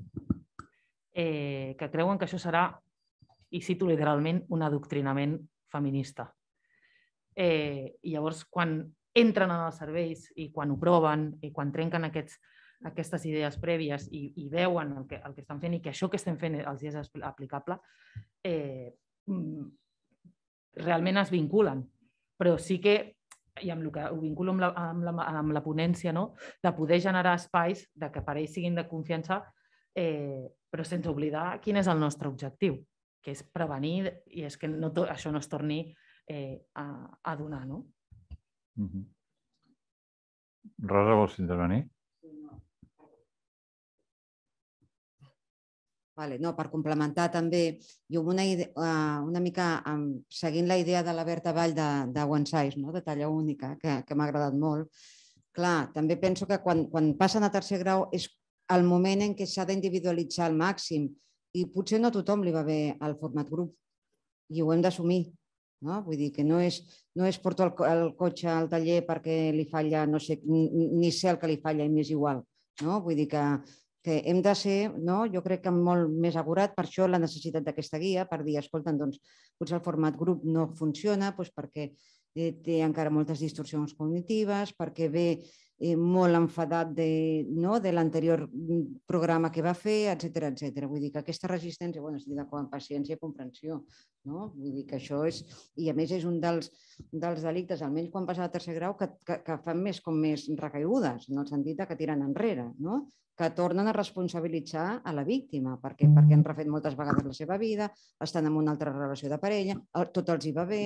Clar, llavors és un escenari com idíl·lic i, i, i és una recaiguda, llavors en aquell moment potser no és el més adequat, doncs insistir amb el grup, de dir, bueno, anem a treballar individualment i potser seguirem individualment. Val? Però la, la idea d'individualitzar, individualitzar, individualitzar, sobretot en tercer grau, jo crec que és no, una, un mantra que ens hem de posar. Uh -huh. I en el cas de comunitat igual, eh? nosaltres, per exemple, establim la metodologia d'intervenció en funció també de, de, del perfil i de les necessitats que té aquell usuari. No? Ens trobem també que potser el que comentaves tu abans, no? que depèn de l'actitud, doncs pot anar en contra no? a, a, a la resta del grup. Per tant, en aquest sentit és interessant, a part de patologies que puguin haver associades, etc etc. no? hi ha tot el, tot el ventall no? d'elements de, de, que s'han de valorar i, per tant, i fins i tot en format reduït, que potser no cal a nivell individual, potser doncs, amb dos, tres persones, veus també doncs, que, que, que, el, que el canvi o que, el, no? o que la, la, intervenció és molt més adequada. No? Uh -huh. Eh, tenim evidències de la necessitat o no d'adaptar culturalment els programes d'intervenció? Eh, el qui vulgui. Aquesta teoria crec que anava per mi. Bueno, inici o sigui, inicialment. Em tomaré el repte, però convido la resta a participar eh, que jo sàpigui no hi ha evidències d'estudis que diguin que hi hagi aquesta necessitat, no? quan parlem d'evidències. Sí que és veritat que nosaltres, com deia a la xarxa, fem, tenim una temàtica anual cada any i l'any passat vam precisament tocar la temàtica sobre el treball amb agressors quan hi ha un background d'immigració. No? Precisament vam decidir tocar aquesta temàtica perquè, perquè està poc discutida, hi ha poca investigació i se sap poc sobre què fer amb aquest tipus de població. No? I sabem que és un problema especialment en segons quins països d'Europa. Un problema, és a dir, una complexitat afegida en la que ens trobarem segurament als nostres programes i ens trobem, depèn dels països europeus. Eh, en aquesta línia, mm, una de les recomanacions que fèiem nosaltres és treballar molt amb el trauma, no? I això també va lligat una mica al que deia la Inés abans, no? O sigui, això és una recomanació ara ja, jo crec, general, en diversos tipus de població, no? perquè sabem que hi ha un, fets traumàtics que poden mm, prevenir no? que hi hagi aquest canvi, però especialment quan treballem en població migrada és molt important treballar aquesta qüestió del trauma. Això com un, una, una possible recomanació. I una altra possible recomanació que fèiem, a les nostres tenim una guia sobre com treballar en població migrant, a la nostra web també. I una altra de les recomanacions que fèiem és eh, fer tractaments, evidentment, més adaptats, més flexibles, no? que tractin tot el tema migratori, etc. Ara bé, és important deixar molt clar en el grup, si és que fem una atenció de grup amb aquesta població, que el tema de la violència de gènere no té a veure amb, amb raons culturals. O sigui, no té res a veure amb la cultura, té a veure amb una societat patriarcal que la compartim a diferents nivells culturals no? i a diferents països. I jo, mm, una de les coses que més m'ha sorprès de treballar en una xarxa europea és veure com des de països de l'est fins a països del nord, fins a països del sud, eh, tenim les mateixes problemàtiques i ens trobem amb el mateix perfil eh, no perfil l'agressor, però vull dir que tenen les mateixes concepcions en quant al gènere, a la dona, etc etc. no?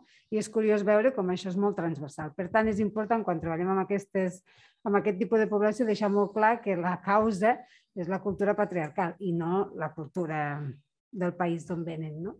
Uh -huh. Així com a dos, tres idees. Eh? Jo us dic, tenim la guia que es pot consultar, però tampoc crec que aquest és una mica el missatge. Algú més vol aportar alguna cosa? Esteu... Lídia. Jo parlaria, bueno, estic d'acord amb tu amb la cultura patriarcal, però sí hem de tenir en compte les tradicions, les creences d'altres cultures, perquè no tant, ja no amb els agressors, eh? amb les víctimes, ens és molt difícil a vegades intervenir amb, amb dones que venen doncs, de, de Sud-àfrica o, la, o la, la comunitat xinesa o la comunitat sud-americana, perquè tenen uns altres valors, tot molt patriarcal i molt masclista, però que costa molt i sovint estan molt tancades en si mateixes perquè la comunitat també està molt tancada i les controlen molt. I llavors, bueno, l'Andrea ja ho sap, ens costa molt poder fer intervenció amb elles perquè no entenen ni el nostre sistema ni les nostres creences. Per tant, que bueno, també ho hem d'anar equilibrant i tenint en compte. Eh? Si les volem entendre, podem fer un, un bon seguiment o una bona intervenció amb elles. Molt interessant. Déu nhi La separació o ruptura de la parella s'ha constatat com un dels factors de màxim risc que desencadenar conductes de violència extrema que poden acabar fins i tot amb la mort. Quines indicacions es donen a les víctimes quan prenen aquesta decisió de separar-se? Bé, doncs eh, bueno, per, per nosaltres, en el nostre sistema, en la nostra valoració del risc, eh, és evident que aquest factor o aquesta situació de canvi eh, augmenta el risc de que pugui doncs, repetir-se una situació de violència o fins i tot que augmenti aquesta violència. Aleshores, eh, la ruptura en si mateix és un canvi i de fet estàvem parlant de la gestió del canvi fa un moment. Aleshores, com, com a gestió del canvi, pot ser eh, que hi hagi una probabilitat doncs, que, que tingui un efecte molt negatiu en, en l'agressor i d'aquí doncs, que eh, haguem de protegir-la. Aleshores, donem consells, tot i que eh, nosaltres eh, en aquesta situació ja farem per protegir-la, però sí que hi ha algunes situacions que, que creiem que ha de conèixer i, que, i com per exemple doncs el fet de poder comunicar més persones, de fer un entorn més protector que puguin donar alarma eh, o alerta, no? avís d'alguna circumstància greu en la que es pugui trobar, val? sobretot doncs, que estigui alerta no? durant, durant aquest, des del moment en què decideix trencar amb aquesta relació, d'acord? Perquè poden esdevenir altres circumstàncies que poden fer anar augmentant el risc dia a dia. Aleshores, durant aquests temps, nosaltres ja intensificarem aquests contactes que dèiem abans, val? estarem a la seva disposició, però sí que recomanem doncs, que en aquest moment fem xarxa entre tots els professionals i per això sí que si només ens ho ha comunicat a nosaltres o només ho hem sabut nosaltres, li recomanem que ho faci extensiu amb altres actors no, que participen en la seva atenció eh, familiars, eh, treballadora social, eh, advocada, qualsevol en pot tenir coneixement. Per nosaltres ha estat un factor eh, rellevant eh, en, en els nivells de risc, sobretot més alts, perquè en la majoria dels feminicidis, eh, tot i que a mi no s'havia pres la decisió eh, física ja, eh, és a dir, d'anar amb un lletrat per demanar, mira, em vull separar, sí que eh, s'havia comentat amb un entorn proper, familiar o assistencial, el fet de que volia trencar amb la relació i quines passes havia de seguir. Mm -hmm. eh, estem molt justos de temps. Eh, un, em sap molt greu, però eh, és que em sap molt greu, eh? Realment em sap molt greu, però haurem, haurem de tallar. Eh, eh, llavors, eh, farem això que us han dit eh, abans, eh? perquè eh, eh, eh, s'ha de, donar, de donar veu a, a que la gent pugui dir la seva. Us passarem les preguntes en, a, en les properes hores. Els que pugueu, contesteu aquelles que creieu que poden aportar coses. Nosaltres ens, ens, ens comprometem a editar-les i a ajuntar totes aquelles que tinguin que veure amb la mateixa qüestió perquè la gent pugui tenir allò i les penjarem eh, eh, d'aquí tres o quatre dies quan, quan, quan pengem el, la, la presentació i pugueu tenir accés. No sé si voleu fer una intervenció o alguna dir alguna cosa en 15 segons, perquè si dono un minut a cadascú, ja són 8 minuts i ens vamos de, de tiempo. I crec que és important també que siguem honestos amb el que els hem dit a la gent. Portem moltes hores també i, i, i malgrat tenim força gent encara, doncs eh, ajustem el marge. Voleu dir alguna cosa que creieu que us agradaria destacar coses que tinguem reptes pendents, eh, no sé, el que creieu oportú. No, que bé, no volen dir res. Molt bé, eh, moltes gràcies a tots per la vostra, per la vostra mm, assistència. Eh, eh, estarem, estarem en, en properes sessions informant de del que farem. La propera serà en principi el mes de maig i abordarem el tema de la violència vicària amb els resultats d'un estudi molt interessant sobre com funciona tot plegat l'Administració de Justícia i properament ja us donaré més informació via, via web. Moltes gràcies i aquí estem per lo que necessiteu. Fins una altra.